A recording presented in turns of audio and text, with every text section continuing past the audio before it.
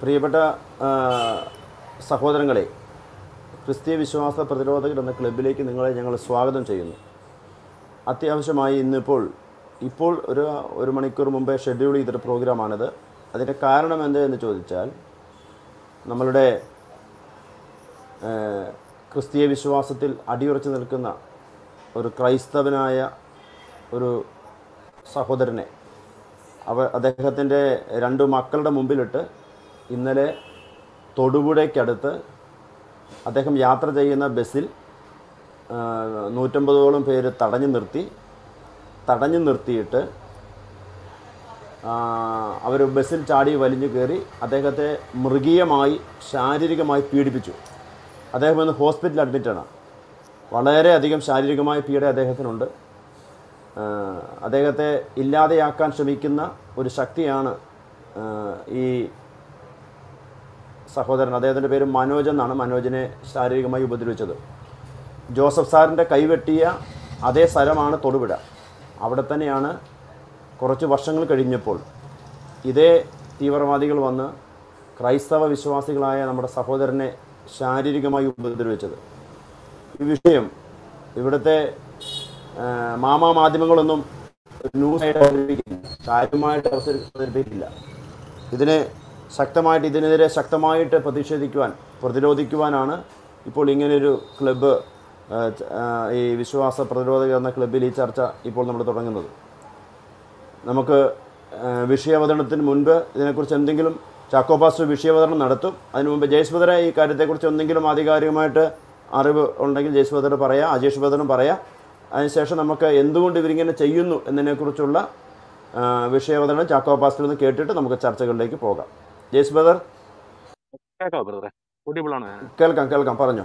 Okay ഞാനും ഇന്ന് ന്യൂസിലൂടെയാണ് ഞാനും ഈ സംഭവം അറിഞ്ഞത്. അതായത് ബസ് കണ്ടക്ടർ ആയിരുന്നുവെന്നും ബസ്സിൽ യാത്ര ചെയ്തിരുന്ന അദ്ദേഹത്തിന്റെ മക്കളോടൊപ്പം യാത്ര ചെയ്തിരുന്ന മനുഷ്യനെ ഇസ്ലാം വിമർശനം നടത്തിയ ഒരു പോസ്റ്റ് ഫേസ്ബുക്ക് വഴി ഫോർവേഡ് ചെയ്തു എന്ന ഒറ്റ കാരണത്താൽ എന്റെ ഇരുപതോളം പേരടങ്ങുന്ന ഒരു സംഘം ബസ് തടഞ്ഞു നിർത്തുകയും ബസ്സിൽ നിന്ന് വലിച്ചിറക്കി മക്കളുടെ മുമ്പിലിട്ട് ശരിക്കും പറഞ്ഞാൽ വധിക്കാനായിട്ടുള്ള ശ്രമമായിരുന്നു എന്ന് തന്നെയാണ് നമുക്കറിയാൻ കഴിഞ്ഞത്. അപ്പോ ഒരു ഈ ഇസ്ലാം അല്ലെങ്കിൽ മുഹമ്മദ് അല്ലെങ്കിൽ ഇവരുടെ അള്ളാഹു വിമർശനത്തിന് അതീതനാണ് എന്നുള്ള ഒരു ധാരണ ഇസ്ലാമിസ്റ്റുകൾക്കുണ്ടെങ്കിൽ അത് നാലായിട്ടും എട്ടായിട്ടും അല്ല ഒരു നൂറായിട്ട് മടക്കി പോക്കറ്റ് വെക്കണം എന്ന് മാത്രമേ എനിക്കിവിടെ പറയാനുള്ളൂ. കാരണം നിങ്ങൾക്ക് മറ്റുള്ള മതങ്ങളും മറ്റുള്ള വിശ്വാസങ്ങളും തെറ്റാണെന്ന് നിങ്ങൾക്ക് പഠിപ്പിക്കാനുള്ള അവകാശം ഇന്ത്യൻ കോൺസ്റ്റിറ്റ്യൂഷൻ നൽകുന്നത് നിങ്ങൾ അത് ഉപയോഗിക്കുന്നു. അപ്പൊ അതേപോലെ തന്നെയാണ് മറ്റുള്ള മതങ്ങളും നിങ്ങളുടെ വിശ്വാസത്തെയും നിങ്ങളുടെ ദൈവസങ്കല്പത്തെയും നിങ്ങളുടെ പ്രവാചകനെയും വിമർശനത്തിന് അതീതരല്ല. വിമർശനത്തിന് വിധേയരാകും വിധേയരാക്കണം വിധേയരാക്കപ്പെടേണ്ടതാണ് എന്നുള്ള ചിന്ത നിങ്ങൾക്കും ഉണ്ടാകണം. കാരണം ഇതൊരു മതേതര ജനാധിപത്യ രാജ്യമാണ്. ഇന്ത്യൻ കോൺസ്റ്റിറ്റ്യൂഷൻ നിങ്ങൾക്ക് നൽകുന്ന അതേ സ്വാതന്ത്ര്യം തന്നെയാണ് ഈ ഇന്ത്യ എന്ന മഹാരാജ്യത്തിൽ ഓരോ പൗരനും ഇന്ത്യൻ ഭരണഘടന നമുക്ക് നൽകുന്ന സ്വാതന്ത്ര്യം. ആ സ്വാതന്ത്ര്യം ഉപയോഗിക്കുമ്പോൾ അവരെ നിങ്ങൾ കായികമായിട്ട് നേരിടാനാണ് നിങ്ങളുടെ പദ്ധതിയെങ്കിൽ ഇസ്ലാമിസ്റ്റുകളെ നിങ്ങൾ അമ്പെ പരാജയപ്പെടും. കാരണം രണ്ടായിരം വർഷങ്ങൾക്ക് മുമ്പ് റോമാ സാമ്രാജ്യം ഇതിനേക്കാൾ വലിയ പരിപാടി നടത്തിയതാണ് ഞങ്ങളുടെ അടുത്ത്. ഇതിനേക്കാൾ വലിയ പരിപാടികൾ. അനേകായിരങ്ങളെ തീയിലെറിഞ്ഞു.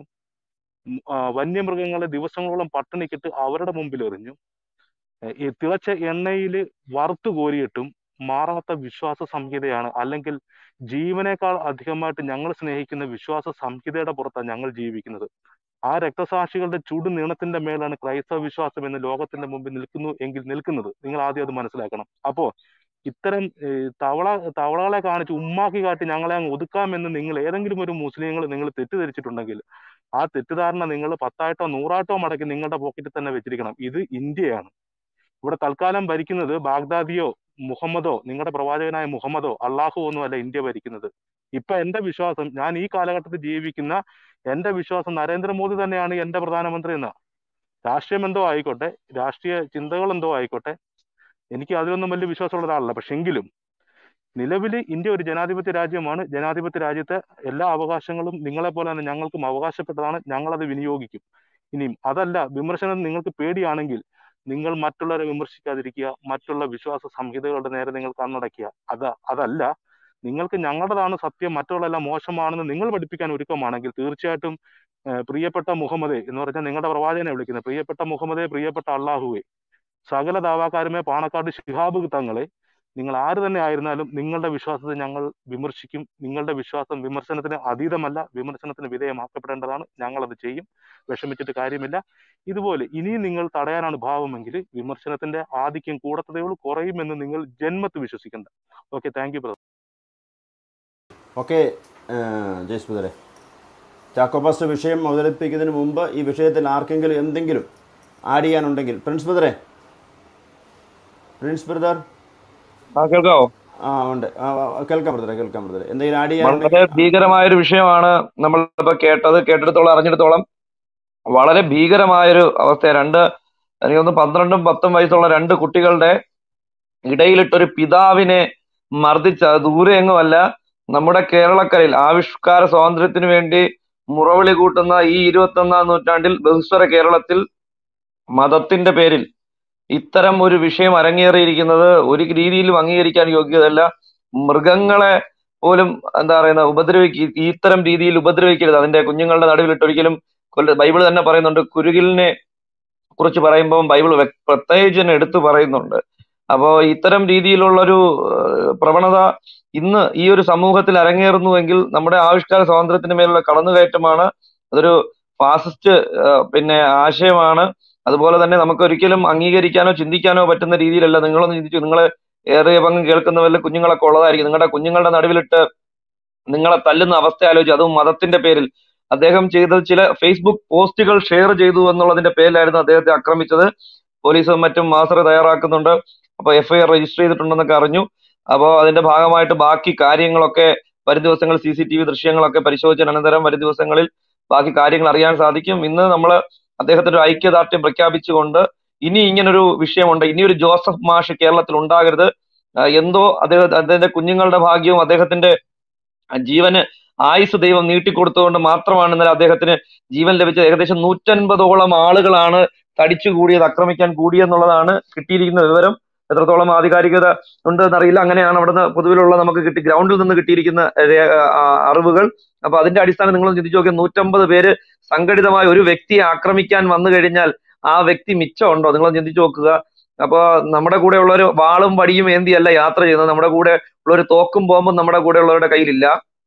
അപ്പോ അദ്ദേഹത്തെ ആക്രമിച്ചത് ഒരു രീതിയിലും നമുക്ക് എന്താ പറയുന്ന അംഗീകരിക്കാനോ ചിന്തിക്കാൻ പോലും കഴിയില്ല. നമുക്ക് വരും ദിവസങ്ങളിൽ ഈ ക്ലബ് ഹൗസിൽ കാണേണ്ടത് ഇത്തരം വിഷയങ്ങളെ ഇസ്ലാം സഹോദരങ്ങൾ എങ്ങനെ നോക്കിക്കാണുന്നു അവർ ഇത്തരം വിഷയങ്ങൾ എങ്ങനെ പ്രതികരിക്കുന്നു എന്നുള്ളത് നോക്കിക്കാണേണ്ടതുണ്ട്. ജോസഫ് മാഷിന്റെ കൈവെട്ടിയത് അനുകൂലിക്കുന്നില്ല എന്ന് പറഞ്ഞ് ഈ ക്ലബ് ഹൗസിനകത്ത് പറഞ്ഞ ആരും തന്നെ പബ്ലിക്കലി ഒരു പോസ്റ്റെങ്കിലും ഇട്ടത് കാണിക്കാൻ കഴിയുമോ? നിങ്ങളുടെ സാഹിബുമാരോ മദനിമാരോ ആരെങ്കിലും അത്തരം വിഷയങ്ങൾ ഏതെങ്കിലും സംഘടനയിൽപ്പെട്ട നേതാക്കന്മാര് അത്തരം വിഷയങ്ങൾ പബ്ലിക്കിൽ അഡ്രസ് ചെയ്ത വീഡിയോ ക്ലിപ്പ് എന്തെങ്കിലും ഉണ്ടോ ചോദിച്ചു കഴിഞ്ഞാൽ അവർ രണ്ട് കൈയും മലർത്തി തിരികെ നടന്നു പോകുന്ന ദൃശ്യമാണ് പലപ്പോഴും നമ്മുടെ ക്ലബ് ഹൗസ് പ്ലാറ്റ്ഫോമിൽ കണ്ടത്.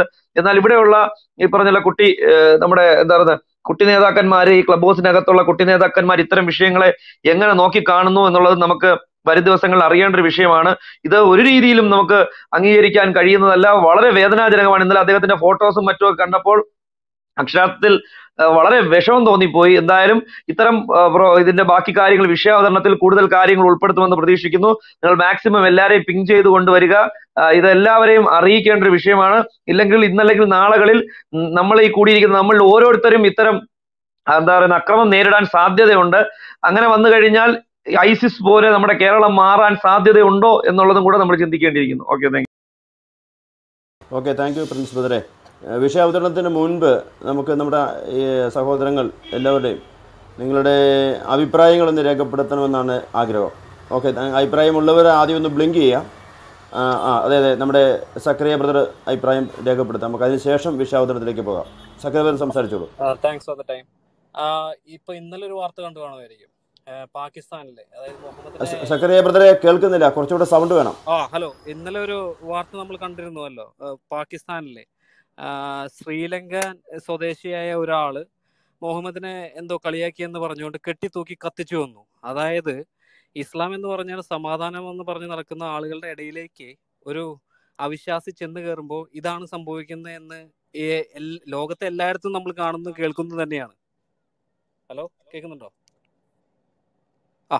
കേൾക്കുന്നുണ്ട് കേൾക്കുന്നുണ്ട് പറഞ്ഞു. അപ്പൊ അതേപോലെ ഈ ഇപ്പൊ ഇന്ന് ഇന്നലെ സംഭവിച്ചത് നമ്മൾ ഇത് എപ്പോ വേണമെങ്കിലും സംഭവിക്കാം എന്ന് പ്രതീക്ഷിച്ചുകൊണ്ടിരിക്കുന്നത് തന്നെയാണ്. അതിന് മുന്നേ ആളുകൾക്കും മനസ്സിലാക്കി കൊടുക്കുകയാണ്. ഇങ്ങനെയുള്ള അവസ്ഥകൾക്കും അവസ്ഥകൾ ഉണ്ടാകാതിരിക്കാൻ ഇങ്ങനെ ഇതുപോലെ വർഗീയ കോമരങ്ങളെ അധികാരത്തിലേക്ക് ഏറ്റുവിടാതിരിക്കാൻ നമ്മൾ ജനങ്ങൾ ഉണരേണ്ട സമയമായിരിക്കുന്നു. അപ്പൊ ഈ നൂറ് പേരെയൊക്കെ കാണിച്ച് അവർ പേടിക്കും പേടിപ്പിക്കാൻ ശ്രമിക്കുമായിരിക്കും. പക്ഷെ നൂറ് പേ നൂറ് പേരല്ല. ഈ യഥാർത്ഥത്തിൽ തിരിച്ചറിഞ്ഞ മനുഷ്യരെല്ലാം വന്നു കഴിഞ്ഞാൽ ഇവർക്ക് ഈ നൂറ് പേര് നൂറ്റമ്പത് പേരെ കൊണ്ട് പേടിപ്പിക്കാനൊന്നും പിന്നീട് സാധിച്ചെന്ന് വരില്ല. മറ്റൊരു കാര്യം ഇതൊരു ഡെമോക്രാറ്റിക് കൺട്രിയാണ് ഇത് അഫ്ഗാനിസ്ഥാനോ അല്ലെങ്കിൽ മറ്റൊരു ഇസ്ലാമിക രാജ്യമോ ഒന്നുമല്ല ഇവിടെ തീവ്രവാദ പ്രവർത്തനം കുറെയൊക്കെ നടത്താമെങ്കിലും അതിനൊക്കെ ഒരു പരിധിയുണ്ട്. അതുകൊണ്ട് എനിക്ക് പറയാനുള്ളത് ഈ ചര്യകൾ ഈ മണ്ണിൽ എങ്ങനെയാണോ അവർ നടപ്പാക്കാൻ ശ്രമിക്കുന്നത് അത് ആർക്കും നല്ലതായിരിക്കില്ല. ക്രൈസ്തവർ ആശയം കൊണ്ട് തന്നെ ഇതിന് പ്രതിരോധം സൃഷ്ടിക്കുകയും ആളുകളെ ബോധവൽക്കരണം നടത്തുന്നത് തുടരുകയും ചെയ്യും. അതിന് ഒരു അതിന് ഒരു പിന്നോക്ക് പിന്നോട്ടം പോകുന്ന ഒരു അവസ്ഥ ഉണ്ടാവുമെന്ന് പ്രതീക്ഷിക്കേ വേണ്ട അവർ ഈ ഈ വക പേടിപ്പെടുത്തൽ കൊണ്ട് എന്നാണ് എനിക്ക് പറയാൻ ഒരു ആഗ്രഹിക്കുന്നത് താങ്ക്സ്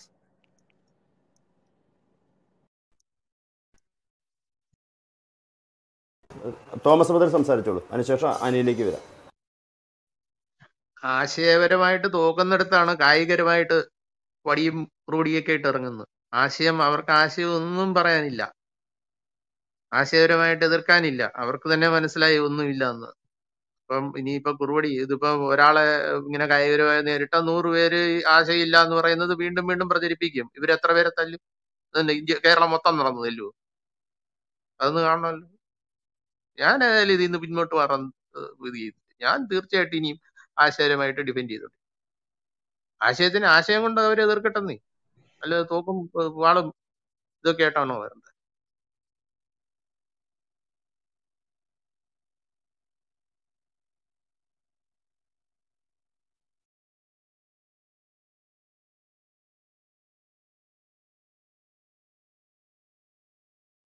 തോമസ് ബ്രദർ പറഞ്ഞു കഴിഞ്ഞെങ്കിൽ അല്ല തോമസ് ബ്രദർ പറഞ്ഞു കഴിഞ്ഞോ? Okay okay. തീർച്ചയായിട്ടും തീർച്ചയായിട്ടും. എനിക്ക് ഇത്ര പറയാനുള്ളൂ. ഞാൻ എന്താ പറയുക ആശയത്തെ ആശയം കൊണ്ട്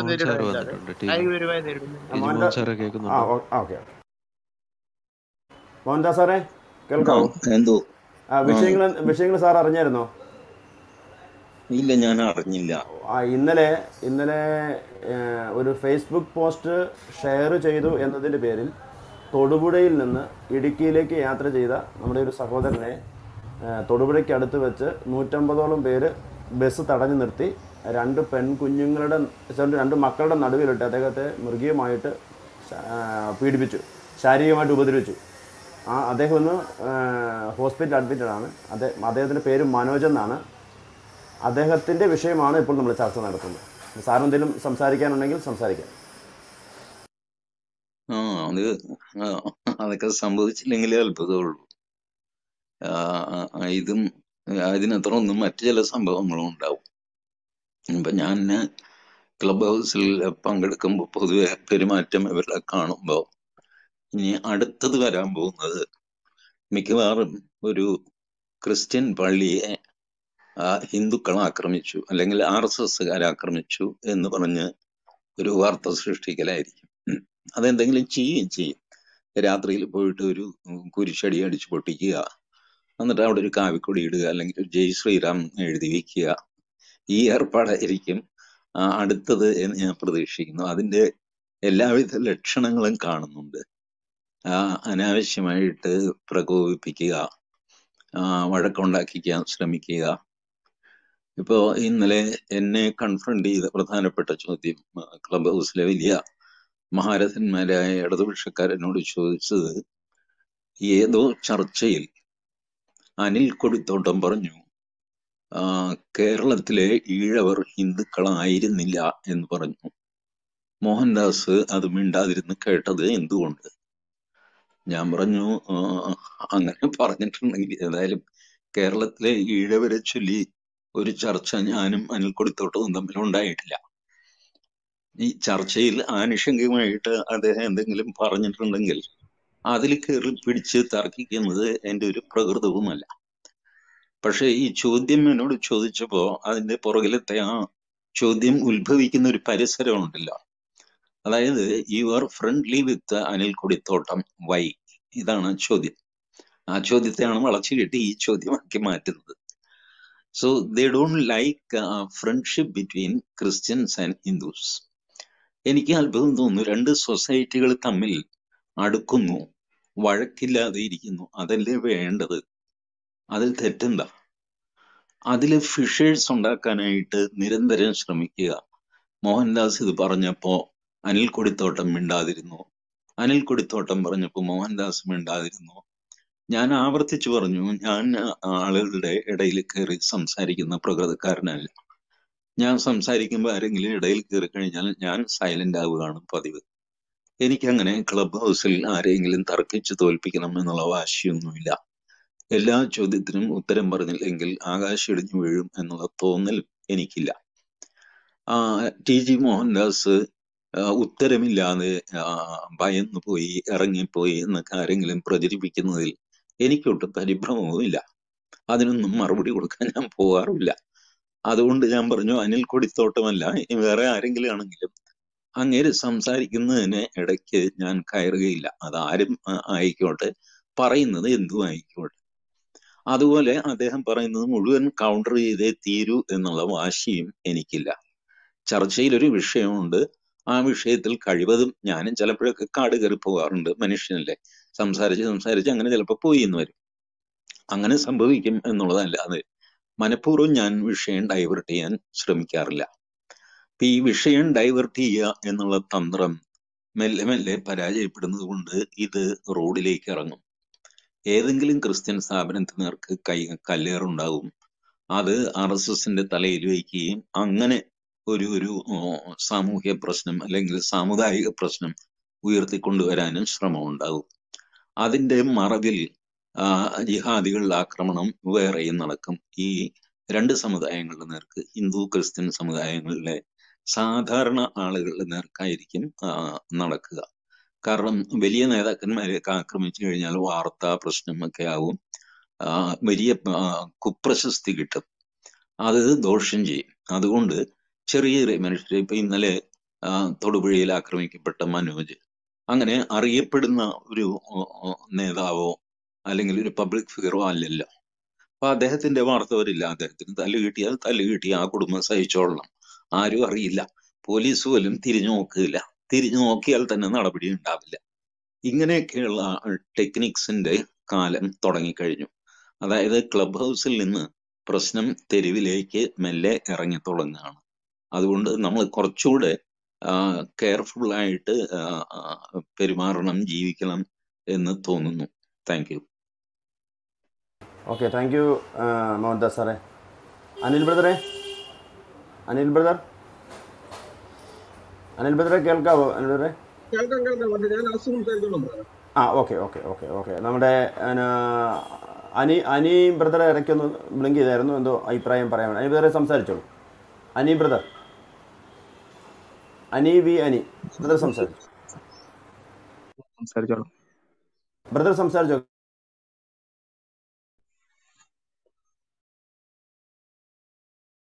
അനി ബ്രദർ? ആ ബ്രദറെ പറയുന്നത് കേൾക്കുന്നില്ല. നെറ്റ്വർക്ക് ഉള്ളിടത്തേക്ക് മാറി നിൽക്കാവോ? റോക്കി എന്തോ ബ്ലിങ്ക് ചെയ്യുന്നു. പുള്ളി പറഞ്ഞ കേൾക്കാൻ ആ ഓക്കെ. എന്നാൽ റോക്കി സംസാരിക്കും റോക്കി സംസാരിക്കും. റോക്കി ബ്രദർ സംസാരിക്കും.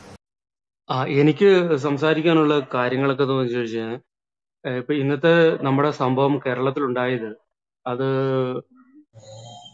അത് ഇനി വരാനിരിക്കുന്ന ഒരു വലിയൊരു വിപത്തിന്റെ ഒരു സൂചനയാണ്. അത് നമ്മളെല്ലാരും കാത്തിരിക്കണം. ഇന്നലെ പാകിസ്ഥാനിൽ എന്നാണ് എന്താണ് കഴിഞ്ഞാൽ ശ്രീലങ്കയിലുള്ള ഒരാളെ ഒരു ശ്രീലങ്കക്കാരനെ അവിടുന്ന് ഒരു മാനേജറായിട്ട് ഒരു കമ്പനി വർക്ക് ചെയ്യുന്ന ഒരാളെ ബ്ലാസ്മി പേരിൽ ജനക്കൂട്ടം മോബ് ലിഞ്ചിങ് വഴി വലിച്ചിട്ട് തീയിട്ട് കൊളുത്തി കൊന്നു കളഞ്ഞു അത് അതൊന്നും നമുക്ക് ഇവിടെ മാധ്യമങ്ങളിലൊന്നും വാർത്തയല്ല. നോർത്ത് ഇന്ത്യൻ സൈഡിലെ വലിയ ഇന്ത്യൻ മാധ്യമങ്ങളിലൊക്കെ വാർത്തയായിരുന്നു. ഞാൻ കേരളത്തിലൊന്നും കണ്ടില്ല. നമ്മുടെ വാർത്താ മാധ്യമങ്ങളിലൊന്നും കണ്ടില്ല. അവർക്ക് ഗാസയിൽ ആരെങ്കിലും ചത്തു കഴിഞ്ഞാൽ ഓക്കെ അതൊക്കെ വലിയ മാധ്യമ വാർത്തകളായിരിക്കും. പിന്നെ കഴിഞ്ഞ വർഷം ബാംഗ്ലൂരുണ്ടായ കലാപം നമ്മളൊക്കെ മറന്നുപോയി. അതെന്തായിരുന്നു? അത് ഇതുപോലെ ഒരു ഫേസ്ബുക്ക് പോസ്റ്റിന്റെ പേരിലാണ് ബാംഗ്ലൂരിൽ വലിയൊരു അക്രമം നടന്നത്. എത്ര സ്ഥാപനങ്ങൾ എത്ര ഇതൊക്കെ ഈ ജിഹാദികൾ നശിപ്പിച്ചു. ഇതെല്ലാം നമ്മൾ മറന്നു പോകുന്നുണ്ട്. നമ്മൾ മറന്നുപോയിട്ട് വീണ്ടും പക്ഷെ നമ്മുടെ കേരളം ഒരു പുകഞ്ഞുകൊണ്ടിരിക്കുന്ന ഒരു വലിയൊരു അഗ്നിപർവത ആ, സ്ഫോടനം വന്ന് ഞാൻ ഇപ്പോഴേ പറയുകയാണ്. എപ്പം വേണേലും പൊട്ടാം. ഞാൻ കഴിഞ്ഞ വർഷം ഈ ശ്രീലങ്കയിലെ പള്ളിയിലെ ബോംബാക്രമണം ഉണ്ടായ സമയത്ത് എന്റെ പള്ളിക്കാരോടും എന്റെ ആൾക്കാരോടൊക്കെ ഞാൻ നേരത്തെ വിളിച്ചു പറഞ്ഞു. അവരോടൊക്കെ പറഞ്ഞു നമ്മുടെ നാട്ടിൽ ചുറ്റുമുള്ള ആൾക്കാരുടെയും ഒരു പരിതസ്ഥിതിയൊക്കെ നിരീക്ഷിച്ചുകൊണ്ടാണ് ഞാൻ നേരത്തെ പറഞ്ഞത്. നമ്മുടെ പള്ളിയിലേക്ക് വരുന്ന ആൾക്കാർ ആരൊക്കെയാണോ അവരെ എല്ലാം വാച്ച് ചെയ്യണം. നമ്മുടെ പള്ളിക്കൊക്കെ ഓരോ പ്രൊട്ടക്ഷൻ കൊടുക്കണം. എപ്പോ വേണേലും നമ്മുടെ പള്ളിയിൽ കേരളത്തിൽ വലിയൊരു ബോംബ് സ്ഫോടനമോ വലിയൊരു ടെററിസ്റ്റ് അറ്റാക്കോ ഉണ്ടാകാനുള്ള സാധ്യതയുണ്ട്. കാരണം ഈ ലോകത്തിൽ എവിടെയെങ്കിലും ഒരു ബോംബ് സ്ഫോടനമോ ടെററിസ്റ്റ് അറ്റാക്കോ ഉണ്ടായി കഴിഞ്ഞാൽ അതിന്റെ ഒരു ലിങ്ക് ഒരു ലിംഗം വരുന്നത് നമ്മുടെ നാട്ടിലേക്ക് തന്നെയാണ്. അത് നമ്മൾ പാസ്റ്റിൽ അന്വേഷിച്ചു കഴിഞ്ഞാൽ മനസ്സിലാവും. അതുകൊണ്ട് ഞാൻ ഇപ്പോഴേ പറയാണ് നമ്മളെല്ലാം അലർട്ടായി അലർട്ടായിട്ടിരിക്കണം. അത്ര എനിക്ക് പറയാനുള്ളൂ. ബാക്കി നിങ്ങൾ കണ്ടിന്യൂ ചെയ്യുക. ഓക്കെ താങ്ക് യു ബ്രദറെ ഇത് ഇന്ന് ഇന്നത്തെ ദീപിക ന്യൂസ് പേപ്പറിനകത്ത് വന്നിരിക്കുന്നത് രണ്ട് ന്യൂസാണുള്ളത് ഇവിടെ ഈ കേരളത്തിൽ നടന്നതിനോട് സമമായിട്ടുള്ള രണ്ട് കാര്യങ്ങൾ. ഒന്ന് ഇപ്പോൾ റോക്കി ബ്രദർ സംസാരിച്ചിരുന്നു. അതായത് ശ്രീ പാകിസ്ഥാനിൽ ആരംഭിച്ച ശ്രീലങ്കൻ പൗരനെ ചുട്ടരിച്ചു കൊന്നു കളഞ്ഞു. അതുപോലെ തന്നെ നൈജീരിയയിൽ നടന്ന മറ്റൊരു സംഭവമാണ് അവിടുത്തെ ഫുലാനികൾ ഫുലാനി ഗോത്രവർഗക്കാരായവർ വന്നിട്ട് അവരൊരു സംഘടന കൂടി ഒരു സർക്കുലർ പുറപ്പെടുവിച്ചിരിക്കുന്നു. ക്രിസ്ത്യൻ ചർച്ചുകൾ മൂന്ന് വർഷത്തേക്ക് അടച്ചിട്ടോണം. അല്ലെങ്കിൽ ഞങ്ങളത് കത്തിച്ചു കളയുന്നു പറഞ്ഞിട്ട്. ഈ ഫുലാനികൾ ആധിപത്യം സ്ഥാപിക്കാൻ തുടങ്ങിയിട്ട് പത്ത് പത്തോ പതിനഞ്ചോ വർഷമായി ആധിപത്യ ആധിപത്യം സ്ഥാപിക്കാൻ അവിടെ വംശഹത്യ നടത്തിക്കൊണ്ടിരിക്കുകയാണ്. അവിടുത്തെ ജനത്തെ കൊന്നൊടുക്കുകയാണ്. ഇത് പുതിയ സർക്കുലറാണ് ഇനിയും ചർച്ച് ബിൽഡിങ്ങുകളെല്ലാം അടച്ചോണം. നിങ്ങൾ പള്ളി പോകരുത്. വേണമെന്നുണ്ടെങ്കിൽ ഞങ്ങളുടെ കൂടെ വന്നോളൂ എന്നുള്ള രീതിയിലായി കാര്യങ്ങൾ. അപ്പോൾ അതിന്റെയൊക്കെ നമ്മുടെ നാട്ടിലും വരുന്നതിന്റെ വലിയ സൂചനയാണ് ഇവിടെ വരുന്നത്. എന്തായാലും നമ്മുടെ എന്തുകൊണ്ട് ഇവരിങ്ങനെയൊക്കെ ചെയ്യുന്നു എന്നതിന്റെ നമുക്ക് നമ്മുടെ വിഷയം ഒന്ന് കേൾക്കാം. ചക്കോ പാസ്റ്റേ കേൾക്കാമോ ആ കേൾക്കാം കേൾക്കാം കേൾക്കാം കേൾക്കാം ജസ്റ്റ് ഒന്ന് വിഷയം അവതരിപ്പിക്കും. എന്തുകൊണ്ട് ഇങ്ങനെ ചെയ്യാൻ ചെയ്യുന്നു? Okay okay okay okay okay. ആ പ്രിയമുള്ളവരെ പ്രിയപ്പെട്ട മനോജിന്റെ മനോജിനുണ്ടായ അകാരണമായ ആക്രമണത്തിൽ നമുക്ക് പ്രയാസമുണ്ട് ദുഃഖമുണ്ട്. ഇത് നമ്മുടെ സുഹൃത്തുക്കൾ പലരും പറഞ്ഞ പോലെ തന്നെ ഇതെന്തോ ഒരു മഹാസംഭവത്തിന്റെ മുന്നോടിയാണോ എന്ന് സംശയിക്കേണ്ടിയിരിക്കുന്നു. നമ്മൾ ഇത് വാസ്തവത്തിൽ ഒരു സമകാലിക വിഷയമായിട്ടോ അല്ലെങ്കിൽ സാധാരണയായി ഉണ്ടാകുന്ന ഒരു സംഭവമായിട്ടോ ഇതിനെ നമ്മൾക്ക് വിലയിരുത്താൻ പറ്റത്തില്ല. ഇത് വിഷയം പ്രത്യയശാസ്ത്രപരമാണ്. അതായത് പെട്ടെന്നുണ്ടാകുന്ന ഒരു വികാരത്തിന്റെ പരിണിത ഫലം എന്ന നിലയിലുള്ള അറ്റാക്ക് അല്ലിത്. മറിച്ച് ഇത് പ്രത്യയശാസ്ത്രമാണ് ഇതിന്റെ പിന്നിൽ നിൽക്കുന്നത്. അതുകൊണ്ടാണ് ഇങ്ങനെയുള്ളതായ അറ്റാക്കുകൾ ഉണ്ടാകുന്നത്. ഇസ്ലാമിന്റെ ചരിത്രം പരിശോധിച്ചാൽ മുഹമ്മദിന്റെ കാലത്ത് തന്നെ എതിർ ദിശയിൽ നിൽക്കുന്ന ആശയ പോരാളികളെ ജീവനോടെ വെച്ചിരുന്നില്ല.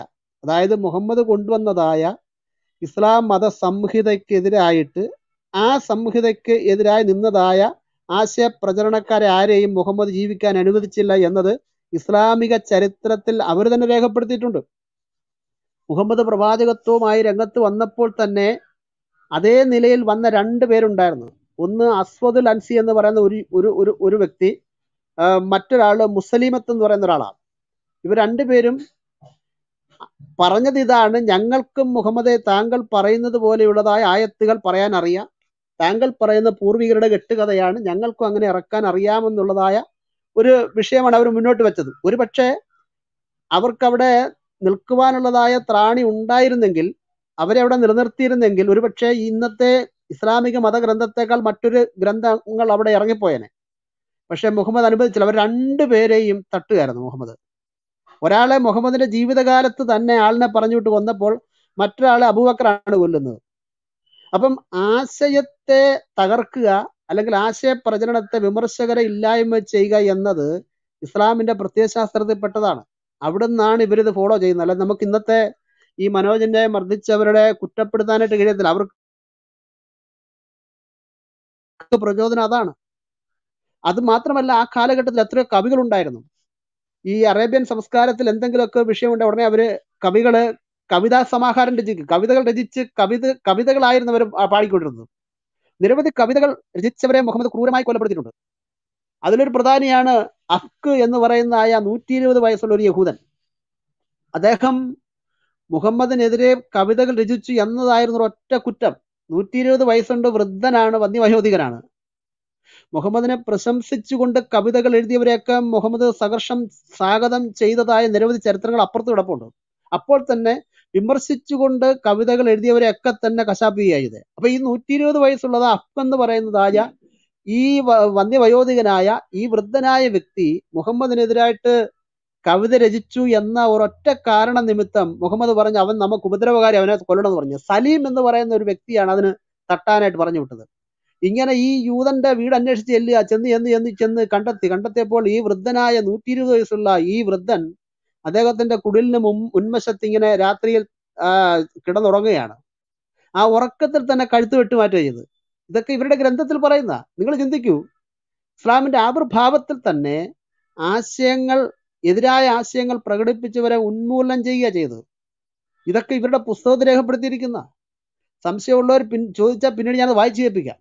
അപ്പൊ അന്ന് മുതൽ തന്നെ എതിരാശയങ്ങളുമായി രംഗത്ത് വരുന്നവരെ ആ അതേ നിലയിൽ ആശയ പ്രചരണത്തിലൂടെ നേരിടുക എന്നതിനേക്കാൾ ഉപരിയായിട്ട് ഉന്മൂലനം ചെയ്യുക എന്നത് ഇസ്ലാമിന്റെ പ്രത്യശാസ്ത്രത്തിൽപ്പെട്ടതാണ് അതിൽ നിന്നാണ് നമ്മുടെ യുവാക്കന്മാർക്ക് പ്രചോദനം ഉൾക്കൊള്ളുന്നത്. അപ്പം ഒരു മതത്തെ അല്ലെങ്കിൽ പിന്നെ ഒരു മതസംഹിതയെ വിമർശിച്ചാൽ ഉടനെ കഴുത്ത് വെട്ടുകയാണെങ്കിൽ നമ്മുടെ ഈ നമ്മുടെ രാജ്യത്ത് എത്രയോ ആളുകളാണ് കഴുത്ത് വെട്ടി കൊല്ലപ്പെടേണ്ടത്. നമുക്കറിയാം ഈ എം ടി വാസുദേവൻ നായരുടെ സംവിധാനത്തിൽ ആയിരത്തി തൊള്ളായിരത്തി എഴുപത്തി ആറിൽ പുറത്തിറങ്ങിയ ഒരു സിനിമയാണ് നിർമാല്യം. അതിനകത്തൊരു വെളിച്ചപ്പാടിന് വെളിച്ചപ്പാടിന്റെ ഭാര്യയൊക്കെ ഉണ്ട് ആ ചിത്രം കണ്ടവർക്കറിയാം. മതത്തെയും മത പുരോഹിതന്മാരെയും അല്ലെങ്കിൽ മതത്തിന്റെ പൂജാരിയൊക്കെ കർശനമായിട്ട് അല്ലെങ്കിൽ കഠിനമായിട്ട് വിമർശിക്കുകയാണ് ആ ചിത്രത്തിലെ. അതെല്ലാം കണ്ടില്ലേ ഇവിടെ ആളുകൾ അങ്ങനെ അക്കണക്കിനാണെങ്കിൽ എം ടി വാസുനാരുടെ ഒക്കെ തല പോകേണ്ടതല്ലേ അങ്ങനെ എത്രയോ ചിത്രങ്ങൾ വന്നു എത്രയോ കവിതകൾ എത്രയോ രചനകൾ ഇവിടെ ഉണ്ടായി. ഇതൊക്കെ സഹിക്കാനും ഇതൊക്കെ ഉൾക്കൊള്ളുവാനുമുള്ളതായ ഒരു എന്താണ് ഒരു ആ പിന്നെ മാനവിക ബോധമാണ് നമ്മുടെ മതത്തിൽ ഉണ്ടാകേണ്ടത് പക്ഷെ അത് നിർഭാഗ്യം എന്ന് പറയട്ടെ ഇസ്ലാമിന് അതില്ല അവർ വെച്ച് വെറുപ്പിക്കത്തില്ല അതിന്റെ തെളിവാണ് ഇന്നലെ പാകിസ്ഥാനിൽ നടന്നത്. എന്താ പാകിസ്ഥാൻ നടന്നത്? ദൈവനിന്ന ആരോപിച്ച് ശ്രീലങ്കൻ വസ്ത്ര ഫാക്ടറി ജനറൽ മാനേജരെ തീവ്രവാദികൾ വട്ടം കൂടി നിന്ന് തല്ലിക്കൊന്നു. തല്ലിക്കൊല്ലുക മാത്രമല്ല കത്തിച്ചു കളഞ്ഞ്. ഈ പഞ്ചാബ് പ്രവിശ്യയിൽ നടന്ന കാര്യമാണ് ഇന്നലെ വെള്ളിയാഴ്ച ഇന്നലത്തെ ദിവസം. ഈ കൂട്ടം കൂടി തല്ലിക്കൊന്ന് തീ കത്തിച്ച് ചാരമായതിനു ശേഷം പോലീസ് അവിടെ വരുന്നത്. നോക്കിയേ. അപ്പം പഞ്ചാബ് പ്രവിശ്യയിൽ നടന്നാണ് പോലീസ് അവിടെ ഉണ്ട് ഇതെല്ലാം പ്രത്യേക അജണ്ടയിൽപ്പെട്ടതാണ്. മതത്തെ നിന്ദിക്കാൻ പാടില്ല. പ്രവാചകനെ നിന്ദിക്കാൻ പാടില്ല. അവരെ ഒന്നും ചെയ്യാൻ പാടില്ല. അഥവാ എവിടെയെങ്കിലും വിമർശനത്തിന്റെ തല പൊക്കിയാൽ അവരെ എന്താണ് ചെയ്യേണ്ടത്? തീർക്കുക എന്നതാണ് ഇസ്ലാമിന്റെ പ്രത്യയശാസ്ത്രം എന്ന് പറയുന്നത്. രണ്ടായിരത്തി പത്ത് ജൂലൈ പതി ജൂലൈ പതിനാലാം പതിനാലാം തീയതിയാണ് ടി ജെ ജോസഫ് മാഷിന്റെ കൈ വെട്ടുന്നത്. അദ്ദേഹത്തിന്റെ ചോദ്യപേപ്പറാണ് വിഷയം എന്ന് പറയുന്നത്. അതൊക്കെ വെറും നിസ്സാര കാര്യം. നമുക്ക് അതിനെക്കുറിച്ച് നമ്മൾ അതിനെക്കുറിച്ച് കേട്ടതാണ്. ആ കേസും കേസിന്റെ പര്യവസാനം നമ്മൾ കണ്ടതാണ്. ആ അതിന്റെ ഭീകരത ഒന്ന് മനസ്സിലാക്കണമേ. ആ ന്യൂമാൻ കോളേജിലെ പ്രൊഫസറായി ടി ജെ ജോസഫിന്റെ കൈപ്പത്തി ഇസ്ലാമിക മതവെറിയന്മാർ വെട്ടിമാറ്റുക ചെയ്തത്. അതിനും പ്രചോദനം എന്ന് പറയുന്നത് പ്രത്യയശാസ്ത്രമാണ് മറ്റൊന്നുമല്ല. വലത് കൈ പോയിട്ടും ഇടയ്ക്കിടെ ബോധം വന്നും പോയും വരുന്ന ജോസഫ് അക്രമികളോട് അരുതേ എന്ന് യാചിച്ചു കൊണ്ടിരുന്നു. കേൾക്കാൻ കൂട്ടാക്കാത്ത അക്രമികളിൽ ഒരാൾ വലതുകൽ ആഞ്ഞു വെട്ടി. അപ്പൊ കൂടെ ഉണ്ടായിരുന്ന അക്രമി അയാളെ കുറ്റപ്പെടുത്തി. അയാൾ പറഞ്ഞു തന്നെ എടാ മറ്റേ കാലാണ് വെട്ടേണ്ടതെന്ന്. മനസ്സിലായോ? അതായത് വലത് കൈ വെട്ടിയാൽ പിന്നെ വലത് കാലല്ല വെട്ടേണ്ടത്. ഇടത് കാൽ വെട്ട എതിർ ദിശയിൽ നിന്ന് മുറിച്ച് മാറ്റണം. അപ്പൊ അവൻ പറയുക കൂടെ നിന്ന് അക്രമി പറയുക എടാ അതല്ല വെട്ടേണ്ടത് മറുകാൽ വെട്ടാൻ. അതെന്താ കാരണമേ? സൂറത്തിൽ മായത് മുപ്പത്തി മൂന്നാമത്തെ ആയത്താണ്. അവിടെ കൃത്യമായി പറയുന്നു അള്ളാഹുവിനോടും അവന്റെ ദൂതരോടും പോരാടുകയും ഭൂമിയിൽ കുഴപ്പമുണ്ടാക്കാൻ ശ്രമിക്കുകയും ചെയ്യുന്നവർക്കുള്ള പ്രതിഫലം അവർ കൊന്നെടുക്കപ്പെടുകയോ ക്രൂശിക്കപ്പെടുകയോ അവരുടെ കൈകാലുകൾ എതിർവശങ്ങളിൽ നിന്നായി മുറിച്ചു കളയപ്പെടുകയോ നാട് കടത്തപ്പെടുകയോ ചെയ്യേണ്ടതാകുന്നു. ഇതാകുന്നു അവർക്ക് ഇഹലോകത്തുള്ള അപമാനം. പരലോകത്ത് അവർക്ക് കനത്ത ശിക്ഷയുണ്ടായിരിക്കും. അപ്പൊ ഈ ആയത്തിന് പ്രചോദിപ്പിച്ചാണ് കൂടെ നിന്ന് അക്രമി കൈ വെട്ടിയവനോട് പറഞ്ഞത് ഇടാ വലത് കൈ നീ വെട്ടിയെങ്കിൽ വലത് കാലല്ല വെട്ടേണ്ടത്. വലത് കൈ വെട്ടിയാൽ ഇടത് കാലാണ് എതിർ ദിശയിൽ നിന്ന് വെട്ടാനാണ് അള്ളാഹു പറഞ്ഞിരിക്കുന്നത്. മനസ്സിലായോ? അപ്പൊ അവർ ചെയ്യുന്നതായി ഓരോ പ്രവൃത്തിക്കും ഓരോ ക്രിയ ക്രിയകൾക്കും അവർക്ക് പ്രത്യേക ശാസ്ത്രമുണ്ട് അവർക്ക് പ്രമാണമുണ്ട്. അപ്പൊ ഇത്തരത്തിലുള്ളതായ ഹീനമായ നടപടികൾ മാനവികതയ്ക്ക് വിരുദ്ധമായ അല്ലെങ്കിൽ നമ്മുടെ രാജ്യത്ത് സംഭവിക്കാൻ പാടില്ലാത്തതായ ഈ രാജ്യത്ത് സംഭവിക്കാൻ പാടില്ലാത്തതായ കാര്യങ്ങൾ നടക്കുമ്പോൾ അതിനെതിരെ തീർച്ചയായിട്ടും പ്രതികരിക്കണമെന്നാണ് എനിക്ക് പറയാനുള്ളത്. നമുക്കറിയാം ഡൽഹി ബലാത്സംഗ കേസ്. ആ സംഭവം നടന്നതിന് ശേഷം ഇരയായ പെൺകുട്ടിക്ക് ഐക്യദാർഢ്യം പ്രഖ്യാപിച്ചുകൊണ്ട് രംഗത്ത് വന്ന സോഷ്യൽ മീഡിയയാണ്. സോഷ്യൽ മീഡിയയുടെ രംഗത്ത് വരവോടുകൂടിയാണ് ആ വിഷയം അങ്ങ് പരന്നത്. പിന്നീട് അതിനൊരു പരിസമാപ്തി ഉണ്ടായതും. അപ്പം ഞാൻ പറഞ്ഞത് ഈ മുഖ്യധാരാ മാധ്യമങ്ങളും ചാനലുകാരും ഒക്കെ ഇത്തരത്തിലുള്ള വാർത്തകളെ തമസ്കരിക്കുമ്പോൾ സോഷ്യൽ മീഡിയ ഇത് ഏറ്റെടുത്തുകൊണ്ട് ഇതൊരു പ്രചാരണമാക്കണം. കാരണം ഇത് നമ്മുടെ ഭാരതമാണ്. ഇവിടെ ജനാധിപത്യമാണ്. ഇവിടെ മതേതര ബോധമുണ്ട് മതബഹുലതയുള്ള രാജ്യമാണ്. അഭിപ്രായ സ്വാതന്ത്ര്യമുണ്ട്. ആശയ ആവിഷ്കാരത്തിന് ആ പ്രകടിപ്പിക്കാനുള്ള എല്ലാവിധ സ്വാതന്ത്ര്യമുണ്ട്. ഒരാളൊരു ആശയം പ്രചരിപ്പിക്കുമ്പോൾ ആ ആശയത്തിനെ കണ്ണിച്ചുകൊണ്ട് മറ്റൊരാൾ പ്രചരിപ്പിച്ചാൽ തീർച്ചയായിട്ടും അയാൾക്ക് ആശയത്തെ കൊണ്ട് കണ്ണിക്കാം അദ്ദേഹത്തിന് മറുപടി കൊടുക്കാം. അല്ലാതെ ചവിട്ടാനും തൊഴിക്കാനും കഴുത്ത് വെട്ടാനും പോവുക എന്ന് പറയുന്നത് പ്രാകൃത സംസ്കാരമാണ്. അത് സോമാലിയയിലും അഫ്ഗാനിസ്ഥാനിലും പാകിസ്ഥാനിലും അറേബ്യൻ രാജ്യങ്ങളിലും ശരിയത്ത് നിയമങ്ങൾ നടക്കുന്ന ഇറാനെ പോലുള്ള രാജ്യങ്ങളിലുമാണ് അതൊക്കെ നടക്കേണ്ടത്. ഭാരതത്തിൽ അത് പാടില്ല. അപ്പൊ അതുകൊണ്ട് ഈ വിഷയത്തിൽ നമ്മൾ നന്നായി പ്രചരണം നടത്തണം. സോഷ്യൽ മീഡിയയിൽ ഇങ്ങനെയൊക്കെയുള്ളതായ വിഷയങ്ങൾ ഇനി ഉണ്ടായാൽ അത് ചർച്ചയ്ക്ക് വെച്ചതിന്റെ മൂലകാരണം എവിടെയാണെന്ന് കണ്ടുപിടിക്കണം. മൂലകാരണം കണ്ടുപിടിക്കാൻ പോയാൽ ഇസ്ലാമിക മതഗ്രന്ഥങ്ങളിൽ ചെന്നാണ് അവസാനിക്കുന്നത്. അത് സാധാരണക്കാരെ നമുക്ക് ബോധ്യപ്പെടുത്തേണ്ട ആവശ്യകതയുണ്ട്. കാരണം ഇത് മതത്തിൽ നിന്ന് പുറപ്പെട്ടതാണ്. മുഹമ്മദിന്റെ കാലത്ത് തന്നെ ആയുധ പരിശീലനമൊക്കെ പള്ളിക്കകത്ത് വെച്ച് കൊടുത്ത പല സംഭവങ്ങളുണ്ട്. പല ഹദീസുകളിലും ആയുധ പരിശീലനം മുഹമ്മദ് പള്ളിക്കകത്ത് വെച്ച് നടത്തുന്നുണ്ട്. നമുക്ക് ചിന്തിക്കാൻ കഴിയുമോ? ദേവാലയം എന്ന് പറഞ്ഞാൽ പവിത്രമാണ്. ഈ കഴിഞ്ഞ ദിവസം വക്കഫ് ബോർഡിന്റെ ഒരു വിഷയം പി എസ് സിക്ക് വിട്ടതായ വിഷയം വന്നപ്പോൾ ഇവിടെ ജഫ്രി തങ്ങൾ പറഞ്ഞൊരു കാര്യമുണ്ട്. ഇന്നത്തെ പത്രത്തിൽ കിടക്കുന്നത് പള്ളി പരിപാവനമാണ്. പള്ളി പവിത്രമാണ്. അവിടെ ബോധവൽക്കരണം പാടില്ല എന്ന് പെട്ടെന്ന് എനിക്ക് മുഹമ്മദ് ആയുധ പരിശീലനം നടത്തിയ ഹദീസ് എന്റെ മനസ്സിലേക്ക് വന്നത്. മുഹമ്മദ് പറയുന്നത് കേൾക്കണോ? ബുഹാരി ഇരുന്നൂറ്റി എഴുപത്തി എട്ടിൽ ഐഷ ബീബി പറയുന്നു ഒരു ദിവസം നബി എന്റെ മുറിയുടെ വാതിലിന്റെ മുമ്പിൽ നിന്നു എത്യോപ്യക്കാർ പള്ളിയിൽ ആയുധാഭ്യാസ പ്രകടനം നടത്തിക്കൊണ്ടിരിക്കുകയായിരുന്നു. തിരുമേനി തട്ടവും കൊണ്ട് എന്നെ മറച്ചു. ഞാൻ അവരുടെ ആയുധാഭ്യാസ പ്രദർശനം നോക്കിക്കൊണ്ടിരുന്നു. കണ്ടോ? ജഫ്രി തങ്ങൾ പറയുകയാണ് ഈ പി എസ് സി നിയമനത്തെ സംബന്ധിച്ച് ബോധവൽക്കരണം പാടില്ല. പള്ളി പവിത്രമാണ് പള്ളി പരിപാവനമാണ്. തങ്ങളെ താങ്കൾ നബിയുടെ ചരിത്രം പരിശോധിക്കൂ. അപ്പം ആയുധ പരിശീലനം പള്ളിക്കകത്ത് കൊടുത്തിട്ടുണ്ട്. മാത്രമല്ല ആയുധം വിതരണം ചെയ്തിട്ടുണ്ട്. അത് സഹിഹായ മുസ്ലിം ആയിരത്തി എണ്ണൂറ്റി പതിനാറിൽ ജാബ്രുബ്നു അബ്ദുല്ലയിൽ നിന്ന് പള്ളിയിൽ വെച്ച് അമ്പ് ദാനം ചെയ്യുകയായിരുന്നു. അന്നത്തെ ആയുധങ്ങളിൽ പ്രധാനപ്പെട്ട ഇന്നത്തെ ഏക്ക ഫോർട്ടി സെവന് തുല്യമായിരുന്നു അമ്പെന്ന് പറയുന്നത്. അതാണ് അവർ കൂടുതൽ ഉപയോഗിച്ചിരുന്നത്. അപ്പൊ അതിനെക്കുറിച്ച് പറയാം. പള്ളിയിൽ വെച്ച് അമ്പ് ദാനം ചെയ്യുന്ന ഒരാളോട് നബി കൽപ്പിച്ചു. അമ്പിന്റെ കൂർത്ത മുന ഭാഗത്ത് പിടിച്ചുകൊണ്ടല്ലാതെ പള്ളിയിൽ അമ്പ് കൊണ്ട് നടക്കരുത്. എങ്ങനെയുണ്ട്? പള്ളി എന്താണ്? ക്ഷേത്രം എന്തിന്റെ പ്രതീകമാണ്? പ്രാർത്ഥനയുടെ ആരാധനയുടെ ദൈവികതയുടെ ആത്മീയതയുടെ കേദാരമല്ലേ നമ്മുടെ രാജ്യത്ത് നിൽക്കുന്ന ക്ഷേത്രങ്ങളും പള്ളികളും ഒക്കെ? അതിനകത്താണ് ആയുധ വിതരണം അതിനകത്താണ് അമ്പ് വിതരണം അതിനകത്താണ് മൂർച്ചയുള്ള അമ്പിന്റെ മുന സൂക്ഷിച്ചു പിടിക്കണമെന്ന് പറയുന്നത്. അപ്പൊ ഇതൊക്കെ കൊണ്ടെത്തിക്കുന്നത് ഇവരുടെ പ്രത്യയശാസ്ത്രത്തിലാണെന്നുള്ള കാര്യം നമ്മൾ തിരിച്ചറിയണം. അതുകൊണ്ട് ഇത്തരത്തിലുള്ളതായ ആക്രമണങ്ങൾ ഒരു ക്രിസ്ത്യാനിക്കോ ഒരു ഹൈന്ദവനോ ആർക്ക് നേരിട്ടാലും അത് സോഷ്യൽ മീഡിയ ഇപ്പോൾ സുന്ദരമായിട്ട് ഇവിടെ ഉള്ളത് കൊണ്ട് ആ സോഷ്യൽ മീഡിയയിൽ പ്രചരണം നടത്തണം. മുഖ്യധാര മാധ്യമങ്ങളും പത്രങ്ങളും അതുപോലെ ചാനലുകളും തമസ്കരിക്കുന്ന ഇത്തരത്തിലുള്ള വാർത്തകൾ പുറത്തു കൊണ്ടുവരികയും ആശയപ്രചരണത്തിലൂടെ ഇതിന്റെ വസ്തുതകൾ ആ സാമാന്യ ജനത്തെ മനസ്സിലാക്കുകയും ചെയ്യണമെന്നാണ് എനിക്ക് പറയാനുള്ളത്. ഇത് ഈ ലോകം ഉള്ളിടത്തോളം കാലം ഇതിങ്ങനെ തന്നെ നിലനിൽക്കും. ഇതിന് മറുമ മറുമരുന്നെന്ന് പറയുന്നത് ഈ ആശയപ്രചരണമാണ്. ഇവിടുത്തെ ഗവൺമെന്റിനൊന്നും ഇതിനെ നേരിടാനായിട്ട് കഴിയത്തില്ല. ഇപ്പോഴുള്ള ഒരു ഗവൺമെന്റും വോട്ട് ബാങ്ക് രാഷ്ട്രീയത്തെ ലക്ഷ്യം വെച്ചുകൊണ്ടിരിക്കുന്ന ഗവൺമെന്റ് പലപ്പോഴും ഇതിന് പ്രോത്സാഹനം കൊടുക്കുകയാണ്. ഹലാൽ വിഷയത്തിൽ നമ്മൾ കണ്ടതാണ്. മനസ്സിലാ- മനസ്സിലാകുന്നുണ്ടോ? അപ്പൊ അതുകൊണ്ട് നവ മാധ്യമങ്ങൾ നന്നായി വിനിയോഗിക്കുകയും ഇത്തരത്തിലുള്ളതായ ഹീനകൃത്യങ്ങൾ നിരുത്സാഹപ്പെടുത്തുകയും ഇതിന്റെ പിന്നെ ആശയങ്ങൾ ലഭിക്കുന്നത് ഇന്നത്തെ ആളുകൾക്ക് ആശയങ്ങൾ ലഭിക്കുന്നത് തങ്ങളുടെ മതഗ്രന്ഥത്തിലാണെന്നുള്ള വസ്തുത കൃത്യമായി തെളിയിക്കുന്നതായ ആ പ്രചരണങ്ങൾ വിഷയ അവതരണങ്ങൾ ഇനിയും ഉണ്ടാകണം എന്നാണ് എനിക്ക് പറയാനുള്ളത്. അങ്ങനെ നമുക്ക് മുന്നോട്ട് പോകാം. ഇനിയുള്ളതാ ഇത്തരത്തിലുള്ളതാ ഏത് വിഷയങ്ങൾ ഉണ്ടായാലും ആ വിഷയങ്ങൾ ഉണ്ടാകുമ്പോൾ തന്നെ ഇത്തരത്തിലുള്ളതായ ആ ചർച്ചകൾ നടത്തണം എന്ന് മാത്രം പറഞ്ഞുകൊണ്ട് ഞാൻ എന്റെ വാക്കുകളെ വിരാമം കുറിക്കുന്നു. ഓക്കെ താങ്ക് യു ചക്കോ ഫസ്റ്റേ നമ്മുടെ ഈ വിഷയത്തിൽ അഭിപ്രായങ്ങൾ രേഖപ്പെടുത്താൻ നമ്മുടെ സുപ്രഭാത് ബദർ സുപ്രഭാത് ബദറെ കേൾക്കാമോ? ഫ്രീ ആയോ? സുപ്രഭാത് സുപ്രഭാത് ആ കേൾക്കാം കേൾക്കാം. കേൾക്കാവോ ബ്രദറെ? ആ കേൾക്കാം കേൾക്കാം. സംസാരിച്ചോളൂ.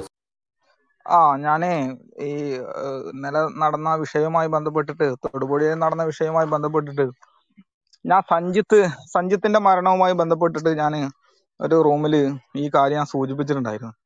അതായത് ഇനി അടുത്തത് വരാൻ പോകുന്നത് കാസയ്ക്ക് നേരെയും കാസയുടെ പ്രവർത്തകർക്ക് നേരെയും ആണെന്നുള്ളതാണ് ഇനി ക്രിസ്ത്യാനികൾ ആരാണോ അവരൊക്കെ കാസക്കാർ എന്ന് മുദ്ര കുത്തുകയാണ് ചെയ്യുക.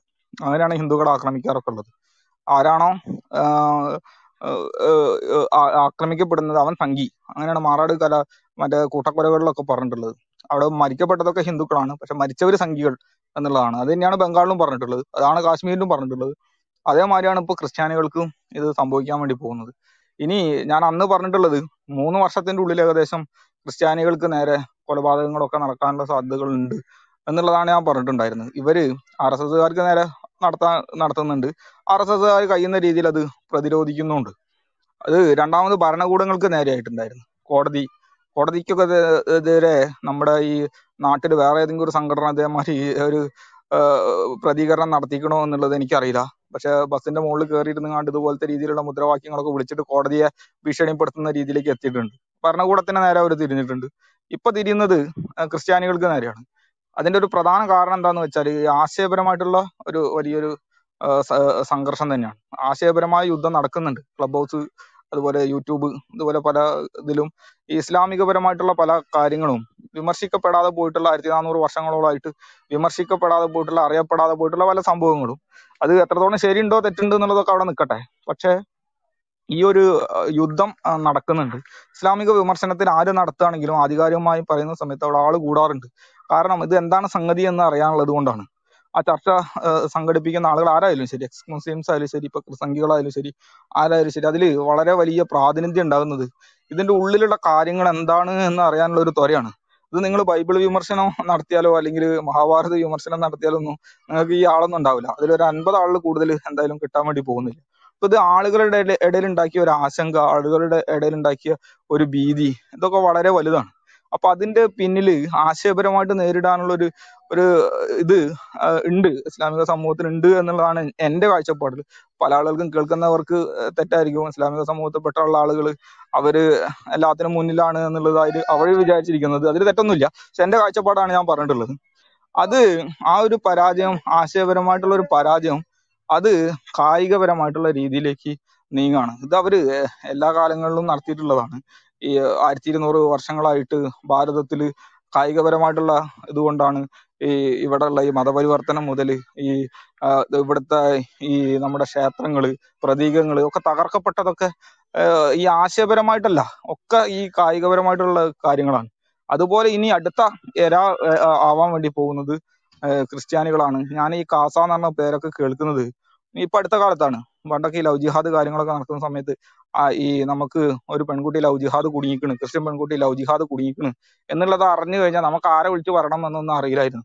പിന്നീട് പിന്നീട് പല ആളുകളും പരിചയപ്പെട്ട സമയത്ത് ഇങ്ങനെ ഒരു കാസ എന്ന് പറഞ്ഞൊരു സംഘടന ഉണ്ട് എന്നൊക്കെ അറിയുകയും അങ്ങനത്തെ അതിന്റെ പ്രവർത്തകരാന്നൊക്കെ പറഞ്ഞ് പല ആളുകളും പരിചയപ്പെടുകയൊക്കെ ചെയ്ത സമയത്ത് ഇതുപോലെ പല കാര്യങ്ങളും അവരോ അവരായിട്ട് കൈമാറാനൊക്കെ വേണ്ടിയിട്ട് സാധിച്ചിട്ടൊക്കെ ഉണ്ടായിരുന്നു. അപ്പൊ ഞാനും ഇങ്ങനെ വിചാരിച്ചു ഈ കാസ കാസ കാസ എന്നുള്ള പേര് ഇങ്ങനെ കേൾക്കുന്നുണ്ട്. അടുത്തടി കാസക്കാണ് കിട്ടാൻ വേണ്ടി പോകുന്നത്. ഞാൻ പല റൂമുകളിലും പല ചർച്ചകളിലും അത് പറഞ്ഞിട്ടുണ്ട്. എനിക്കറിയില്ല ഇതിൽ എത്ര ആൾ കാസക്കാരുണ്ട്. കാസ അതിന്റെ ഫുൾ ഫോം എന്താന്ന് പോലും എനിക്കറിയില്ല. കെവിനേട്ടനെ അറിയാം. കെവിനേട്ടന്റെ കെവിനേട്ടനാണ് അതിന്റെ പ്രസിഡന്റ് എന്നൊക്കെ അറിയാം. അതല്ലാതെ മറ്റുള്ള ആളുകളൊന്നും വലിയ പരിചയമൊന്നുമില്ല. അതിൽ എത്ര ആളുകൾ അതിനെ അനുകൂലിക്കുന്ന ആളുകളുണ്ട്. പ്രതികൂലിക്കുന്ന ആളുകളുണ്ട് എന്നുള്ളതൊന്നും അറിയില്ല. പക്ഷെ അടുത്ത അടി കാസക്കാണ്. കാസക്ക് കിട്ടുന്ന ഓരോ അടിയും ക്രിസ്ത്യാനികൾക്കാണ്. ക്രിസ്ത്യാനികൾ ആക്രമിക്കപ്പെടുന്ന സമയത്ത് ആരാണോ ക്രിസ്ത്യാനി അവർ കാസക്കാരായിരിക്കും ഇനി. അങ്ങോട്ടാണ് കാര്യങ്ങൾ പോയിങ്ങോട്ട് നിൽക്കുന്നത്. ഇതൊരു സൂചനകൾ മാത്രമാണ് ഇതിന് വലിയ രീതിയിലുള്ള ഒരു പ്രതികരണം നടത്തിയിട്ടില്ല എന്നുണ്ടെങ്കിൽ ഇത് പിന്നെ ശീലായിക്കോളും എന്നാണ് എനിക്ക് പറയാനുള്ളത്. വേറെ ഒന്നുമില്ല ഒരു മുഖത്തടിച്ചാൽ മറ്റേ മുഖം കാണിച്ചു കൊടുക്കുക എന്നൊക്കെ പറഞ്ഞ തിയറിയുമായിട്ട് ഇവരെയൊക്കെ നേരിടാൻ വേണ്ടി പോയി കഴിഞ്ഞിട്ടാണെങ്കിൽ ഒന്നും ചെയ്യാൻ വേണ്ടി പറ്റൂല കൊണ്ട് നിൽക്കല്ലാതെ യാതൊരു നിവൃത്തിയുമില്ല ആർക്കും ആരെ രക്ഷകനാവാനൊന്നും കഴിയൊന്നുമില്ല അപ്പൊ ആർ എസ് എസ്സുകാർ ഹിന്ദുക്കളെ രക്ഷകര് അങ്ങനെയൊന്നുമല്ല. അതൊക്കെ ഇത് ചില ആളുകൾ തെറ്റിദ്ധരിച്ചിട്ടുണ്ടെങ്കിൽ ആർ എസ് എസ്സുകാർ ആരുടെയും രക്ഷകരൊന്നുമല്ല. രക്ഷകരാവാറുണ്ട്. എല്ലാ ഘട്ടങ്ങളിലൊന്നും ആരും ആരും രക്ഷകരാവരൊന്നുമില്ല. അതുപോലെ ക്രിസ്ത്യാനികൾക്കും അവരുടെ കാര്യങ്ങൾ നോക്കാൻ അവരവർ പ്രാപ്തരാവുക സംഘടിക്കുക മതപരമായിട്ടൊക്കെ എല്ലാ ആളുകളും സംഘടിക്കുക ദേശീയപരമായിട്ടൊക്കെ നമുക്ക് എല്ലാവർക്കും ഒരുമിച്ച് സംഘടിക്കുക കാലഘട്ടത്തിന്റെ നിലനിൽപ്പിന് വേണ്ടിയിട്ട് നമ്മുടെ പൂർവികർ ജനിച്ച മണ്ണിൽ നമ്മുടെ വരുന്ന തലമുറയ്ക്ക് നിലനിൽക്കാൻ വേണ്ടിയിട്ട് ഇതുപോലെ രാക്ഷസീയപരമായിട്ടുള്ള പ്രവർത്തനങ്ങൾ കാണുന്ന സമയത്ത് എല്ലാവരും ഏകോപിച്ച് നിൽക്കുക. അതിനെതിരെ ഏത് രീതിയിലാണോ നിയമപരമായിട്ടോ അല്ലെങ്കിൽ വേറെ ഏതെങ്കിലും രീതിയിൽ ഇതിനെ നേരിട്ടിട്ട് ഇതേപോലത്തെ പ്രവർത്തനങ്ങൾ ഈ മണ്ണിൽ നിന്ന് ഇല്ലാതെയാക്കാൻ വേണ്ടിയിട്ടുള്ള ഒരു ശ്രമം എല്ലാവരുടെ ഭാഗത്തു നിന്ന് ഉണ്ടാവുക. അതല്ലാതെ ഇതേ രീതിയിലുള്ള കാര്യങ്ങളൊക്കെ നോക്കി നിൽക്കുന്ന സമയത്ത് അത് ഇവർക്ക് കൂടുതൽ വളമായിട്ട് മാറാന്നുള്ളതല്ലാതെ ആടിനെ അറക്കാൻ കൊണ്ടുപോകുന്ന സമയത്ത് ഒരിക്കലും ആട് കരഞ്ഞത് കൊണ്ട് ഒരിക്കലും ആടിനെ ആരും വിട്ടയച്ചതായിട്ട് കേട്ടിട്ടില്ല. പക്ഷെ സിംഹത്തെ ഒരിക്കലും അറക്കാൻ കൊണ്ട കൊണ്ടുപോയതായിട്ടും കേൾക്കുന്നില്ല. അതുകൊണ്ട് ഈ സിംഹമായി മാറണം എന്നുള്ളതാണ് ഞങ്ങളൊക്കെ പഠിച്ചിട്ടുള്ളത്. അതുകൊണ്ട് എല്ലാ ആളുകളും ഈ ഒരു നിയമപരമായിട്ടോ ആശയപരമായിട്ടോ ഇനി കായികപരമായിട്ടാണെങ്കിൽ അങ്ങനെ അത് സിംഹമായി മാറാനുള്ള പ്രവർത്തനങ്ങൾ കാര്യങ്ങൾ ചെയ്യുക. അതല്ലെങ്കിൽ നില നിലനിൽപ്പിന്റെ കാര്യം കട്ടപ്പുകയാണ്. ഓക്കെ നന്ദി. കായികപരമായി നേരിടാൻ നമുക്ക് അങ്ങനെ ഒരു പ്രൊവിഷൻ ഇല്ല ബ്രദറെ. നമ്മളത് നമ്മളെ ക്രിസ്ത്യാനിയെ നിങ്ങളോടല്ല പറഞ്ഞത്? ഞാൻ പൊതുവെ പറഞ്ഞു. Okay thank you. സുപ്രഭാത ഭദ്രെ അതായത് ഇവിടെ ഈ വളരെ അടിച്ചമർത്തി കൊണ്ടുപോകുന്ന അനുഭവങ്ങൾ മറ്റുള്ള ആഫ്രിക്കൻ രാജ്യങ്ങളിലും അതുപോലെ തന്നെ ഗൾഫിലുള്ള ഇപ്പോഴത്തെ ലെബനോൻ പണ്ടത്തെ സിറിയ ഈ ഈജിപ്ത് അങ്ങനെ പല രാജ്യങ്ങളിലെല്ലാം ഇതേ അടിച്ചമർത്തൽ അവർ ശീലിച്ചതുകൊണ്ട് ഇവിടെയും അടിച്ചമർത്തൽ നടത്താം എന്ന് തന്നെയാണ് ഇവരും ആഗ്രഹിക്കുന്നത്. സത്യത്തിൽ പ്രധാനമന്ത്രി നരേന്ദ്രമോദിയെ സപ്പോർട്ട് ചെയ്ത് ഒരു പോസ്റ്റ് ഇട്ടു എന്നുള്ളതും ഒരു വിഷയമാണ് എന്നാണ് ഞാൻ അറിഞ്ഞത്. രാജ്യത്തിന്റെ പ്രധാനമന്ത്രിയെ സപ്പോർട്ട് ചെയ്ത് പോസ്റ്റ് ഇട്ടാൽ ആ പോസ്റ്റ് ഇട്ട ആൾക്കെതിരെ ശാരീരികമായി അറ്റാക്ക് ചെയ്യാമെന്ന് പറഞ്ഞാൽ ഇത് അവരുദ്ദേശിക്കുന്നത് താലിബാനാണ് എന്ന് തന്നെയല്ല. ഈ കേരളം താലിബാന്റെ കീഴിലാണോ ഭരണം എന്ന് ചിന്തിക്കുന്ന ഒരു അനുഭവത്തിലേക്കാണ് അവർ പോയിരിക്കുന്നത്. അത്രമാത്രം അവരുടെ എന്താ പറയുക മതചിന്ത അവരെ മറ്റുള്ളവരെ വെറുക്കുവാനും ശാരീരികമായി ഉപദ്രവിക്കാനും അടിച്ചമർത്തുവാനുമാണ് അവരുടെ ചിന്തകളിലേക്ക് പോയിക്കൊണ്ടിരിക്കുന്നത്. ഏതായാലും ഈ പോക്ക് വളരെ വളരെ വളരെ ഡേഞ്ചറാണ്. നമ്മുടെ സഹോദരങ്ങൾക്കെല്ലാം ഈ വിഷയത്തിൽ നിങ്ങളുടെ അഭിപ്രായങ്ങൾ പറയാം. അടുത്ത നമ്മുടെ സംസാരിക്കാനുള്ള ഡൈമൻ ബ്രദറാണ്. ഡൈമൻ ബ്രദറിന് സംസാരിക്കാം. ഡൈമൻ. ഹലോ. നമസ്കാരം. ക്രിസ്തുവേശുവിൽ വന്ദനം. ഓക്കെ ആദ്യമായിട്ട് മനോജ് എന്ന ബ്രദർ മനോജിന് എന്റെ എല്ലാവിധമായ സൗഹാർദ്ദവും പങ്കുവെക്കുകയാണ്. നമ്മൾ കേട്ടതുപോലെ ഇത് ഭയങ്കര ഒരു ഭീകരമായിട്ട് ഒരു സംഭവമായിട്ടാണ് നമുക്ക് തോന്നുന്നത്. കാരണം കേരളത്തിൽ നമ്മൾ ഇങ്ങനെയൊന്നും പ്രതീക്ഷിക്കുന്നില്ല ഒരിക്കലും. കാരണം ഇതുപോലെയുള്ള വാർത്തകളൊക്കെ നമ്മൾ സാധാരണ കാണാറുള്ളത് ഇപ്പൊ നേരത്തെ മുകളിൽ മുകളിൽ പിൻ ചെയ്തിരിക്കുന്ന വീഡിയോ ഞാൻ കണ്ടു നോക്കി.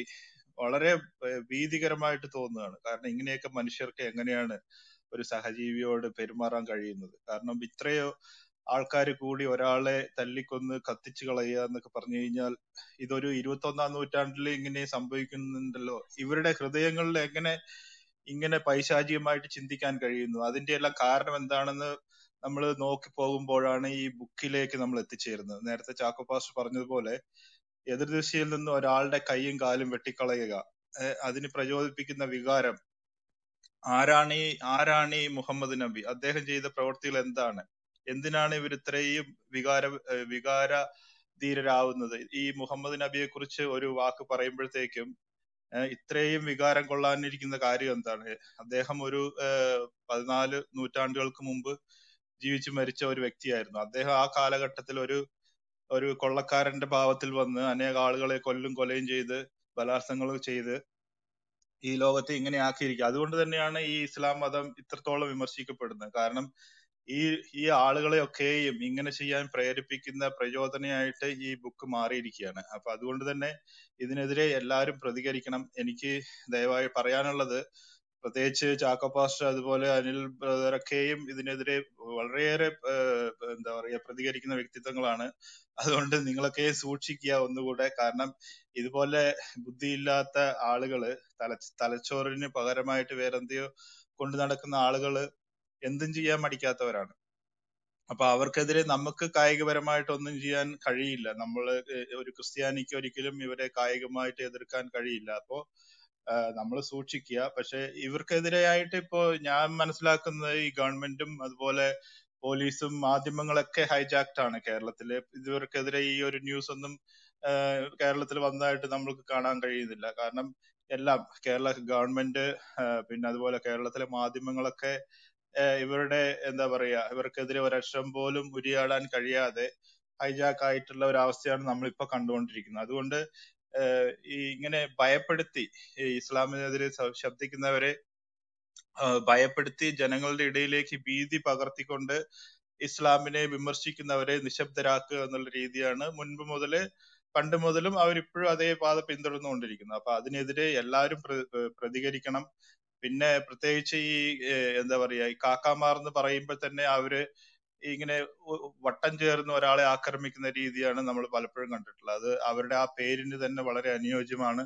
അപ്പൊ അതുകൊണ്ട് ഈ നബി നിന്ന എന്ന് പറയുമ്പോഴത്തേക്ക് ഇത്രയ്ക്ക് വികാരാധീനരാകേണ്ട കാര്യമില്ല. കാരണം ഇത് എന്താ പറയാ ആറു വയസ്സുള്ള ഒരു കൊച്ചുകുട്ടിയെ കല്യാണം കഴിച്ച് ഒമ്പത് വയസ്സിൽ അതിനെ ശാരീരികമായി ഉപയോഗിക്കുന്ന ഒരാളെ നമ്മൾ ഈ കാലത്ത് പറയുന്നത് പീഡോഫൈൽ അല്ലെങ്കിൽ ശിശു പീഡകൻ എന്നാണ് പറയുന്നത്. അപ്പൊ അതിനെ പറയുന്നവരെ നിന്ദിച്ചുകൊണ്ട് കാര്യമില്ല. അത് പറയുന്നത് വാസ്തവമുണ്ടോ അത് എന്തുകൊണ്ടാണ് അങ്ങനെ പറയപ്പെടുന്നത് എന്ന് നിങ്ങൾ ആലോചിക്കുക. ഇസ്ലാമിസ്റ്റ് ഇസ്ലാമിസ്റ്റുകളായിട്ടുള്ള ആളുകൾ എന്തുകൊണ്ടാണ് ഇങ്ങനെ പറയപ്പെടുന്നത്? നിങ്ങളുടെ നബി എന്ന് പറയുന്ന ആൾ ഇത്രയ്ക്ക് വൃത്തികെട്ട കാര്യങ്ങൾ ചെയ്യുമ്പോൾ അതിനെടുത്ത് പറയുന്നവരെ ഇതുപോലെ നിന്ദിക്കുകയോ കായികമായി അടിച്ചമർത്തിയതോ കൊണ്ട് ഒരു കാര്യവുമില്ല. അത് ഞങ്ങൾ പറഞ്ഞുകൊണ്ടേയിരിക്കും.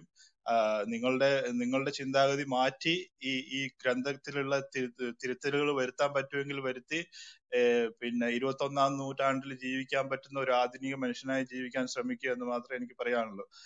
ബ്രദർ മനോജിനെ എല്ലാവിധ പിന്തുണയും നൽകിക്കൊണ്ട് നിർത്തുന്നു. Thank you. Okay thank you Daimon brother. Alex brother Alex. Alex ബ്രദറെ കേൾക്കാമോ ഇല്ല. അജി ബ്രദറെ? കേൾക്കുന്നു കേൾക്കുന്നുണ്ട്. ആ എന്നാ ഓക്കെ സംസാരിച്ചു സംസാരിച്ചു സംസാരിച്ചു. സംസാരിച്ചോളൂ ആ ഈ ഈ ഈ അടി ഉണ്ടായ ഈ സഹോദരന് എല്ലാ എല്ലാവിധ പിന്തുണയും കഴിയുന്നത് അർപ്പിക്കുകയാണ്. എന്നാൽ ഇത് ഇത് ഇന്ന് ഇന്നലെ തുടങ്ങിയ കാര്യമൊന്നുമല്ലല്ലോ. ഇപ്പോൾ നമുക്ക് കണ്ടുകൊണ്ടിരിക്കുകയാണ്.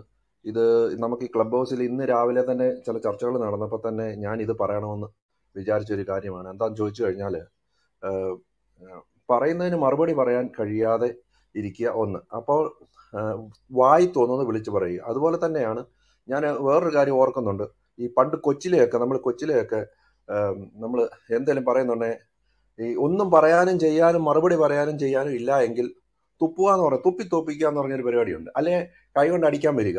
ഈ ഇത് തന്നെയാണ് ഈ ചെയ്യുന്നത്. ഇതിന്റെ ഒരു വലിയ ഭാവമാണെന്നേ ഉള്ളൂ ഇത്. ഈ മാനസികാവസ്ഥ രണ്ടും ഒരുപോലാണ്. അതാണ് ഇതിന് പറയാനുള്ളത്. രണ്ട് സെയിം മാനസികാവസ്ഥയാണ്. നിസാരമായി എളുപ്പം ചെയ്യാൻ പറ്റുന്ന ഒരു കാര്യം. ഈ മറ്റേ പുസ്തകമൊക്കെ എടുത്തു വെച്ച് വായിച്ച് ഇതിന് മറുപടിയൊക്കെ പറയുക അതിന് അതിനൊക്കെ ഉത്തരം അതൊക്കെ വലിയ മെനക്കെട്ട പരിപാടിയാണ്. ഇതാ നമ്മൾ എളുപ്പമുണ്ടല്ലോ. കയ്യിൽ കിട്ടുന്ന എടുത്തോണ്ട് ചാടി ഇങ്ങോട്ട് വന്നു കഴിഞ്ഞാൽ ഒരു വാട്സപ്പ് മെസ്സേജോ എന്തെങ്കിലും കണ്ടു കഴിഞ്ഞാൽ ഉടനെ ചാടി ഇറങ്ങി വരിക.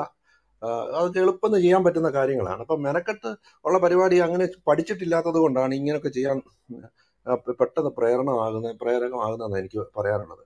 അതുപോലെ തന്നെ ഇത് നമ്മൾ വളരെ സൂക്ഷിക്കണം. നമ്മുടെ ഇപ്പം നമ്മുടെ വീട്ടിലുള്ളവരെ തന്നെ ഇതൊന്ന് ബോധവൽക്കരിച്ചെടുക്കുക എന്ന് പറയുന്നത് വലിയൊരു ശ്രമകരമായ കാര്യമാണ്. അത് ഞാൻ എപ്പോഴും പറയുന്ന ഒരു കാര്യമാണ്. അത് എല്ലാവരും അവരവരുടെ ഇടയിൽ തന്നെ തുടങ്ങേണ്ട സമയം അതിക്രമിച്ചിരിക്കുന്നു. അവരവരുടെ വീടുകളിൽ തന്നെ വീട്ടിലുള്ളവരെ ഇതൊന്ന് പറഞ്ഞ് മനസ്സിലാക്കി ഇങ്ങനെ ഒരു അപകടമുണ്ടെന്ന് വീട്ടുകാരെ ബന്ധക്കാരെ ഒക്കെ ഒന്ന് മനസ്സിൽ അറിവ് ഈ മനസ്സിലായിട്ടുള്ള വ്യക്തികൾ അത് ചെയ്യണമെന്നാണ് എനിക്ക് അത് അതുമല്ല ചുറ്റുമുള്ളവരെയും ചുറ്റുമുള്ള മറ്റുള്ളവരെയും ഇത് പറഞ്ഞ് മനസ്സിലാക്കണം. ഇല്ല എങ്കിൽ ഇത് ഇത് വലിയ അപകടത്തിലേക്കാണ് പോകുന്നത്. ഇത് ഈ ഒരു ഒരു ആർക്കെങ്കിലും ഇങ്ങനെയൊക്കെ പറയും രണ്ടു മൂന്ന് പ്രസംഗങ്ങൾ ഞാൻ കേട്ട് ഞാൻ യൂട്യൂബിൽ കണ്ടതാണ് ഇവർ ഇട്ടേക്കുന്നത് ആർ എസ് എസിനെ അവർ വെച്ചേക്കലെന്നൊക്കെയാണ് പറയുന്നത് ഇങ്ങനെയൊക്കെ പറയാൻ ഇവർക്ക് എന്ത് ധൈര്യമാണുള്ളത്?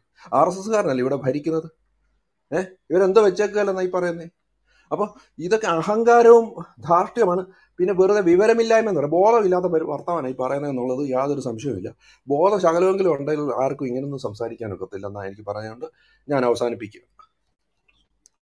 okay thank you brother thank you നമ്മുടെ അജിബ് ബിസിയാണ്. George brother Guru George brother. George brother കേൾക്കാമോ? ഇവിടെ ഉണ്ടോ ഹലോ? ബിസിയാന്ന് തോന്നുന്നു എനോക്ക് എനോക്ക് ബദർ എനോക്ക് ആ ബ്രദറെ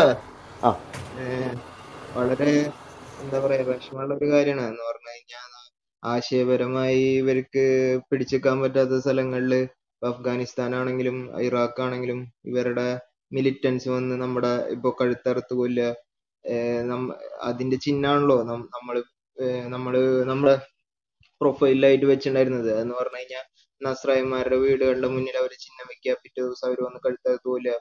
അപ്പോ ഈ ക്രിസ്തീയമായിട്ട് നമുക്ക് ആശയപരമായി നേരിടാനേ പറ്റുള്ളൂ. പക്ഷെ ഒരു ഇന്ത്യൻ പൗരൻ എന്ന നിലയിൽ നമുക്ക് self ഡിഫൻസും like what or means of measures we need to take അത് എടുത്തേ പറ്റൂ.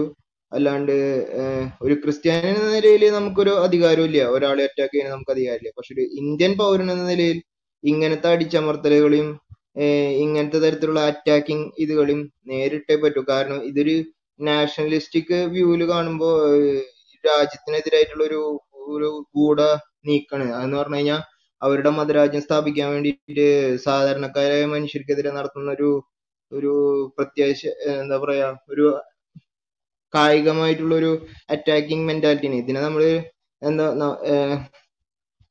ലൈക്ക് നാഷണലിസ്റ്റിക് ആയിട്ട് ചിന്തിക്കുമ്പോൾ ഇതിനെ ഇതിനെ എതിർത്തേ പറ്റൂ. ഇപ്പൊ അവർ കായികമാണെങ്കിൽ like like Indian it must be like that that way self but Christian എന്ന നിലയിൽ നമുക്ക് ആശയപരമായിട്ട് തന്നെ പോകാൻ പറ്റുള്ളൂ. അല്ലാണ്ട് ക്രിസ്ത്യാനിക്ക് ക്രിസ്ത്യൻ നമ്മുടെ സ്ക്രിപ്റ്റേഴ്സിൽ ഒരാൾ അറ്റാക്ക് ചെയ്യാൻ നമ്മുടെ അടുത്ത് പറഞ്ഞിട്ടില്ല. പക്ഷെ ഒരു ഇന്ത്യൻ എന്ന നിലയിൽ ഇങ്ങ ഇങ്ങനത്തെ ഒരു അടിച്ചമർത്തലിനെതിരെ പ്രതികരിച്ചേ പറ്റൂ. അത് ഏത് മീഡിയം ആർക്ക് എങ്ങനെ പറ്റും എന്നുള്ള ലെവലിൽ അങ്ങനെ നമ്മൾ പ്രതികരിക്കണം. That's it thank you God bless you okay thank you Rajiv Badre Karachandran okay സംസാരിക്കും. യെസ് ഈ സംഭവങ്ങൾ അതിനെ കടുത്ത ഭാഷയിൽ അപല അപലപിക്കുന്നു. അതിനുള്ള കാരണത്തിലേക്ക് വരുമ്പോൾ നമ്മൾ ചിന്തിക്കേണ്ട ഒന്ന് രണ്ട് കാര്യമുണ്ട്. നമ്മൾ പല പലരും എഴുതിയ പുസ്തകങ്ങൾ അല്ലെങ്കിൽ ലോകത്തിൽ നടന്ന പല കാര്യങ്ങളും കൂട്ടി വായിക്കുമ്പോൾ ഈ ഒരു സമൂഹം ഞാൻ സമൂഹമായിട്ട് തന്നെ പറയുകയാണ്. അഞ്ച് ശതമാനം ഉള്ളപ്പോൾ പത്ത് ശതമാനം ഉള്ളപ്പോൾ പതിനഞ്ച് ശതമാനം ഉള്ളപ്പോൾ ഇരുപത്തഞ്ച് ഇരുപത് ശതമാനം ആകുമ്പോൾ മുപ്പതാകുമ്പോൾ അല്ലെങ്കിൽ അമ്പതാകുമ്പോൾ അല്ലെ പിന്നെ അത് അവസാനം തൊണ്ണൂറാകുമ്പോൾ എങ്ങനെ പ്രവർത്തിക്കുമെന്ന് നമ്മൾ പല ലോക പല ലോക രാജ്യങ്ങളും നോക്കിയാൽ നമുക്ക് മനസ്സിലാകും. ഇപ്പോൾ നമ്മളുടെ ഈ ഇന്ത്യയിലെ സെൻസസ് നടന്നിരിക്കുന്നത് രണ്ടായിരത്തി പതിനൊന്നിലാണ് അതിനുശേഷം ഇപ്പം സെൻസസിന്റെ കാര്യങ്ങൾ തുടങ്ങിയിട്ടില്ല. അത് കൊറോണ കാരണവും മറ്റു ചില കാരണങ്ങളാൽ അത് മാറ്റപ്പെട്ടു ഇങ്ങനെ നീട്ടപ്പെട്ടു ഇനി തുടങ്ങുമെന്ന് കരുതുന്നു. പക്ഷെങ്കിൽ നമ്മളിപ്പോ സമൂഹത്തിൽ നോക്കിക്കഴിഞ്ഞാൽ ഈ കഴിഞ്ഞ കണക്ക് വെച്ചിട്ട് ഏകദേശം ഒരു ഇരുപത് ഇരുപത്തിമൂന്ന് ശതമാനം നമ്മൾ പറയുമെങ്കിൽ ഇപ്പൊ എനിക്ക് തോന്നുന്നത് പല പല കാരണങ്ങൾ കൊണ്ടും ഇപ്പോൾ അതിന്റെ ഒരു ഒരു പോപ്പുലേഷൻ ഏകദേശം ഒരു മുപ്പത്തഞ്ച് പെർസെന്റ് കവർ ചെയ്ത് കാണും. മറ്റുള്ള സമൂഹം പ്രത്യേകിച്ച് ക്രിസ്ത്യൻ ഹിന്ദു സമുദായത്തിന്റെ പോപ്പുലേഷൻ അതിനനുസരിച്ച് തത്വ കുറഞ്ഞിട്ടുമുണ്ട്. കാരണം പല പല കാരണങ്ങളുണ്ട്. ഒന്ന് മൈഗ്രേഷൻ മറ്റുള്ള രാജ്യങ്ങളിലേക്ക് അല്ലെ സംസ്ഥാനങ്ങളിലേക്ക്. അതുപോലെ തന്നെ പ്രൊഡക്ഷൻ അല്ലെങ്കിൽ അതിന്റെയൊക്കെ ഒത്തിരി കാരണങ്ങളുണ്ട്. അപ്പം സാമൂഹികപരമായിട്ട് ഇവരുടെ എണ്ണം കൂടുന്നു. അപ്പൊ ആ എണ്ണം കൂടുന്നതനുസരിച്ച് ഒരു പ്ലാനിംഗ് ഉണ്ട്. അപ്പൊ ആ ഒരു ഇതിലേക്കാണ് പോകുന്നത്. തങ്ങളുടെ മതചിന്തകൾ തങ്ങളുടെ മത ആശയങ്ങൾ സമൂഹത്തിൽ ഏൽപ്പിച്ച് അടിച്ചേൽപ്പിച്ച് തങ്ങൾ തങ്ങളുടേതായിട്ടുള്ള ഭരണം അല്ലെ തങ്ങളുടെ ചിന്തകൾ തങ്ങളുടേതായിട്ടുള്ള രീതികൾ നടപ്പിൽ വരുത്താനുള്ള ഒരു ഇതാണ് ഈ ജനാധിപത്യ രാജ്യത്തിൽ പോലും ഇവർ ചെയ്തുകൊണ്ടിരിക്കുന്നത്. അവർക്കൊരു ലക്ഷ്യമുണ്ട്. ഇന്നല്ലെങ്കിൽ നാളെ ചില പറഞ്ഞിട്ടുണ്ടല്ലോ അൻപത് വർഷം കൊണ്ട് കേരളം ഇതാക്കുമെന്നോ അല്ലെങ്കിൽ എന്നൊക്കെയുള്ള ഓരോരോ അല്ല പത്ത് വർഷം കൊണ്ട് അങ്ങനെയൊക്കെ പല രീതിയിൽ സംസാരിക്കുന്നുണ്ട്. അവരുടെ ആ ലക്ഷ്യത്തിലേക്കുള്ള ഇതാണ്. പക്ഷെ അതിനെ ഇത് എതിർക്കുന്നവരാരാണ്? അവർക്കെതിരെ ഓ പല രീതിയിലുള്ള ഭീഷണിയിലും അതല്ലെങ്കിൽ ഒരു സമൂഹത്തെ ഇപ്പൊ ഒരാളെ ഇപ്പം ഇന്നലെ ഉണ്ടായ ആക്രമണത്തിന്റെ ലക്ഷ്യം എന്തെന്ന് ചോദിച്ചു കഴിഞ്ഞാൽ ആ സമൂഹത്തിലുള്ള കുറച്ചുപേരെ ഭീകര ഭീകര ഇതൊരു ഭീകര ആക്രമണം തന്നെയാണ്. കാരണം എന്ന് ചോദിച്ചു കഴിഞ്ഞാൽ ഇതിൽ ഇതുകൊണ്ട് അവർ ലക്ഷ്യമാക്കുന്നതെന്ന് പറഞ്ഞാൽ ആ ഒരു സമൂഹത്തിൽ അല്ല ആ ആ ഒരു സ്ഥലത്തുള്ളവരെ ഭീകരത കാണിച്ച് അവരുടെ വായടപ്പിക്കുക അവരുടെ പ്രതികരണശേഷി ഇല്ലാതാക്കുക തങ്ങളുടെ നിലയ്ക്ക് നിർത്തുക എന്നുള്ള ചിന്ത മാത്രം തന്നെയാണ്. അപ്പൊ ഇതൊരു ഭീകരവാദി തന്നെ വാദം തന്നെയാണ്. അവർ എന്തുകൊണ്ട് ചെയ്യുന്നതെന്ന് ചോദിച്ചു കഴിഞ്ഞാൽ അവർക്ക് അത് ഇവിടെ ഇവിടെ സ്ഥിരമായി ചെയ്യാൻ അല്ല ഇവർക്ക് ചെയ്യാനുള്ള സപ്പോർട്ട് സമൂഹത്തിൽ അല്ലെങ്കിൽ ഗവൺമെന്റിൽ നിന്ന് കിട്ടുന്നുണ്ട് എന്നുള്ള ധൈര്യം തന്നെയാണ്. അതുകൊണ്ടാണ് ഇത് ചെയ്യുന്നത്. ഇത് ഇനി തുടരുക തന്നെ ചെയ്ത്. കൂടിക്കൂടി വരും. ഇപ്പം ഇപ്പം തന്നെ കഴിഞ്ഞ ഒരു മാസത്തിൽ രണ്ട് കൊലപാതകങ്ങൾ നടന്നിട്ടുണ്ട്. ഒന്ന് തൃശ്ശൂരും മറ്റൊന്ന് മറ്റൊന്ന് നടന്ന് നമ്മളെല്ലാം വായിച്ചു പാലക്കാട്ട്. അതേശം അതിനോടൊപ്പം തന്നെ തലശ്ശേരിയിൽ കഴിഞ്ഞ രണ്ട് മൂന്ന് ദിവസമായി നടക്കുന്ന സംഭവങ്ങൾ നമ്മൾ കൂട്ടി വായിക്കണം. അതേപോലെ തിരുവല്ലയിലുണ്ടായ സംഭവത്തിലുള്ള പ്രതികളുടെയൊക്കെ പേര് വായിച്ചു കഴിയുമ്പോൾ നമുക്ക് മനസ്സിലാവും എന്തൊക്കെയാണ് അതിന്റെ പുറകിലുള്ള ലക്ഷ്യങ്ങൾ എന്നുള്ളത്. ഇവരെല്ലാ പാർട്ടിയിലും അവർ ചേക്കറി കഴിഞ്ഞു. അവർക്ക് പാർട്ടിയില്ല അവർക്ക് മതം മാത്രമേ ഉള്ളൂ തലയിൽ മതം ആ മതചിന്തകൾ മാത്രമേ ഉള്ളൂ. എല്ലാ സമൂഹത്തെ ഞാൻ പറയുന്നില്ല എന്നാലും ഇതിനകത്ത് വോക്കലായിട്ടും സൈലന്റ് ആയിട്ടും ഇരിക്കുന്നവരും ഇതിൽ പങ്കാളികളാണ്. അപ്പൊ നമ്മൾ ഈ സമൂഹം ഇതിനെതിരെ വ്യക്തമായിട്ട് പ്രതികരിക്കണം. ഈ പ്രതികരണ ശേഷി ഇല്ലാതാക്കി നമ്മളെ അടിച്ച് സൈക്കോ സൈക്കോളജിക്കലി അടിച്ചമർത്താനുള്ള ഒരു ലക്ഷ്യം മാത്രമാണ് ഇവർ വെക്കുന്നത്. അതുകൊണ്ട് ശക്തമായി പ്രതിഷേധിക്കണം. ജോസഫ് മാഷരെ കൈവെട്ടിയെങ്കിൽ അതിന് തത്തുല്യമായ ഒരു കാര്യം തന്നെയാണ് ഇന്നലെ ഇന്നലെ സംഭവം നടന്നിരിക്കുന്നത്. ഇത് നമ്മൾ പാകിസ്ഥാനിലെ ഇന്നലെ നടന്ന ഇതേ സമയത്ത് നടന്ന ഒരു കാര്യം കൂടി നമ്മൾ കണ്ടു. ഒരു ബുദ്ധ ഒരു ബുദ്ധ അന്യ അന്യ അതായത് അവിടെ അന്യ രാജ്യത്ത് നിന്ന് വന്ന ഒരു ശ്രീലങ്കനെ പച്ചയ്ക്ക് തീ കൊളുത്തിയ തീ കൊളുത്തി അത് മത മതനിന്ദ ആക്ഷേപിച്ച് കത്തിച്ചു കളഞ്ഞ സംഭവം നമ്മൾ കണ്ടു. അത് തന്നെയാണ് ജോസഫ് മാഷിന്റെ അതിന്റെ വേറെ രൂപമാണ്. ഇന്നലെ ഇന്നലാണ് സംഭവം അതിന്റെ വേറെ രൂപമാണ്. അപ്പോൾ ഇവിടെ ജനസംഖ്യ തന്നെയാണ് പ്രശ്നം. ആ ജനസംഖ്യ വെച്ചിട്ട് ഇവിടുത്തെ നമ്മളുടെ ഈ ജനാധിപത്യ രാജ്യത്തിൽ മറ്റുള്ള ശബ്ദങ്ങളെ അടിച്ചമർത്തുന്ന ഭീകരവാദം ആണ് ഇത്. ഇത് ഭീകരവാദം തന്നെയാണ്. അല്ലാതെ വേറെ ഒന്നും തന്നെയല്ല. ഇതിനെ ഭീകരവാദമായിട്ട് മാത്രമേ കണക്കൂട്ടാൻ കഴിയുകയുള്ളൂ. നമ്മളുടെ ഇനിയും ഫ്യൂച്ചർ എങ്ങനെയാണെന്ന് തന്നെ ചിന്തിക്കേണ്ടിയിരിക്കുന്നു. അതിനെ അത് ഇല്ലാതെ ഇവരുടെ ഇല്ലാതെ വരുത്തണം. ഈ ചിന്തകൾ ഇല്ലാതെ വരുത്തണമെങ്കിൽ ഈ പൊതുജനം മൊത്തത്തിൽ രാ- ജാതി മത ഭേദമന്യേ രാഷ്ട്രീയ ഭേദമന്യേ ഇതിനെതിരെ പ്രതികരിക്കണം. അതിനെല്ലാ എല്ലാവരുടെ ഒപ്പം ഞാനും ഉണ്ടായിരിക്കും. Thank you okay thank you thank you ബ്രദറെ എബൻ ബ്രദറെ ഞാനൊരു ബാക്ക് ചാനൽ മെസ്സേജ് വിട്ടായിരുന്നു. എബൻ ബ്രദർ എബൻ എനിക്ക് കേൾക്കണ്ടോ ഞാൻ ഒരു മെസ്സേജ് ഞാൻ അങ്ങോട്ട് വിടാം. ഒരു മിനിറ്റ് ആ ഓക്കെ നമ്മുടെ ജോർജ് ബദർ സംസാരിച്ചായിരുന്നോ? ജോർജ് ബദർ സംസാരിച്ചിട്ടില്ല. ഇല്ല ഇല്ല ആ സംസാരിച്ചു സംസാരിച്ചു. ഓക്കെ കർത്താവായ യേശുക്രിസ്തു നാമത്തിൽ എല്ലാവർക്കും സ്നേഹവന്ദനം. കഴിഞ്ഞ ദിവസങ്ങളിൽ നടന്നതായിരിക്കുന്ന അവൾ ക്രൂരമായിരിക്കുന്ന ഒരു സംഭവം അറിയുകയും എന്നാൽ ഇത് വളരെ എളുപ്പമായി പോയി എന്ന് ചിന്തിക്കുന്ന ഒരാളാണ് കാരണം. രണ്ടായിരത്തി ഇരുപത്തിരണ്ടിൽ ഈ മേഖലയിൽ പ്രവർത്തിക്കുന്ന പ്രത്യേകിച്ച് മുൻ മുൻനിരയിൽ പ്രവർത്തിക്കുന്ന ഇസ്ലാമിനെ എക്സ്പോസ് ചെയ്യുന്ന ആളുകളോടുള്ള ബന്ധത്തിൽ എന്തെങ്കിലും ക്രൂരമായ പ്ര- പരിപാടികൾ ഉണ്ടാകുമെന്ന് വിശ്വസിക്കുകയും ആ വിഷയത്തിന് വേണ്ടി പ്രാർത്ഥിക്കുകയും ചെയ്യുന്ന ഒരു വ്യക്തിയെ ഞാൻ. എന്നാൽ അല്പം നേരത്തെയായി പോയി അത് പ്രതീക്ഷിക്കാവുന്ന കാര്യങ്ങൾ തന്നെയാണ് സംഭവിച്ചെന്നുള്ളതാണ്. ഞാൻ ഇതിന്റെ പുറകിലുള്ള ഒരു മനഃശാസ്ത്രപരമായ ഒരു സൈക്കോളജിക്കൽ വ്യൂ പോയിന്റ് ഇവിടെ പലരും സംസാരിക്കുന്നത്. എന്നാൽ നമ്മൾ സംസാരിക്കുമ്പോൾ വിട്ടുപോകുന്ന ഒരു കാര്യം ഇപ്പൊ നമുക്ക് ഈ ഇപ്പൊ ഇന്ത്യൻ ആയതുകൊണ്ടും ഇനി ഇന്ത്യൻ അല്ല എങ്കിലും ക്രിസ്ത്യാനിയുടെ നിലപാട് ഒന്ന് തന്നെയാണ് എന്നുവെച്ചാൽ നമുക്ക് ആയുധ ആയുധം കൊണ്ട് വരുന്നവനെ ആയുധം കൊണ്ട് നേരിടുന്ന ഒരു സിദ്ധാന്തം അല്ലെങ്കിൽ അങ്ങനെ ഒരു ആദർശം നമുക്കില്ലാത്തത് കൊണ്ട് ശത്രുക്കളെ സ്നേഹിക്കാനും ശപിക്കുന്നവർക്ക് വേണ്ടി പ്രാർത്ഥിക്കാനുള്ള പ്രമാണം നിലനിൽക്കുന്ന അത്രയും കാലം ക്രിസ്ത്യാനി. ഈവൻ ഇന്ന് ഈ അല്ലെങ്കിൽ അടുത്ത ദിവസങ്ങൾ ഉപദ്രവിച്ച ആ മൃഗതുല്യമായി പ്രവർത്തിച്ച ആളുകൾക്ക് വേണ്ടിയും പ്രാർത്ഥിക്കാൻ മാത്രമേ നമുക്ക് വ്യവസ്ഥയുള്ളൂ എന്നുള്ളതാണ്. കാരണം ഇതിന്റെയൊക്കെ അടിസ്ഥാനം നമ്മൾ മനസ്സിലാക്കുമ്പോൾ ലോകമെമ്പാടും ക്രൈസ്തവർ പീഡിപ്പിക്കപ്പെട്ടിട്ടുണ്ട്. അത് ഓരോ രാഷ്ട്രീയക്കാരുടെയും രാജാക്കന്മാരുടെയും അതുപോലെ തന്നെ മത തീവ്രവാദികളുടെ കയ്യിലും. നിങ്ങൾക്ക് എല്ലാവർക്കും അറിയുന്ന ഒരു കാര്യമാണ്. കഴിഞ്ഞ മാസം നോർത്ത് ഇന്ത്യയിൽ തന്നെ കുറെ മിഷണറിമാരും ചർച്ചുകളും ആക്രമിക്കപ്പെട്ടിട്ടുണ്ട്. അതിൽ ആക്രമിക്കപ്പെട്ടതിന്റെ പേരിൽ ആ രാജ്യത്തിൽ അല്ലെങ്കിൽ ആ സ്റ്റേറ്റിലെ ഏതെങ്കിലും തരത്തിലുള്ള മന്ത്രിമാരോ അല്ലെങ്കിൽ നമുക്ക് വേണ്ടപ്പെട്ട നമ്മൾ പ്രതീക്ഷിക്കുന്ന ചില ആളുകൾ അതിനെതിരെ പ്രതികരിക്കുകയൊന്നും ചെയ്ത് നമ്മൾ കണ്ടില്ല. ക്രൈസ്തവർ അവിടെ പ്രതിഷേധം സംഘടിപ്പിക്കാൻ പോയില്ല. അടിച്ച ആളുകളെ അവരുടെ അമ്പലത്തിൽ കയറി അവരെ ആക്രമിക്കാൻ പോയില്ല. അവരുടെ പ്രസ്ഥാനങ്ങൾ ചുട്ടുകരിക്കാൻ പോയില്ല. ഈ സംഭവങ്ങൾ നടക്കുമ്പോഴും വാട്സപ്പിൽ വന്നതായ മെസ്സേജുകൾ നമുക്ക് അവർക്ക് വേണ്ടി പ്രാർത്ഥിക്കാൻ തന്നെയാണ്. പക്ഷെ ഇതിന്റെ എല്ലാം തന്നെ അടിസ്ഥാനപരമായി നമ്മൾ നോക്കുമ്പോൾ ക്രൈസ്തവർ ഭാരതത്തിൽ ഇനി അങ്ങോട്ടുള്ള മേഖലയിൽ ഒരു ചെണ്ട പോലെയാണെന്നുള്ളതിൽ യാതൊരു സംശയമില്ല ഒരു ഭാഗത്തു നിന്ന് ഹിന്ദുത്വവാദികളുടെ അടി ഒരു ഭാഗത്തു നിന്നും മറുഭാഗത്തു നിന്ന് ജിഹാദികളുടെ ഒരു അടിയും പ്രതീക്ഷിച്ച് തന്നെ വേണം മുമ്പോട്ട് പോകാൻ എന്നുള്ളതാണ്. കാരണം ഇവിടെ ഈ രണ്ട് കൂട്ടരെ ഞാൻ മനസ്സിലാക്കിയത്. പ്രത്യേകിച്ച് എസ് ഡി പി ഐയോ അതുപോലെയുള്ള ഓമന പേരിൽ രാഷ്ട്രീയ മുഖം ധരിച്ച് പ്രവർത്തിക്കുന്ന ജിഹാദിസ്റ്റുകളെ സംബന്ധിച്ചോളം ഈ എല്ലാം ഈ മറ്റൊരാളെ ആദർശത്തെ അല്ലെങ്കിൽ ആശയത്തെ ആശയം കൊണ്ട് എതിർക്കാതെ വാളും തൃശൂലവും അതുപോലെ ബോംബും തോക്കുമായിട്ട് വരുന്നവരുടെ ഒരു ഒരു പ്രത്യേകമായ ഒരു സൈക്കോളജിക്കൽ ഫാക്ടർ അവരുടെ ഉള്ളിലുണ്ട്. കാരണം ക്രൈസ്തവർക്ക് എന്നും മുമ്പോട്ട് വെക്കാനുള്ളത് ഒരു ആശയമാണ്. ആശയപരമായിരിക്കുന്ന തരത്തിൽ മാത്രമേ ക്രൈസ്തവർ മുമ്പോട്ട് പോകാൻ പ്രമാണമുള്ളൂ. സുവിശേഷമുണ്ട്. അവർക്ക് കുറച്ച് ക്രൈസ്തവ മൂല്യങ്ങളുണ്ട്. അതുപോലെ തന്നെ ക്രൈസ്തവ വിശ്വാസത്തെ ആക്രമിക്കുമ്പോൾ ആശയപരമായ നിലയിലാണ് ക്രൈസ്തവർ നന്നായി പഠിച്ച് ആ വിഷയത്തിൽ പ്രതികരിക്കാറുള്ളത്.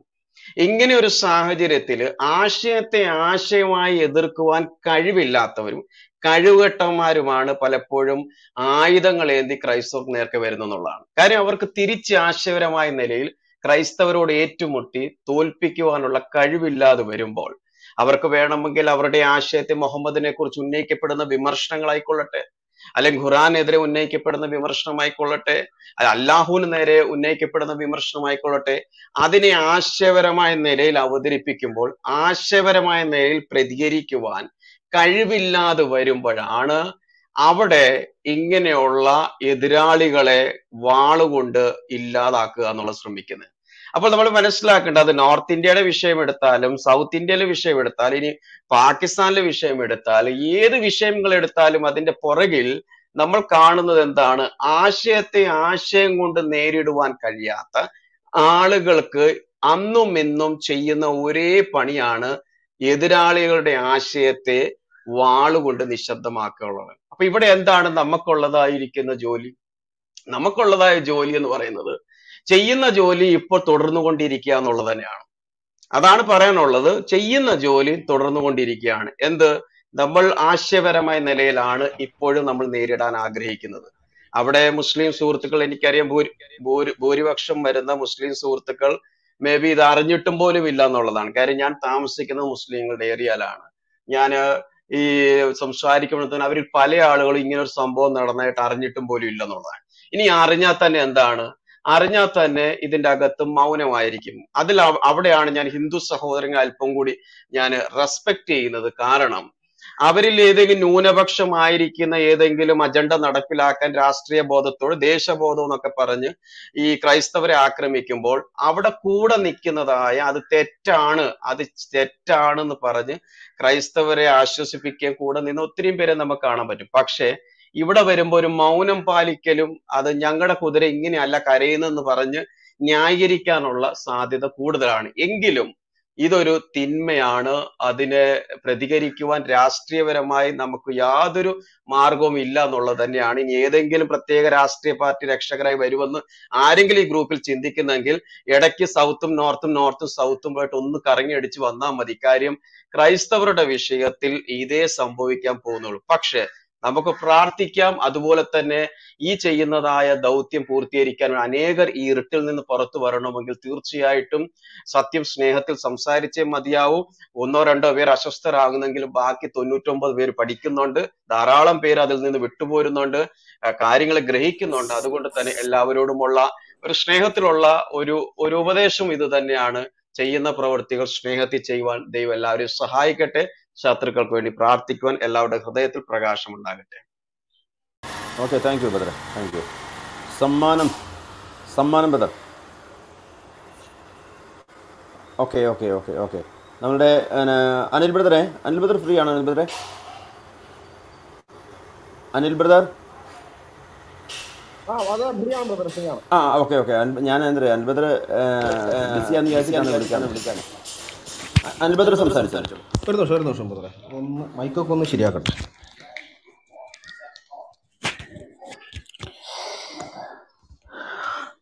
കർത്താവിന്റെ നാമം വാഴ്ത്തപ്പെടട്ടെ. ഈ ഞാൻ ഈ ചർച്ചയ്ക്ക് മുമ്പ് മനോജ് ബ്രദറിനെ ഫോണിൽ വിളിച്ച് സംസാരിച്ച് കാര്യങ്ങൾ എന്താണ് സംഭവിച്ചതെന്നുള്ളതിനെ കുറിച്ച് ഒന്ന് അന്വേഷിച്ചറിയുകയുണ്ടായി. അപ്പം അദ്ദേഹം പറഞ്ഞു ഇതിപ്പോൾ പെട്ടെന്നത്തെ ഒരു സംഭവമല്ല ഇത്? ഇത് ചില മാസങ്ങൾക്ക് മുമ്പേ നടന്ന ഒരു വിഷയമാണ്. ഇവർ ഇദ്ദേഹം കെ എസ് ആർ ടി സിയിലെ ജോലിക്കാരനാണല്ലോ. അപ്പോൾ അവരുടെ ജോലിക്കാരൊക്കെ ഉള്ള ഒരു വാട്സാപ്പ് ഗ്രൂപ്പിനകത്ത് ചിലർ വന്നിട്ട് ഈ വാരിയംകുന്നനെ അങ്ങ് ഭയങ്കരമായിട്ട് വെള്ളം പൂശാൻ നോക്കി. വാരിയംകുന്നൻ അങ്ങനെയായിരുന്നു ഇങ്ങനെയായിരുന്നു മതേതരവാദിയാണ് മറ്റേത് മറിച്ചതെന്നൊക്കെ പറഞ്ഞിട്ട്. അപ്പോൾ ഇദ്ദേഹം എന്ത് ചെയ്തു? തെളിവുകൾ സഹിതം തെളിവെന്ന് വെച്ച് കഴിഞ്ഞാൽ അദ്ദേഹമായിട്ട് ഇതാക്കിയതൊന്നുമല്ല. നമ്മൾ ഇട്ടിരിക്കുന്ന പല പോസ്റ്റുകളും ഒക്കെ റെഫറൻസ് ചെയ്തുമുള്ള സാധനം. അതിൽ നിന്നെല്ലാം റെഫറൻസ് അടക്കം ഇതെല്ലാം കോപ്പി ചെയ്ത് അവിടെ ഇട്ടിട്ടും സംസാരിച്ചുകൊണ്ടുമൊക്കെ ഈ പറയുന്നതിൽ കഥയില്ല. വാരിയംകുന്നനൊക്കെ പക്ക ജിഹാദി തന്നെയായിരുന്നു എന്നുള്ളത് തെളിയിക്കുകയുണ്ടായി. അങ്ങനെ വന്നു കഴിഞ്ഞ് കഴിഞ്ഞപ്പോൾ അത് ഗ്രൂപ്പിനകത്ത് അതുവരേക്കും അവർക്ക് ഭയങ്കര മേൽക്കൈയായിരുന്നു. അവർ വലിയ കാര്യത്തിലൊക്കെ ഇതൊക്കെ പറഞ്ഞ് വലിയ സംഭവമായിട്ട് കൊണ്ടു നടന്നതാണ് നമ്മുടെ ആൾക്കാർ ആളി എന്ന് കഴിഞ്ഞപ്പോൾ അത് പൊളിച്ചു കളഞ്ഞു. മനോജ് നിന്ന് പൊളിച്ചു കളഞ്ഞത്. പിന്നെ എന്ത് ചെയ്തെന്ന് വെച്ച് കഴിഞ്ഞാൽ അവർ അവിടുത്തെ ആ ഗ്രൂപ്പിന്റെ അഡ്മിനൊക്കെ സ്വാധീനിച്ചിട്ട് മനോജ് ബ്രദറിനെ ഗ്രൂപ്പിൽ നിന്ന് പുറത്താക്കിയൊക്കെ ചെയ്തു. അപ്പോൾ അന്ന് മുതലേ ഇവർ നോട്ട് ചെയ്ത് വെച്ചിരിക്കുന്നതാണ് ഇദ്ദേഹത്തെ. അത് കഴിഞ്ഞ് പിന്നെ ഇദ്ദേഹം ഫേസ്ബുക്കിൽ പോസ്റ്റുകൾ ഷെയർ ചെയ്യുകയുണ്ടായി. അദ്ദേഹത്തിന്റെ അദ്ദേഹത്തിന്റെ ഫേസ്ബുക്ക് ഫ്രണ്ടും കൂടിയാണ്. അദ്ദേഹത്തിന്റെ പ്രൊഫൈലിൽ കയറി നോക്കിക്കഴിഞ്ഞാൽ കാണാം. അദ്ദേഹം അധികം എഴുതുകയൊന്നും ചെയ്തിട്ടില്ല. മറിച്ച് കൃത്യമായ റെഫറൻസുകൾ സഹിതം മറ്റുള്ളവർ എഴുതിയിരിക്കുന്നത് അദ്ദേഹം പോസ്റ്റ് ചെയ്തിരിക്കുകയാണ്.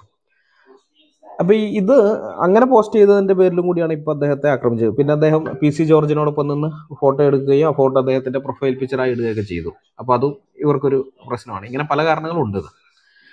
ഇത് ഇത് ഇവരുടെ ഒരു പുതിയ യുദ്ധതന്ത്രമാണ് വാസ്തവത്തിൽ അതായത് ഈ ഇസ്ലാമിനെ തുറന്നു കാണിക്കുന്ന ആളുകളുണ്ടല്ലോ. അവരിൽ മുൻനിരയിൽ നിൽക്കുന്ന ആൾക്കാരെ എന്തെങ്കിലും ചെയ്തു കഴിഞ്ഞാൽ അത് വലിയ വിവാദമാവും ഉറപ്പാണ്. ഭയങ്കര പ്രശ്നം ഉണ്ടാക്കും. മാത്രമല്ല ഇത് ജോസഫ് മാഷിന്റെ കൈ വെട്ടിയപ്പോൾ അന്വേഷിക്കാൻ എൻ ഐ എ വന്നതുപോലെ ആയിരിക്കും. ഇപ്പൊ ഇങ്ങനെ വല്ല ഈ മുൻനിരയിൽ നിൽക്കുന്ന ആളുകളെ എന്തെങ്കിലും ചെയ്തു കഴിഞ്ഞു കഴിഞ്ഞാൽ ഉറപ്പായിട്ടും കേന്ദ്രത്തിൽ നിന്ന് എൻ ഐ എ വരും. അപ്പൊ അതറിയാവുന്നത് കൊണ്ട് ഇവർ പുതിയൊരു യുദ്ധതന്ത്രം പുറത്തെടുത്തിരിക്കണം അതെന്താണെന്ന് വെച്ച് കഴിഞ്ഞാൽ ഈ ഒന്നാം നിരയിൽ നിൽക്കുന്ന ആളുകളെയൊക്കെ ഒഴിവാക്കിയിട്ട് അധികം ശ്രദ്ധിക്കപ്പെട്ടിട്ടില്ലാത്ത എന്നാൽ ആക്റ്റീവായി നിൽക്കുന്ന ക്രിസ്ത്യാനികളെ ഉണ്ടല്ലോ. അവരെ ആക്രമിച്ച് നിശബ്ദരാക്കുക അവരെ ഭയപ്പെടുത്തി ഇത് മിണ്ടാതാക്കുക അല്ലെങ്കിൽ അവർക്കെതിരെ കേസുകൾ കൊടുക്കുക. ഇതാണ് തിരുവല്ലയിൽ ഇത് സംഭവിച്ചിട്ടുണ്ട്. നമുക്കറിയാം. ഫേസ്ബുക്ക് പോസ്റ്റുകൾ ഷെയർ ചെയ്ത ഒരു സഹോദരനെതിരെ ഇവർ പോലീസിൽ പരാതി കൊടുപ്പിച്ചു. എന്നിട്ട് ഈ പോലീസ് ഇദ്ദേഹത്തെ വിളിച്ച് അന്വേഷിക്കുന്നു. ഇദ്ദേഹം പോലീസ് സ്റ്റേഷനിലേക്ക് ചെന്നെന്ന് അറിഞ്ഞു കഴിഞ്ഞപ്പോൾ തന്നെ ഇവർ പെട്ടെന്ന് ഇവരെല്ലാം ആൾക്കാരെയൊക്കെ റെഡിയാക്കി നിർത്തിയിരിക്കുകയാണ്. ഇദ്ദേഹം സ്റ്റേഷനകത്തേക്ക് കയറിയെന്ന് കണ്ടത് യുവമാർ പെട്ടെന്ന് അവിടെ ആ പോലീസ് സ്റ്റേഷൻ വളയുന്നു. കുറേ ആളുകൾ അവർ അവിടെ തിരുവല്ല നഗരത്തെ സ്തംഭിപ്പിക്കുന്ന വിധത്തിൽ പ്രകടനം നടത്തുന്നു. ആകെ പ്രശ്നമാണ്. അപ്പോൾ അതൊന്ന് കഴിഞ്ഞപ്പോൾ പോലീസുകാർ പിന്നെ വിട്ടു ഇദ്ദേഹത്തെ പുറത്തിറക്കുകയില്ല. പുറത്തിറക്കി കഴിഞ്ഞ് ഇവരുടെ കയ്യിൽ കിട്ടിക്കഴിഞ്ഞാൽ ഇപ്പോൾ ഇന്നലെ നമുക്ക് അറിയാ അറിയാമല്ലോ ഇപ്പോൾ പാകിസ്ഥാനിൽ എന്തുണ്ടായിരുന്നു? ജനക്കൂട്ടത്തിന്റെ കയ്യിൽ ശ്രീലങ്കൻ മാനേജറെ കിട്ടിക്കഴിഞ്ഞപ്പോൾ അവരെന്താ ചെയ്തത്? അപ്പോൾ അതേപോലെ എന്തെങ്കിലും ചെയ്യുമോ? ക്രമസമാധാന പ്രശ്നം ഉണ്ടാകുമോ എന്നുള്ള ഭയം അത് പോലീസുകാരുടെ ഉള്ളിൽ അങ്ങനെ ഒരു ഭയം ഉണ്ടാക്കിയെടുക്കണം ഉണ്ടാക്കിയെടുത്തിട്ട് പുറത്തു വിടുകയില്ല പകരം പകരം ഇത് ചെയ്യും. റിമാൻഡ് ചെയ്യിപ്പിക്കും. കോടതിയിൽ ഹാജരാക്കിയിട്ട് റിമാൻഡ് ചെയ്യിപ്പിക്കും. പിന്നെ കുറച്ച് ദിവസം ജയിലിലേക്ക് എടുക്കും. അതോടെ ആ കേസ് അവർ വിടും. അവർക്കറിയാം ഈ കേസുമായി മുന്നോട്ട് പോയി കഴിഞ്ഞാൽ അവർ നാണം കെടുകയുള്ളൂ. കോടതിക്കകത്ത് മുഹമ്മദിന്റെയൊക്കെ ലീലാവിലാസങ്ങൾ വെളിപ്പെടുന്ന അറിയാം അപ്പോൾ അതുകൊണ്ട് പിന്നെ ആ കേസിന്റെ പുറകെ അവർ പോകുന്നുമില്ല. അവരെ സംബന്ധിച്ച് കുറച്ച് ദിവസം അവനെ ജയിലിലിടണം ജയിലിലിട്ട് കഴിയുമ്പോൾ ആ അയൽവക്കത്തുള്ള ആളുകൾക്കൊക്കെ ഒരു ഭയം ഉണ്ടാവും. ഇസ്ലാമിനെതിരെ എന്തെങ്കിലും സംസാരിക്കാൻ പേടിയുണ്ടാവും. പിന്നെ ഇദ്ദേഹത്തിന്റെ പരിചിത വലയത്തിലുള്ള ആളുകൾ ഇദ്ദേഹത്തിന്റെ കുടുംബത്തിലുള്ളവരൊക്കെ ഇദ്ദേഹത്തെ സമ്മർദ്ദം ചെലുത്തും. നീ ഇനി വേണ്ടാത്ത പ്രശ്നത്തിന് പോകണ്ട അങ്ങനെയുള്ള കാര്യത്തിൽ ഇടപെടരുന്നൊക്കെ പറഞ്ഞ്. അപ്പോൾ ആക്റ്റീവായിട്ട് ക്രൈസ്തവരോടൊപ്പം നിന്ന ഒരാൾ ഇവരെ തുറന്ന് കാണിക്കുന്നതിൽ ഇപ്പോൾ നമ്മൾ പോസ്റ്റ് എഴുതിയിട്ട് അത്ര പേര് കാണുന്നത് ഇത് ഷെയറിങ്ങിലൂടെയാണല്ലോ കുറേ ആളുകളിലേക്ക് എത്തി എത്തുന്നത്. അപ്പോൾ ആ ഷെയറിങ്ങിലൂടെ പലരുടെയും ഫാമിലി ഗ്രൂപ്പുകളിൽ അവരുടെ ജോലി സ്ഥലത്തുള്ള ഇടങ്ങളിൽ അങ്ങനെയൊക്കെ എത്തിക്കുന്ന ഈ സംവിധാനങ്ങൾ ഇല്ലാതാക്കുക. അതായത് നമ്മളൊരു ഫേസ്ബുക്കിൽ നമ്മളൊരു പോസ്റ്റ് ഇടുകയാണെങ്കിൽ ഒരു ഫേസ്ബുക്ക് പോസ്റ്റ് ഇട്ടാൽ നമ്മുടെ സ്ഥിരം വായനക്കാർ മാത്രം കാണത്തക്ക നിലയില്ല. അവരെന്തായാലും ഇസ്ലാമിനെ കുറിച്ച് അറിഞ്ഞവരാണ്. അപ്പൊ അത് ഇവർക്ക് വിഷയമല്ല. ഇനിയിപ്പോ ഒന്നും ചെയ്യാൻ പറ്റില്ല. അത് അറിഞ്ഞ ആളുകൾ അവരിനി കൂടുതൽ അറിയുന്നതേ ഉള്ളൂ. എന്നാൽ ഇസ്ലാമിന്റെ ഈ വികൃത മുഖം അല്ലെങ്കിൽ ആ യഥാർത്ഥ മുഖം അറിയാത്ത അനേകായിരങ്ങൾ ആയിരങ്ങളൊന്നുമല്ല കോടികളുണ്ട് പുറത്ത്. അപ്പൊ അവരുടെ ഉള്ളിലേക്ക് ഇത് എത്തരുത്. അവരുടെ ഉള്ളിലേക്ക് എത്തുന്നത് എങ്ങനെയാണ്? ഇവർ ഇവരൊക്കെ ചെയ്യുന്ന ഷെയറിങ് വഴിയാണല്ലോ. അപ്പോൾ ആ ഷെയറിങ് അങ്ങനെ ഷെയർ ചെയ്യുന്നവരെ ആക്രമിച്ച് നിശബ്ദരാക്കുക ഭയപ്പെടുത്തി ഇനി ഞാൻ ഇങ്ങനെയുള്ള കൊല്ലാപ്പിന് പോ പോകണ്ട എന്ന് വെച്ച് ഓരോരുത്തർ ഓരോരുത്തരെ നിശബ്ദരാക്കുക. ഈ പുതിയ യുദ്ധതന്ത്രമാണ് ഇവർ എടുത്തിരിക്കുന്നത്. മുൻനിരയിൽ നിൽക്കുന്നവരെ തൊടുകയില്ല തൊട്ട് കഴിഞ്ഞാൽ പണിയാണ്. പകരം ഇങ്ങനെയുള്ള ഇത് പ്രചരിപ്പിക്കുന്ന ആളുകളെ ഇല്ലാതാക്കുക അവരെ ഭയപ്പെടുത്തുക എന്നുള്ളതാണ്. അപ്പോൾ ആ തന്ത്രത്തിന്റെ ഭാഗമായിട്ടാണ് ഇദ്ദേഹത്തെ ആക്രമിച്ചത് മനോജ് ബ്രദറിനെ ആക്രമിക്കുന്നത്. അദ്ദേഹം ബസ്സിൽ യാത്ര ചെയ്യുന്ന സമയത്ത് ഇവർ ബസ് വളയുന്നു. ബസ് വളഞ്ഞു കഴിഞ്ഞിട്ട് നാട്ടുകാരപ്പോൾ ഇടപെട്ട് കഴിഞ്ഞപ്പോൾ പറഞ്ഞത് അവരുടെ സ്ഥിരം ഡയലോഗ് ഉണ്ട്. എന്താണെന്ന് വെച്ച് കഴിഞ്ഞാൽ പോക്കറ്റ് അടിക്കാനാന്ന് പറയും. അയ്യോ പിക്ക് പോക്കറ്റ് അടിച്ചാണ്? ബസ്സിൽ പോക്കറ്റ് അടിച്ചാന്ന് പറയുമ്പോൾ പിന്നെ ആളുകൾ ഇടപെടുകയില്ല പോക്കറ്റ് അടിക്കാരനല്ലേ. അപ്പോൾ ആ അതുകൊണ്ട് തന്നെ നാട്ടുകാർ പെട്ടെന്ന് ഇടപെട്ടില്ല. അപ്പോൾ പോക്കറ്റ് അടിക്കാരൻ എന്നുള്ള നിലയിൽ ഇദ്ദേഹത്തെ ആക്രമിക്കുന്നുണ്ട് അപ്പോൾ നാട്ടുകാർക്ക് മനസ്സിലായി ഇതൊരു പോക്കറ്റ് അടിക്കാരനെ കൈകാര്യം ചെയ്യുന്ന പോലെയല്ല. നീ ഫേസ്ബുക്കിൽ പോസ്റ്റ് ഇടലാന്നൊക്കെ ചോദിച്ചിട്ടാണ് അടിക്കുന്നത്. അപ്പോൾ നാട്ടുകാർക്ക് കാര്യം മനസ്സിലായി. അപ്പോൾ അവർ ഇടപെട്ടു. പിന്നെ മക്കൾ കിടന്ന് നിലവിളിക്കുന്നു. ആകെ ഇദ്ദേഹത്തെ വലിച്ചു പുറത്തിറക്കിയിട്ട് കൊല്ലാനാണ് ശ്രമിച്ചത്. പക്ഷെ ഇദ്ദേഹം പുറത്തേക്ക് ഇറങ്ങിയൊന്നുമില്ല. കമ്പിയിലൊക്കെ പിടിച്ച് അതുകൊണ്ട് വലിച്ചു പുറത്തിറക്കാൻ പറ്റില്ല. പിന്നെ നാട്ടുകാർ ഇടപെടുകയൊക്കെ ചെയ്ത് കഴിഞ്ഞപ്പോഴാണ് അവർ ഇതിനെ കൊല്ലേണ്ടതാണ്. തൽക്കാലം ഒന്നും കൊല്ലുന്നില്ല എന്നും പറഞ്ഞിട്ട് ഇറങ്ങിപ്പോയി. അത് എസ് ഡി പി ഐക്കാരാണ് അവിടെ ആ തൊടുപുഴയിൽ തന്നെയുള്ള ഒരു അനസ് എന്നൊക്കെ പറയുന്ന ഒരുത്തിനൊക്കെയാണ് അതിന്റെ പുറയിലുള്ളത് കാരണം കണ്ടാൽ അറിയാവുന്ന ആളുകളാണ് ആക്രമിച്ചിരിക്കുന്നത്. ഇങ്ങനെ ഈ ഈ വിധത്തിലാണ് ഇവരിത് ഇവിടെ ചെയ്തത്. ഇതിന്റെ പുറകിൽ വേറൊരു കാര്യം കൂടിയുണ്ട്. ഇവർ ഈ സത്യസരണിയുടെ ഒരു ബ്രാഞ്ച് നിങ്ങൾ പലരും വായിച്ചിട്ടുണ്ടാവും വിചാരിക്കുന്നു. ഈ പൈങ്ങോട്ടൂർ എന്ന് പറയുന്ന സ്ഥലത്ത് സ്ഥാപിക്കുന്നുണ്ട്. പൈങ്ങോട്ടൂരിൽ ഇത് ഇതിന്റെ ഒരു ബ്രാഞ്ച് അതായത് തിരുവിതാംകൂറിൽ നിന്നും പിന്നെ മധ്യ കേരളത്തിൽ നിന്നുമൊക്കെ ലവ് ലൗജിഹാദിന്റെ ചതിക്കുഴിയിൽ പെടുത്തി മതം മാറ്റുന്ന ആളുകളെ അല്ലെങ്കിൽ വേറെ ഏതെങ്കിലും വ്യാജങ്ങളൊക്കെ പറഞ്ഞ് അവരുടെ മതത്തിലില്ലാത്ത കാര്യങ്ങളൊക്കെ ഉണ്ടെന്നൊക്കെ പറഞ്ഞ് അവരെ പറ്റിച്ച് ഈ മുഹമ്മദ് ഈസനെ പോലുള്ള ടീമുകളൊക്കെ ചെയ്യുന്ന അതാണ്. അങ്ങനെയൊക്കെ ചെയ്തിട്ട് മതം മാറ്റുന്ന ആളുകളെ കൊണ്ട് ഇനി പൊന്നാനിക്കും കോഴിക്കോട്ടേക്കൊന്നും പോണ്ട. ഇവർക്ക് ഇവിടെ ഒരു ബ്രാഞ്ച് വേണം. അതുകൊണ്ടാണ് ഇവർ ഈ പൈങ്ങോട്ടൂരിൽ ഇതിങ്ങനെ കൊണ്ടുപോയിട്ട് സ്ഥാപിക്കാൻ നോക്കുന്നത്. അപ്പോൾ ഈ സ്ഥാപനത്തിനെതിരെ നാട്ടുകാരിൽ നിന്ന് എന്തെങ്കിലും വിധത്തിലുള്ള എതിർപ്പ് ഉണ്ടാകുമോ എന്നുള്ളൊരു ചിന്ത ഇവർക്കുണ്ട്.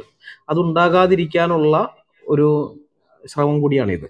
കാരണം കേവലം ഒരു ഫേസ്ബുക്ക് പോസ്റ്റ് ഷെയർ ചെയ്തതിന്റെ പേരിൽ ഇവർ ഇങ്ങനെയാണ് ചെയ്തതെങ്കിൽ ഇവരുടെ സ്ഥാപനത്തിനെതിരെ എന്തെങ്കിലും പറഞ്ഞു കഴിഞ്ഞാൽ പിന്നെ എന്തായിരിക്കും അവസ്ഥ എന്നുള്ളൊരു ചിന്ത ഇവിടെയുള്ള മുസ്ലിങ്ങളിൽ ഉണ്ടാക്കുക. പൈങ്ങോട്ടൂരിലും ചുറ്റുപാടുമുള്ള മുസ്ലിങ്ങളുടെ മനസ്സിലുണ്ടാക്കുക അങ്ങനെ വന്നു കഴിഞ്ഞ് കഴിഞ്ഞാൽ പിന്നെ മിണ്ടുകയില്ല ആരും.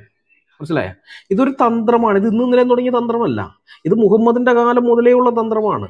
മുഹമ്മദീയരുടെ ഈ തന്ത്രം ഇതിന്റെ ആ തന്ത്രത്തിന്റെ ഉപജ്ഞാതാവ് മുഹമ്മദ് തന്നെയാണ്. മുഹമ്മദ് ഇത് തന്നെയാണ് ചെയ്തിട്ടുള്ളത്. ചുറ്റുപാടുമുള്ള ഗോത്രങ്ങളെയൊക്കെ ആക്രമിച്ച് ഭയപ്പെടുത്തി. ഓരോരോ ഗോത്രങ്ങളെ ആക്രമിക്കും ആക്രമിക്കും തോറും മറ്റുള്ള ഗോത്രങ്ങൾ. ഇതിനെക്കുറിച്ച് കേട്ടറിയുമ്പോൾ മറ്റുള്ളവരൊക്കെ ഭയന്ന് ഭയന്ന് ഇതാകുകയാണ്. ആ ഭയം ആ ഭയത്തിന്റെ മുതലെടുക്കുകയാണ് ചെയ്യുന്നത്. ഞാനൊരു ഹദീസ് വായിക്കാം. സ്വഹി ബുഖാരി അധ്യായ ഏഴ് ഹദീസ് നമ്പർ ഇരുന്നൂറ്റി പതിനേഴ്. സി. എൻ. അഹമ്മദ് മൗലയുടെ പരിഭാഷ എന്നാണ് ഞാൻ വായിക്കുന്നത്.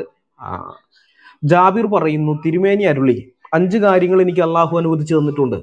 എനിക്ക് മുമ്പുള്ള ഒരു നബിക്കും അത് അനുവദിച്ചു കൊടുത്തിട്ടുള്ള അനുവദിച്ചു കൊടുത്തിട്ടില്ല. ഒരു മാസം യാത്ര ചെയ്യേണ്ടത്ര ദൂരമുള്ള പ്രദേശങ്ങളിൽ താമസിക്കുന്നവർക്ക് പോലും എന്നെക്കുറിച്ച് ഭയം ജനിപ്പിച്ചു തന്നു. ഒരു മാസം ദൂരം യാത്ര ചെയ്യേണ്ട അത്രയേ ദൂരത്ത് കിടക്കുന്ന ആളുകൾ അവരുടെ ഉള്ളിൽ പോലും എന്നെക്കുറിച്ച് ഭയം ജനിപ്പിച്ചു. അള്ളാഹു ചെയ്തു എന്നാണ് പറയുന്നത്. പിന്നെ വേറെ പല കാര്യങ്ങൾ അവരുടെ മതപരമായ കാര്യമാണ്. ഭൂമിയെ എനിക്ക് നമസ്കരിക്കാനുള്ള സ്ഥലമായും ശുചീകരിക്കാനുള്ള ഒരു വസ്തുവായും അള്ളാഹു അംഗീകരിച്ചു തന്നു എന്നൊക്കെ പറഞ്ഞു. ഇതായിട്ടാണ്. പിന്നെ ശത്രുക്കളുമായുള്ള യുദ്ധത്തിൽ പിടിച്ചെടുക്കുന്ന ധനം ഉപയോഗിക്കാൻ എന്നെ അനുവദിച്ചിരിക്കുന്നു. എനിക്ക് മുമ്പ് ആർക്കും അത് അനുവദിച്ചിട്ടില്ല. ഇങ്ങനെ ഓരോന്നൊക്കെ പറയുന്നു. പക്ഷെ ആദ്യം തന്നെ പറയുന്ന കാര്യം എന്താണെന്ന് അറിയാമോ ഏറ്റവും ആദ്യം പറയുന്നത് അഞ്ച് കാര്യങ്ങൾ എനിക്ക് അള്ളാഹു അനുവദിച്ചു തന്നിട്ടുണ്ട്. എനിക്ക് മുമ്പുള്ള ഒരു നബിക്കും അത് അനുവദിച്ചു കൊടുത്തില്ല എന്ന് പറഞ്ഞിട്ട് ആദ്യം പറഞ്ഞത് ഒരു മാസം യാത്ര ചെയ്യേണ്ടത്ര ദൂരമുള്ള പ്രദേശങ്ങളിൽ താമസിക്കുന്നവർക്ക് പോലും എന്നെക്കുറിച്ച് ഭയം ജനിപ്പിച്ചു തന്നു എന്നാണ്. സോ ഈ ബുക്കാരി അധ്യായ ഏഴ് ഹദീസ് നമ്പർ ഇരുന്നൂറ്റി പതിനേഴ്. സി എൻ അഹമ്മദ് മൗലവിയുടെ തർജമ. ഈ- ഭയത്തെ മുതലെടുത്തിട്ടാണ് മുസ്ലിങ്ങൾ ആ കാലഘട്ടത്തിൽ മദീനയിൽ നിന്ന് മറ്റിടങ്ങളിലേക്ക് പകർന്നു പറഞ്ഞൊരു ഇസ്ലാമിക സാമ്രാജ്യം തന്നെ ഉണ്ടാക്കിയെടുത്തത്. ഇത് ഇവരുടെ തന്ത്രമാണ്. ആ ഭയം ഇന്നും നമ്മുടെ നാട്ടിലും. ഇപ്പൊ കുറച്ചാൾ മുമ്പ് അത് സർക്കാർ നിരോധിച്ചു. അതുവരേക്ക് ഇവർ ചെയ്യുന്ന ഒരു പരിപാടിയുണ്ട്. റിപ്പബ്ലിക് ദിനോ അല്ലെങ്കിൽ ആഗസ്റ്റ് പതിനഞ്ചൊക്കെ വരുന്ന സമയത്ത് ആർമി യൂണിഫോം ധരിച്ചുകൊണ്ടുള്ള മുസ്ലിങ്ങളുടെ മാർച്ച് നിങ്ങൾ കണ്ടിട്ടുണ്ടാവും വിചാരിക്കുന്നു. ഇവർക്ക് ശക്തിയുള്ള ഇടങ്ങളിൽ എല്ലായിടത്തും അല്ല. ഇവരുടെ ശക്തി കേന്ദ്രങ്ങളിലൊക്കെ പോലീസ് അല്ല മിലിറ്ററിയുടെ യൂണിഫോം ഒക്കെ ധരിച്ചുകൊണ്ട് ഇവർ ആ സൈനിക നമ്മുടെ സാധാരണഗതിയിൽ സൈനികർ ചെയ്യുന്നത് പോലെയൊക്കെയുള്ള തന്നെയുള്ള ഇതാണ് ഇവർ കാണിക്കുന്നത്. റോട്ടിൽ പൊതു അല്ലെങ്കിൽ ഏതെങ്കിലും ഒരു ഗ്രൗണ്ടിലൊക്കെ ഇവരങ്ങ് ചെയ്യും. ആളുകൾ കാണത്തക്ക വിധത്തിൽ പബ്ലിക് ഗ്രൗണ്ടിലൊക്കെ ഇത് ചെയ്യുന്നു. അപ്പോൾ ഇതെന്തിനാണെന്നറിയാം അവിടെയുള്ള അമുസ്ലിങ്ങളുടെ മനസ്സിൽ ഭയം ഉണ്ടാക്കാൻ വേണ്ടിയിട്ടാണ്. ഇവർ വളരെ ശക്തരാണ്. ഇവർക്ക് സൈനിക പരിശീലനം ലഭിച്ചിട്ടുണ്ട്. അല്ലെങ്കിൽ അതുപോലെയുള്ളവരാണ് ഇവരോട് മുട്ടാൻ നിൽക്കണ്ട എന്നുള്ളൊരു ചിന്ത ഉള്ളിൽ ഉണ്ടാക്കുകയാണ്. മനസ്സിലായി? ആ മുസ്ലിങ്ങളുടെ മനസ്സിൽ ഈ മുഹമ്മദ് പറഞ്ഞ സംഗതി. മറ്റുള്ളവരുടെ മനസ്സിൽ ഒരു മാസം ദൂരം യാത്ര ചെയ്താൽ എത്തുന്ന ഇടങ്ങളിലുള്ളവരുടെ മനസ്സിൽ പോലും എന്നെ കുറിച്ചുള്ള ഭയം ഇട്ടു എന്ന് പറയുന്നത്. ഇത് ഇതെപ്പോഴും ഇത് തന്നെയാണ്. നമ്മൾ ബേസിക്കലി നോക്കിയാൽ മുസ്ലിങ്ങളെ പോലെ ഭീരുക്കൾ ലോകത്ത് വേറെ ആരും കാണുകയില്ല. കാരണം ഇവർ വളരെ കുറവുള്ളിടത്ത് ഇവരെക്കോളും സമാധാന പ്രിയരെ നിങ്ങൾക്ക് മഷിയിട്ട് നോക്കിയാൽ കാണൂല. എത്ര ഇത് ചെയ്ത് കഴിഞ്ഞു കഴിഞ്ഞാലും അങ്ങേയറ്റ സമാധാനം. കാരണം ഇത് മുഹമ്മദ് മുഹമ്മദ് ഒക്കെ ഭീരുക്കളിലെ ഭീരുവായിരുന്നു. മക്കയിലൊക്കെ ഉണ്ടായിരുന്ന സമയത്ത് എന്തൊക്കെ ചെയ്താലും ചെയ്യാന്ന് വെച്ചാൽ ശാരീരികം ആക്രമിക്കുകയല്ല പരിഹസിക്കുകയാണെന്ന് അവർ ചെയ്തിട്ടുള്ളത് കേട്ടോ മക്കാർ അല്ലാണ്ട് ശാരീരികമായിട്ട് അവരൊന്നും ചെയ്തിട്ടൊന്നുമില്ല. അവർ പരിഹസിക്കുകയോ കളിയാക്കുകയോ അങ്ങനെയുള്ളതൊക്കെ എന്തൊക്കെ ചെയ്തു കഴിഞ്ഞാലും ഒരു പ്രശ്നവും ഇല്ല. ഒരു കുഴപ്പവും ഇല്ല. നീ ക്ഷമിക്ക് ക്ഷമിക്ക് ക്ഷമിക്കുന്ന ആ സമയത്ത് അള്ളാഹുവും പറഞ്ഞുകൊണ്ടിരുന്നത്. അള്ളാഹു അതിനേക്കാളും വലിയ വീരുവാണ് ക്ഷമിക്ക് ക്ഷമിക്ക് ക്ഷമിക്കുന്ന പറഞ്ഞുകൊണ്ടിരുന്നത്. അത് കഴിഞ്ഞ് മദീനയിൽ എത്തിക്കഴിഞ്ഞതിന് ശേഷമാണ് ആൾക്കാരെ കൂട്ടി വീരപ്പ് മോഡൽ കൊള്ള സംഘമൊക്കെ ഉണ്ടാക്കിയിട്ട് ചുറ്റുപാടുള്ള ഗോത്രങ്ങളെയൊക്കെ കൊള്ളയടിക്കാനും ആക്രമിക്കാനും മക്കാരുടെ കച്ചവട സംഘങ്ങളെ കൊള്ളയടിക്കാനൊക്കെ തുടങ്ങി. അങ്ങനെ നിർബന്ധിച്ച ആൾക്കാരെ മതത്തിൽ കൂട്ടി മതത്തിനകത്ത് ആൾക്കാരൊക്കെ വന്നു കഴിഞ്ഞ് കഴിഞ്ഞപ്പിണ്ട് ആ അതാ. പിന്നെ സ്വഭാവം മാറുകയാണ്. അതുവരേക്കും ക്ഷമിക്ക് ക്ഷമിക്കുക എന്ന് പറഞ്ഞുകൊണ്ടിരുന്ന ആൾ സ്വഭാവം മാറുകയാണ്. ആ പിന്നെ നിങ്ങൾക്ക് വല്ല പ്രശ്നം വരികയാണെങ്കിൽ നിങ്ങൾ പ്രതിരോധിച്ചോ നിങ്ങൾ തിരിച്ചടിച്ചോ എന്നൊക്കെ പറഞ്ഞ് അവസാനം മക്കൊക്കെ പിടിച്ചെടുത്ത് കഴിഞ്ഞപ്പോൾ പറയാണ് യുദ്ധം ചെയ്യാനുള്ള നിങ്ങൾക്ക് നിർബന്ധ കൽപ്പന വന്നിരിക്കുന്നു. മതം മുഴുവൻ അള്ളാഹുവിന് വേണ്ടി ആകുന്നവരെ നിങ്ങൾ യുദ്ധം ചെയ്യണമെന്നും പറഞ്ഞുകൊണ്ടാണ്. അപ്പൊ ജനസംഖ്യയുടെ വളർച്ചയ്ക്ക് അനുസരിച്ച് ഉപദേശം മാറ്റിക്കൊണ്ടിരിക്കുന്നവരാണ് ഇവർ. ഇവർ ന്യൂനപക്ഷമായിരിക്കുന്ന സമയത്ത് ഇവർ ഭയങ്കര സമാധാനമാണ്. ഇനി ഇപ്പോഴും നിങ്ങൾ നോക്ക് ഒന്നോ രണ്ടോ മുസ്ലിങ്ങൾ ഒരു പ്രശ്നത്തിലേക്ക് പോകുന്നില്ല വന്നു കഴിഞ്ഞാൽ എപ്പോഴും കാക്കക്കൂട്ടം പോലെ ആൾ ഒരുമിച്ചേ വരുള്ളൂ. ഒറ്റയ്ക്ക് വന്നിട്ട് എന്തെങ്കിലും ചെയ്യാനുള്ള ധൈര്യമില്ല. ഞാൻ പറയില്ല ഭീരു ഉള്ളിന്റെ ഉള്ളിൽ ഭീരുത്വം കിടക്കുകയാണ്. കൂട്ടം കൂടിയിട്ട് മാത്രമേ ഇത് ചെയ്യുള്ളൂ ആ കൂട്ടം കൂടിയിട്ട് മറ്റുള്ളവരെല്ലാം മനസ്സിലൊരു ഭയം ഉണ്ടാക്കുക. ആ ഭയം മുതലെടുത്തുകൊണ്ട് പിന്നെ ഇവരുടെ തേരോട്ട് ആരംഭിക്കുക മതം വളർത്തുക. ഇതാണ് തന്ത്രം. അപ്പൊ ഇപ്പൊ നിങ്ങൾ മിണ്ടാതിരിക്കുകയാണെന്ന് വെച്ചാൽ എന്നെ കേട്ടുകൊണ്ടിരിക്കുന്ന ക്രിസ്ത്യാനികളും ഹിന്ദുക്കളുമായിരിക്കുന്ന അല്ലെങ്കിൽ നിരീശ്വരവാദികൾ ആരും ആയിക്കോട്ടെ. ആ മുസ്ലിങ്ങളായ ആരും ആകട്ടെ അവരോട് ഞാൻ പറയണം ഇപ്പൊ നിങ്ങൾ മിണ്ടാതിരുന്ന നാളെ ഇതൊക്കെ നിങ്ങൾക്കും വരും നിങ്ങൾക്ക് ആർക്ക് സംഭവിക്കും? നിങ്ങളൊരു ഫേസ്ബുക്ക് പോസ്റ്റ് ഇട്ടാൽ അല്ലെങ്കിൽ ക്ലബ് ഹൗസിൽ നിങ്ങൾ എന്തെങ്കിലും ഒന്ന് പറഞ്ഞാൽ അല്ലെങ്കിൽ വാട്സാപ്പിൽ നിങ്ങൾ എന്തെങ്കിലും ഒന്ന് ഇട്ട് കഴിഞ്ഞാൽ നാളെ ഇത് നിങ്ങൾക്ക് സംഭവിക്കും. നിങ്ങളുടെ കൂടെയുള്ളവരെ ഭയപ്പെടുത്താൻ വേണ്ടിയിട്ട് നിങ്ങളുടെ വീട്ടിലുള്ളവരെ നിങ്ങളുടെ അയൽവക്കത്തുള്ളവരെയൊക്കെ ഭയപ്പെടുത്താൻ വേണ്ടി ഇത് നിങ്ങളുടെ നേരെയും വരും. ഇപ്പൊ നിങ്ങൾ ഒരു പക്ഷെ വിചാരിക്കും "ആ, ഇതിപ്പോ ആ മനോജ് എന്ന് പറഞ്ഞ ഒരാൾക്ക് സംഭവിച്ചതല്ലേ? എനിക്കെന്ത്? എന്ന് എഴുതിയിട്ട് നിങ്ങൾ മാറുകയാണെങ്കിൽ നാളെ ഇത് നിങ്ങൾക്ക് തന്നെ വരും ഉറപ്പാണ്. ഉറപ്പായിട്ടും വരും. ഈ മുടാപ്പികളും പിന്നെ അവർക്ക് കുടപിടിച്ച് നടക്കുന്ന കുറെ ക്രിസ്ത്യൻ നാമധാരികളും മതം മാറിപ്പോയ അനിയന്മാർക്ക് വേണ്ടി ക്രിസ്ത്യാനികളെ ഒറ്റിക്കൊടുക്കുന്ന പാസ്റ്റർ എന്ന് പറഞ്ഞ് നടക്കുന്നവരൊക്കെ മുസ്ലിങ്ങൾക്ക് വേണ്ടി ന്യായീകരണം ചമച്ചുകൊണ്ട് വരുന്ന എനിക്കറിയാം അത് മറന്നുകൊണ്ടെന്നല്ല ഞാനിത് പറയുന്നത്. ഈ മുസ്ലിങ്ങളാൽ ആക്രമിക്കപ്പെട്ട മനോജ് ബ്രദർ ഒരു ക്രിസംഖിയാണെന്നും ക്രിസംഖികൾ ഈ നാട്ടിലെ സമാധാനം നശിപ്പിക്കുകയാണെന്നൊക്കെ പറഞ്ഞുകൊണ്ട് ഇവർ ക്ലബ് ഹൗസിൽ റൂമുകൾ ഇടും. ഉറപ്പാണ്. കാരണം ഫണ്ടിങ് അത്ര ശക്തമാണേ. ഫണ്ടിങ് ഭയങ്കരമായിട്ട് വരുന്നത്. അപ്പോൾ പിന്നെ എമുഡാപ്പികളായാലും ഈ കൾട്ട് ക്രിസ്ത്യാനികളായാലും പിന്നെ ആട്ടിൻതോലിട്ട് നടക്കുന്ന ചെന്നായികളെ പോലെ യൂദാസിന്റെ സ്വഭാവമായിട്ട് നടക്കുന്ന ക്രിസ്ത്യാനികളായാലും ഇവരൊക്കെ ഇതിന്റെ പുറകെ പോകും അവരെയൊന്നല്ല ഞാൻ ഉദ്ദേശിക്കുന്നത്. അവരെയൊക്കെ വിട്. അവർ അവരെയൊക്കെ ഒഴിവാക്കിയിട്ടാണ് ഇവരുടെ ഫണ്ടിങ്ങിലൊന്നും വീഴാതെ നട്ടൽ നിവർത്തി നിൽക്കുന്ന ആരെങ്കിലുമൊക്കെ ഉണ്ടെങ്കിൽ അല്ലെങ്കിൽ സ്വന്തം കാര്യം നോക്കിയിട്ട് ഫണ്ടിങ് ഒന്നും ഇല്ലാതെ സ്വന്തം കാര്യം നോക്കി ഞാൻ നടക്കണമെന്നും പറഞ്ഞ് അങ്ങനെ ജീവിക്കുന്നവരൊക്കെ ഉണ്ടെങ്കിൽ അവരോടൊക്കെ ഞാൻ പറയുന്നത് നാളെ ഇത് നിങ്ങൾക്ക് വരും ഉറപ്പായിട്ടും വരും. അങ്ങനെ വരുമ്പോൾ നിങ്ങൾക്ക് വേണ്ടി സംസാരിക്കാൻ ആരെങ്കിലുമൊക്കെ ഉണ്ടാവണമെങ്കിൽ ആ നിങ്ങൾ ഇപ്പോഴേ സംസാരിക്കാൻ തയ്യാറാകണം. നിങ്ങൾ അങ്ങനെ സംസാരിച്ചിട്ട് ആ ധൈര്യം കണ്ട് കുറേ പേര് സംസാരിക്കാൻ തയ്യാറായി വരണം. സോഷ്യൽ മീഡിയയിലൊക്കെ ഞങ്ങൾ ഇത് തുടങ്ങുന്ന സമയത്ത് ആരും ഉണ്ടായിരുന്നില്ല. ഞങ്ങൾ കുറച്ച് പേരെ ഉണ്ടായിരുന്നുള്ളൂ. ക്രിസ്ത്യാനികളിൽ നിന്നായാലും മറ്റുള്ള ആളുകളിൽ നിന്നൊക്കെ മതേതരത്വം പറഞ്ഞു നടക്കുന്ന ഹിന്ദുക്കളൊക്കെ ഞങ്ങളെ വർഗീയവാദികൾ വർഗീയവാദികൾ എന്നൊക്കെ ചാപ്പ് കുത്തിയപ്പോൾ ഞങ്ങൾ ഉറച്ചു നിന്നുകൊണ്ട് അന്ന് സംസാരിച്ചു പത്ത് കൊല്ലം മുമ്പൊക്കെ. ആ ഇപ്പൊ പത്ത് കൊല്ലം കഴിഞ്ഞ് കഴിഞ്ഞപ്പോൾ എന്തുണ്ടായി കാണുന്നുണ്ടല്ലോ നിങ്ങൾ എത്ര പേരാണെന്ന് സംസാരിക്കാൻ വന്നിരിക്കുന്നത്? അപ്പൊ അതേപോലെ ഉണ്ടാകണമെങ്കിൽ കുറച്ചു പേരെങ്കിലും മുൻപിൽ നിന്നുകൊണ്ട് ധൈര്യത്തോടെ നിന്നുകൊണ്ട് മാതൃക കാണിച്ചു കൊടുക്കണം. നമ്മുടെ മുമ്പാകെ ആയിരത്തി തൊള്ളായിരത്തി ഇരുപത്തി ഒന്നിലെ മലബാർ ജിഹാദ് ഉണ്ട്. അന്ന് എന്താണ് സംഭവിച്ചത് എന്നുള്ളതിന്റെ ചരിത്രരേഖകൾ നമ്മുടെ മുമ്പാകെ ഉണ്ട്. അന്ന് തെക്കേ മലബാറിൽ ഹിന്ദുക്കളും ക്രിസ്ത്യാനികളും കൊല്ലപ്പെടുകയുണ്ടായി. പല ക്രിസ്ത്യാനികളുടെയും വിചാരം അന്ന് അവിടെ ഹിന്ദുക്കൾ മാത്രമേ കൊല്ലപ്പെട്ടിട്ടുള്ളൂ എന്നാണ് അല്ല ഹിന്ദുക്കളെ മാത്രമല്ല ക്രിസ്ത്യാനികളും. കാരണം ഈ ഹിന്ദുക്കളെക്കാൾ വിരോധമുള്ള പുസ്തകമാണ്. ഈ ഹിന്ദുക്കളെക്കാൾ ക്രിസ്ത്യാനികളോട് വിരോധമുള്ള പുസ്തകമാണ് ഈ ഖുറാൻ ഹദീസുകൾ എന്ന് പറയുന്നത്. അതിശക്തമായിട്ടുള്ള ക്രൈസ്തവ വിരോധം കൃത്യമായി ക്രിസ്ത്യാനികൾ എന്ന് പേരെടുത്ത് പറഞ്ഞുകൊണ്ട് തന്നെയാണ് അതേസമയം ഹിന്ദു എന്നുള്ള വാക്ക് കാണില്ല അവിടെ. പിന്നെ വ്യാഖ്യാനിച്ചു വരണം. കാരണം ബഹുദൈവ വിശ്വാസികൾ എന്ന് പറയുന്ന വേറൊരു കൂട്ടരെ പറ്റി പറയുന്നുണ്ട് അത് ഹിന്ദുക്കൾക്ക് അപ്ലൈ ചെയ്യാവുന്നേ ഉള്ളൂ.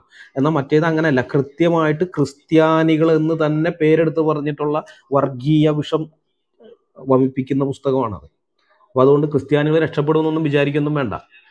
മലബാർ കലാപത്തിലും അതുണ്ടായിട്ടുണ്ട്. കെ മാധവൻ നായർ എഴുതിയ മലബാർ കലാപം എന്ന പുസ്തകത്തിനകത്ത് തിരുനാവായിക്കടുത്തുള്ള കൊടക്കൽ എന്ന സ്ഥലത്ത് അതൊരു ആ സ്ഥലത്തെ ആ പ്രദേശത്തെ ഒരു ക്രിസ്ത്യൻ ഭൂരിപക്ഷ പ്രദേശമായിരുന്നു അത്.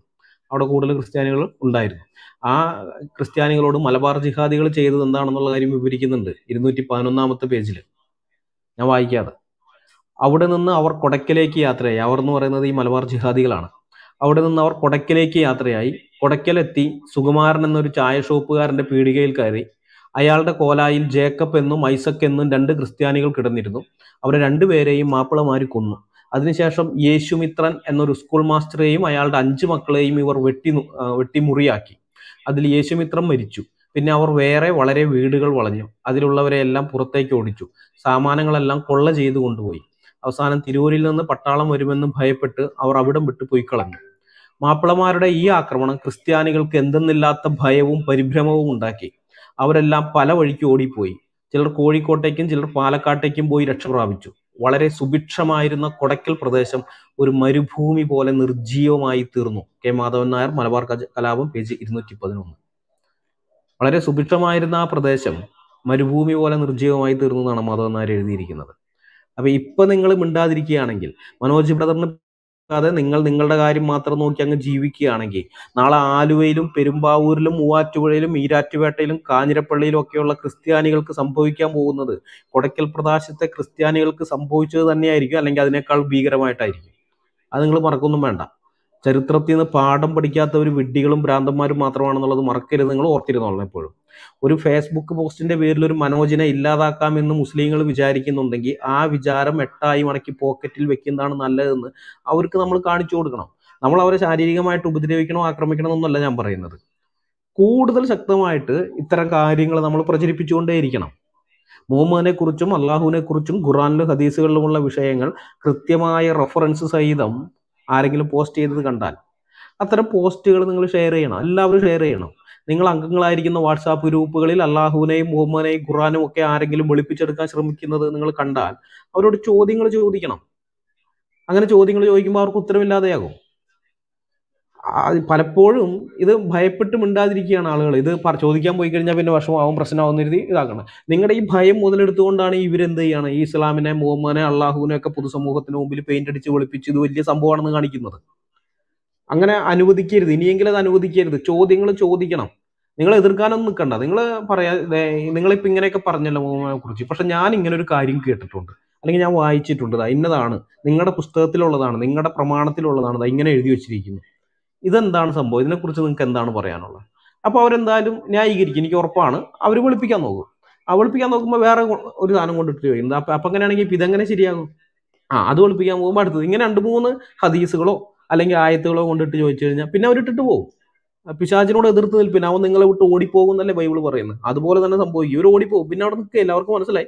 ഇവിടെ നമുക്ക് വിളിപ്പിക്കാൻ പറ്റുകയില്ല. ഇസ്ലാമിനെ അറിയാവുന്ന ആൾക്കാർ ഇതിനകത്തുണ്ട്.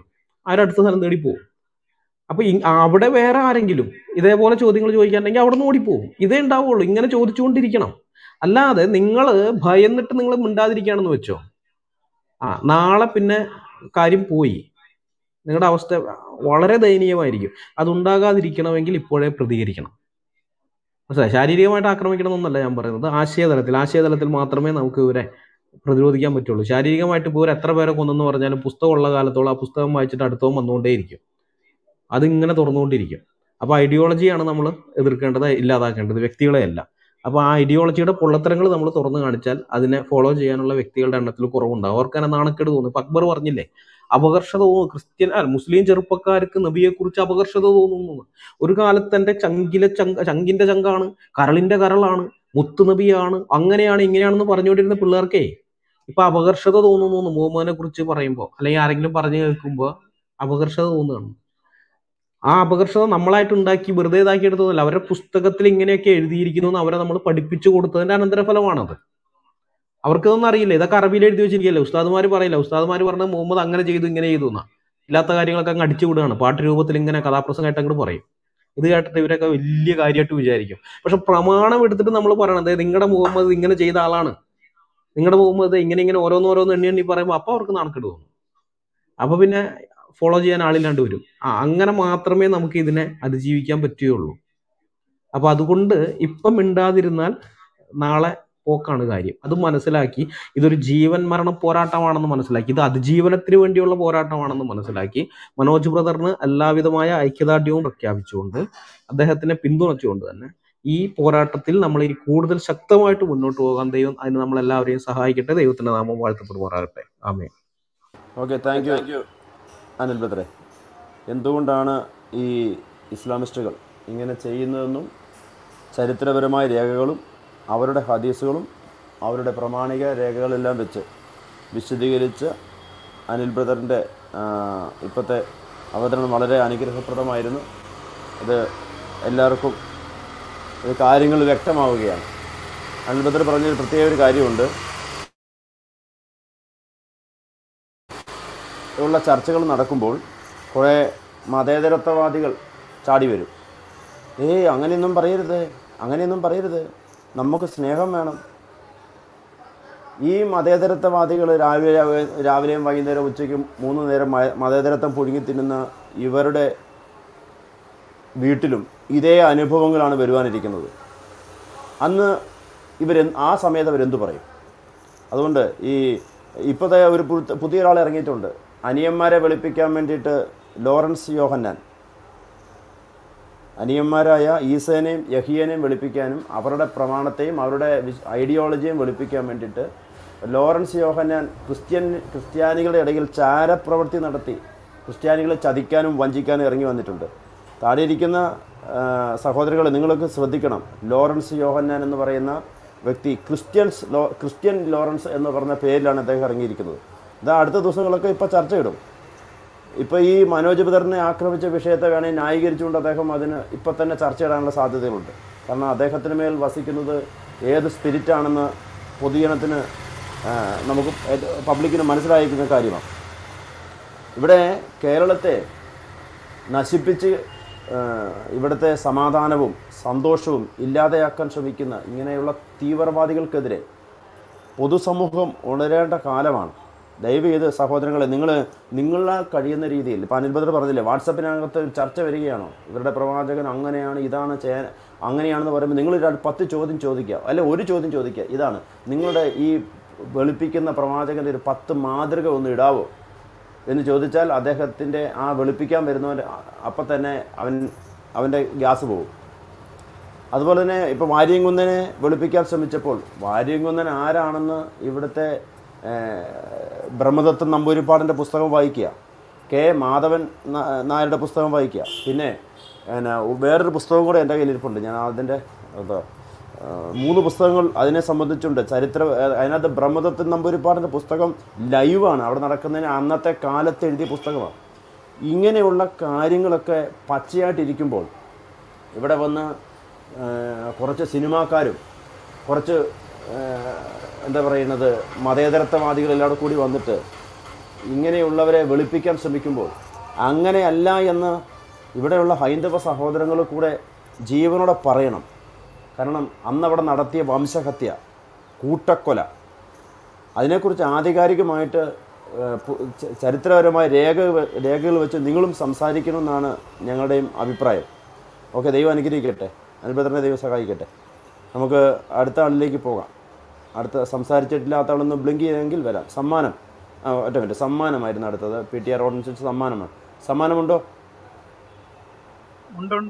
ആ സമ്മാനത്തിന് പറയാം. കേട്ടുകൊണ്ടിരിക്കുകയാണ് വളരെ നന്ന ഈ പറഞ്ഞ നമ്മൾ ഇങ്ങനത്തെ വിഷയങ്ങൾ നമ്മൾ എടുക്കണം. ഞാനിത് പലപ്പോഴും വാട്സപ്പ് ഗ്രൂപ്പിലുണ്ട്. പക്ഷേ ഞാൻ എന്റെ ഐ ഡി വെക്കുന്നില്ല. കാരണം നമ്മൾ വല്ല വണ്ടിയൊക്കെ ആയിട്ട് യാത്ര ചെയ്യുമ്പോൾ എന്റെ ഫേസ് ഇട്ട് കഴിഞ്ഞാൽ കേരളം കഴിഞ്ഞ ദിവസം ആരോ ചോദിച്ചു ഉത്തരവ് എന്താ കേരളത്തിൽ എന്താ പ്രശ്നം എന്ന് ചോദിച്ചു. ഇങ്ങനെ എന്തെങ്കിലും സ്വന്തം അഭിപ്രായം പ്രകടിപ്പിക്കുന്നവൻ കേരളത്തിന്റെ കേരളത്തിൽ വളരെ ദയനീയമാണ് എന്നാണ് നമുക്ക് ഇതിനൊക്കെ മനസ്സിലാക്കുന്നത്. എനിക്ക് തോന്നുന്നു ഇനി ഇവർക്ക് അടുത്ത ഇലക്ഷൻ ഈ ആക്രമിച്ചവർക്ക് നിന്ന് കഴിഞ്ഞാൽ അവർക്ക് സുഖമായിട്ട് ജയിക്കാമെന്നാണ് എനിക്ക് തോന്നുന്നത്. കാരണം വെച്ചാൽ അതുപോലത്തെ ഒരു നല്ലൊരു സാഹചര്യം നമ്മുടെ നാട്ടിലുണ്ട്. ഇതിനെതിരെ നമ്മൾ പരമാവധി പ്രതിരോധിക്കുക. പിന്നെ ഞാൻ കൂടുതൽ കേൾക്കാനാണ് ആഗ്രഹിക്കുന്നത്. ഓക്കെ താങ്ക് യു ബദ്ര ഇവിടെ ബ്രഹ്മദത്തൻ നമ്പൂരിപ്പാടിന്റെ പുസ്തകം എവിടെ കിട്ടും എന്ന് താഴെ കുറേ പേര് ബാക്ക് ചാനൽ മെസ്സേജ് വിട്ടു. ഞാൻ നിങ്ങൾക്ക് അതിന്റെ കിട്ടാനുള്ള കോണ്ടാക്ട് നമ്പർ ഇപ്പോൾ തന്നെ പരസ്യമായിട്ട് പറയുന്നതായിരിക്കും. നമ്മുടെ ഞാൻ ഒന്ന് സെർച്ച് ചെയ്തെടുക്കട്ടെ. ആ സമയത്തേക്ക് സംസാരിച്ചിട്ടില്ലാത്ത സഹോദരങ്ങൾക്ക് സംസാരിക്കാവുന്നതാണ്. അജി അജയ് ബ്രദറെ സിദ്ധാർത്ഥ സംസാരിച്ചോളൂ സിദ്ധാർത്ഥ സംസാരിച്ചു? അല്ല ഇത് മറ്റേ ഈ അനിൽ സാർ ഒരു വളരെ ഇമ്പോർട്ടന്റ് പോയിന്റ് പറഞ്ഞു. ഇവർ ഈ ഭീതി വളർത്തുന്നത് എങ്ങനെയാണെന്ന്.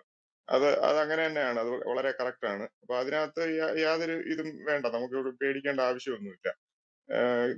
കേരളത്തിലെ എഴു എഴുപത്തഞ്ച് ശതമാനം ജനങ്ങളും മുസ്ലിങ്ങളല്ല. അപ്പൊ അവരുടെ ഒരു ആവശ്യം മുന്നോട്ട് വയ്ക്കുകയാണ് ഇപ്പം ഹലാലിന്റെ വിഷയത്തിലായാലും. അതങ്ങനെ നമ്മൾ ചെയ്തുകൊണ്ടിരിക്കണമെന്ന് തന്നെയാണ് എന്റെ അഭിപ്രായം. കാരണം ഇതിപ്പം ഭയങ്കര വളരെ കുഴപ്പമായിരിക്കുകയാണ്. കാരണം ഒരു മുഖ്യമന്ത്രി തന്നെ വന്ന് പറയുകയാണ് ഹലാൽ എന്ന് പറഞ്ഞ അനുവദനീയമാണ് എന്നൊക്കെ. അപ്പൊ ഇതെന്ത് ബാക്കിയുള്ളവരുണ്ടാക്കുന്നതൊന്നും അനുവദനീയമല്ലേ? ഇതിപ്പോ അതിപ്പോ എന്താണ് മീഡിയയിൽ ആരെങ്കിലും പബ്ലിക് ആയിട്ട് നിന്ന് മീഡിയയുടെ ഫ്രണ്ടിലാണ് പറയുന്നത്. അപ്പൊ മീഡിയയിൽ ഒരു ഒരുത്തിന് എണീറ്റ് ഒന്ന് ചോദിക്കട്ടെ. അല്ല അപ്പൊ എന്തുവാണ്? ഇപ്പൊ ബാക്കിയുള്ളവരാക്കുന്നവരാരും എന്ത് ഹലാലല്ലേ? എന്ത് പറ്റില്ല മോശം ആഹാരമാണ് ബാക്കിയുള്ളവർ കഴിക്കുന്നത് അപ്പൊ മീഡിയയിലും ആരും മിണ്ടുന്നില്ല. കാരണം സർക്കാർ ഫണ്ട് സർക്കാർ ഒരു പരസ്യം കൊടുക്കുന്ന സർക്കാരാണ്. അപ്പൊ ഇതൊക്കെയാണ് നമ്മുടെ കേരളത്തിലെ അവസ്ഥ. വളരെ ദയനീയമായ അവസ്ഥയാണ്. പിന്നെ നമ്മൾ ഈ പ്രത്യേകിച്ച് നമ്മൾ ഇപ്പൊ ചരിത്രം നോക്കുമ്പോൾ ഈ കമ്മ്യൂണിസ്റ്റുകളെ അട്ടിമറിച്ചിട്ടാണ് ഇസ്ലാമിസ്റ്റുകൾ ഭരണം പിടിക്കാറ് എല്ലായിടത്തും. അപ്പൊ അഫ്ഗാനിസ്ഥാനിൽ തന്നെ അഫ്ഗാനിസ്ഥാൻ എന്ന് പറഞ്ഞാൽ നമ്മുടെ രാജ്യത്തിന്റെ അടുത്താണ്. അതങ്ങ് ദൂരെ ഒന്നുമല്ല. പണ്ട് ഭാരതത്തിന്റെ ഭാഗം തന്നെയായിരുന്നു. അപ്പൊ ഈ അഫ്ഗാനിസ്ഥാനിൽ സംഭവിച്ചത് തന്നെയാണ്. കമ്മ്യൂണിസ്റ്റ് ആളെ അവിടുത്തെ എന്താണ് പ്രസിഡന്റിനെ തൂക്കി കൊല്ലുമായിരുന്നു ഇവർ പബ്ലിക്കായിട്ട് അപ്പൊ അതിന്റെ ഹിസ്റ്ററി ഒക്കെ നമ്മൾ പഠിക്കുമ്പോൾ അത് ഇത് തന്നെയാണ് ലെബനോണിൽ സംഭവിച്ചത്. ഇങ്ങനെ പല പല സ്ഥ- സ്ഥലങ്ങളിൽ ഇങ്ങനെ സംഭവിച്ചിട്ടുണ്ട്. ഇത് തന്നെയാണ് കേരളത്തിന്റെ അവസ്ഥ ഇനി എന്നുള്ള ഒരു ഭ- ഉണ്ട് എല്ലാവർക്കും. അതൊരു നാച്ചുറൽ ആണ്. അപ്പൊ അതിനെതിരെ ഇത് ഒരുമിച്ച് നിന്ന് പോരാടുക മാത്രമേ ഉള്ളൂ. ജനാധിപത്യ രീതിയിൽ. വേറെ ഓപ്ഷൻ ഇല്ല നമുക്ക്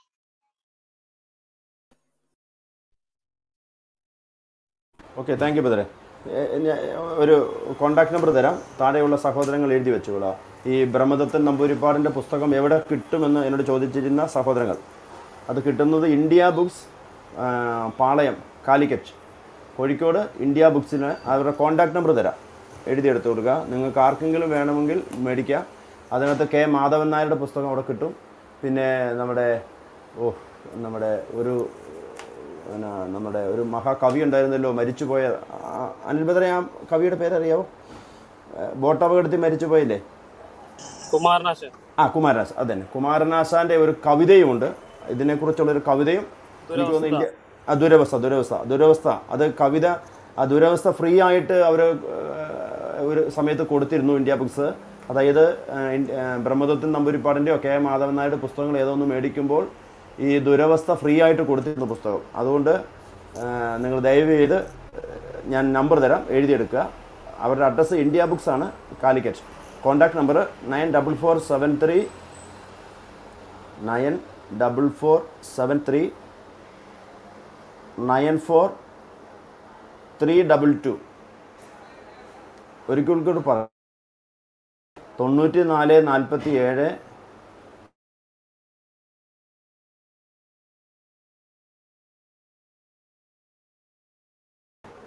ഈ നമ്പറിൽ അവരുമായി ബന്ധപ്പെട്ടാൽ നിങ്ങൾക്ക് അത് തരുവാനുള്ള എല്ലാ സാഹചര്യങ്ങളും ഒരുക്കും. ഞാൻ ഒരു- ഒരിക്കൽ കൂടെ നമ്പർ പറയാം. തൊണ്ണൂറ്റി നാല് നാൽപ്പത്തി ഏഴ് മുപ്പത്തി ഒമ്പത് നാൽപ്പത്തി മൂന്ന് ഇരുപത്തിരണ്ട്.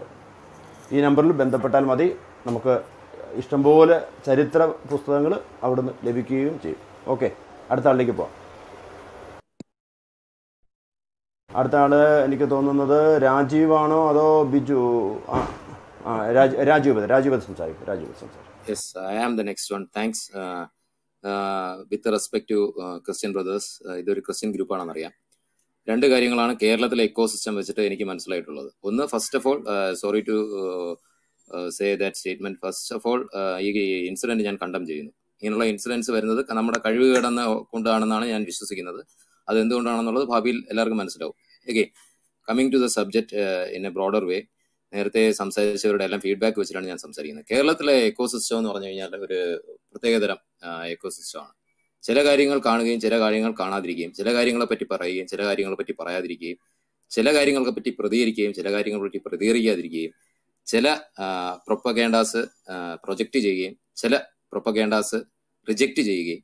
അങ്ങനെ ഒരു പ്രത്യേകതരം മെന്റാലിറ്റിയാണ് ദേ ആർ നോട്ട് ട്രൂത്ത്ഫുൾ ഒരു സത്യസന്ധമായിട്ടുള്ള നിലപാട് സ്വീകരിക്കുന്നതായിട്ട് പൊതുവേ ഞാൻ കണ്ടിട്ടില്ല. അത് എന്റെ തന്നെ കുഴപ്പമായിരിക്കും ചിലപ്പോൾ അഡ്മിറ്റിംഗ് ദാറ്റ് ഫാക്ട് എന്റെ തന്നെ കുഴപ്പമായിരിക്കും എന്നുള്ളത് എപ്പിസ്റ്റമോളജി എന്ന് പറഞ്ഞൊരു സംഭവമുണ്ട്. എന്ന് പറഞ്ഞു കഴിഞ്ഞാൽ ജ്ഞാനശാസ്ത്രം. കാര്യങ്ങളെ അതിന്റെതായ അർത്ഥത്തിൽ പൂർണമായിട്ടും സത്യസന്ധമായിട്ടും വിലയിരുത്തുക എന്നുള്ളത്. ഈ സംഭവത്തിലോട്ട് വരികയാണെങ്കിൽ കേരളത്തിലെ ഇപ്പോൾ പ്രബലമായിട്ട് ഒരു പൊളിറ്റിക്കൽ സിസ്റ്റത്തിലോട്ട് ഇൻഫ്ലുവൻസ് ചെയ്തിരിക്കുന്നത് ഈ ഒരു റാഡിക്കൽ ആയിട്ടുള്ള ഐഡിയോളജി വെച്ച് നടക്കുന്ന കുറച്ച് ആൾക്കാരാണ്.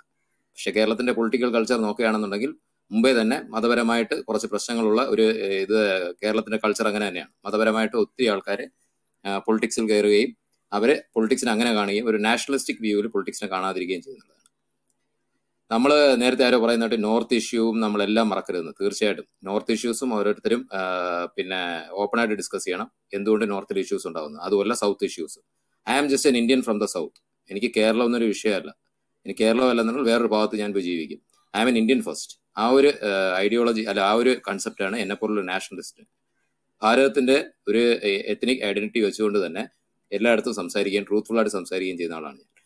ചിദാനന്ദ പുരി- പുരി സ്വാമി കഴിഞ്ഞ ദിവസം വരാൻ നേരത്തെ ഡിസ്കഷനിൽ പറഞ്ഞത് വായിൽ കോലിട്ട് ഇളക്കരുത്. ചിലപ്പോൾ അത് കടിക്കുന്ന പട്ടിയായിരിക്കും എന്നുള്ളത് എനിക്ക് എല്ലാവരോടും പറയാനുള്ളത് നിങ്ങൾ സത്യസന്ധമായി കാര്യങ്ങളെ വിലയിരുത്തുകയും സത്യസന്ധമായി പ്രതികരിക്കാൻ തുടങ്ങി കഴിഞ്ഞാൽ ഇങ്ങനെയുള്ള സംഭവങ്ങൾ കേരളത്തിൽ ഒഴിവാക്കാൻ പറ്റുന്നതാണ്. നോർത്തിലെ രണ്ട് സന്യാസിമാരെ അടിച്ചു വന്നപ്പോഴും കേരളത്തിൽ അനക്കമില്ലായിരുന്നു. കത്തുവയിൽ പക്ഷേ സംശയം സംഭവം ഉണ്ടായപ്പോൾ കേരളത്തിൽ ഭയങ്കര അനക്കമായിരുന്നു.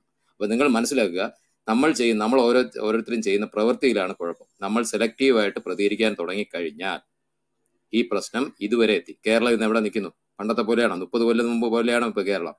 ആരുടെ കുറ്റമാണ്? നമ്മുടെ തന്നെ കുറ്റമാണ്. നമ്മൾ എല്ലാ കാര്യത്തിലും ഒരുപോലെ പ്രതികരിച്ചിരുന്നെങ്കിൽ ഈ പറയുന്നത് പോലുള്ള സംഭവ ഈ റാഡിക്കൽ സംഭവങ്ങൾ ഇവിടെ ഒഴിവാക്കാമായിരുന്നു എന്ന് മാത്രമല്ല വളർന്നു വരികയില്ലെന്ന് മാത്രമല്ല പൊതുജനത്തിൽ പൊതു എന്താണ് സമൂഹത്തിൽ ഇങ്ങനെയുള്ള ആൾക്കാർ അപഹാസ്യരായി നിൽക്കുമായിരുന്നു പക്ഷെ അങ്ങനെ അല്ല ഇവിടെ സംഭവിച്ചിരിക്കുന്നത്. ഇവർക്കിപ്പോൾ എല്ലാ മേഖലകളിലും ഇവർക്ക് ഇൻഫ്ലുവൻസ് ആവുകയും അവരെല്ലാ മേഖലകളും കൺട്രോൾ ചെയ്യുന്ന രീതിയിലേക്ക് വന്നിരിക്കുന്നു.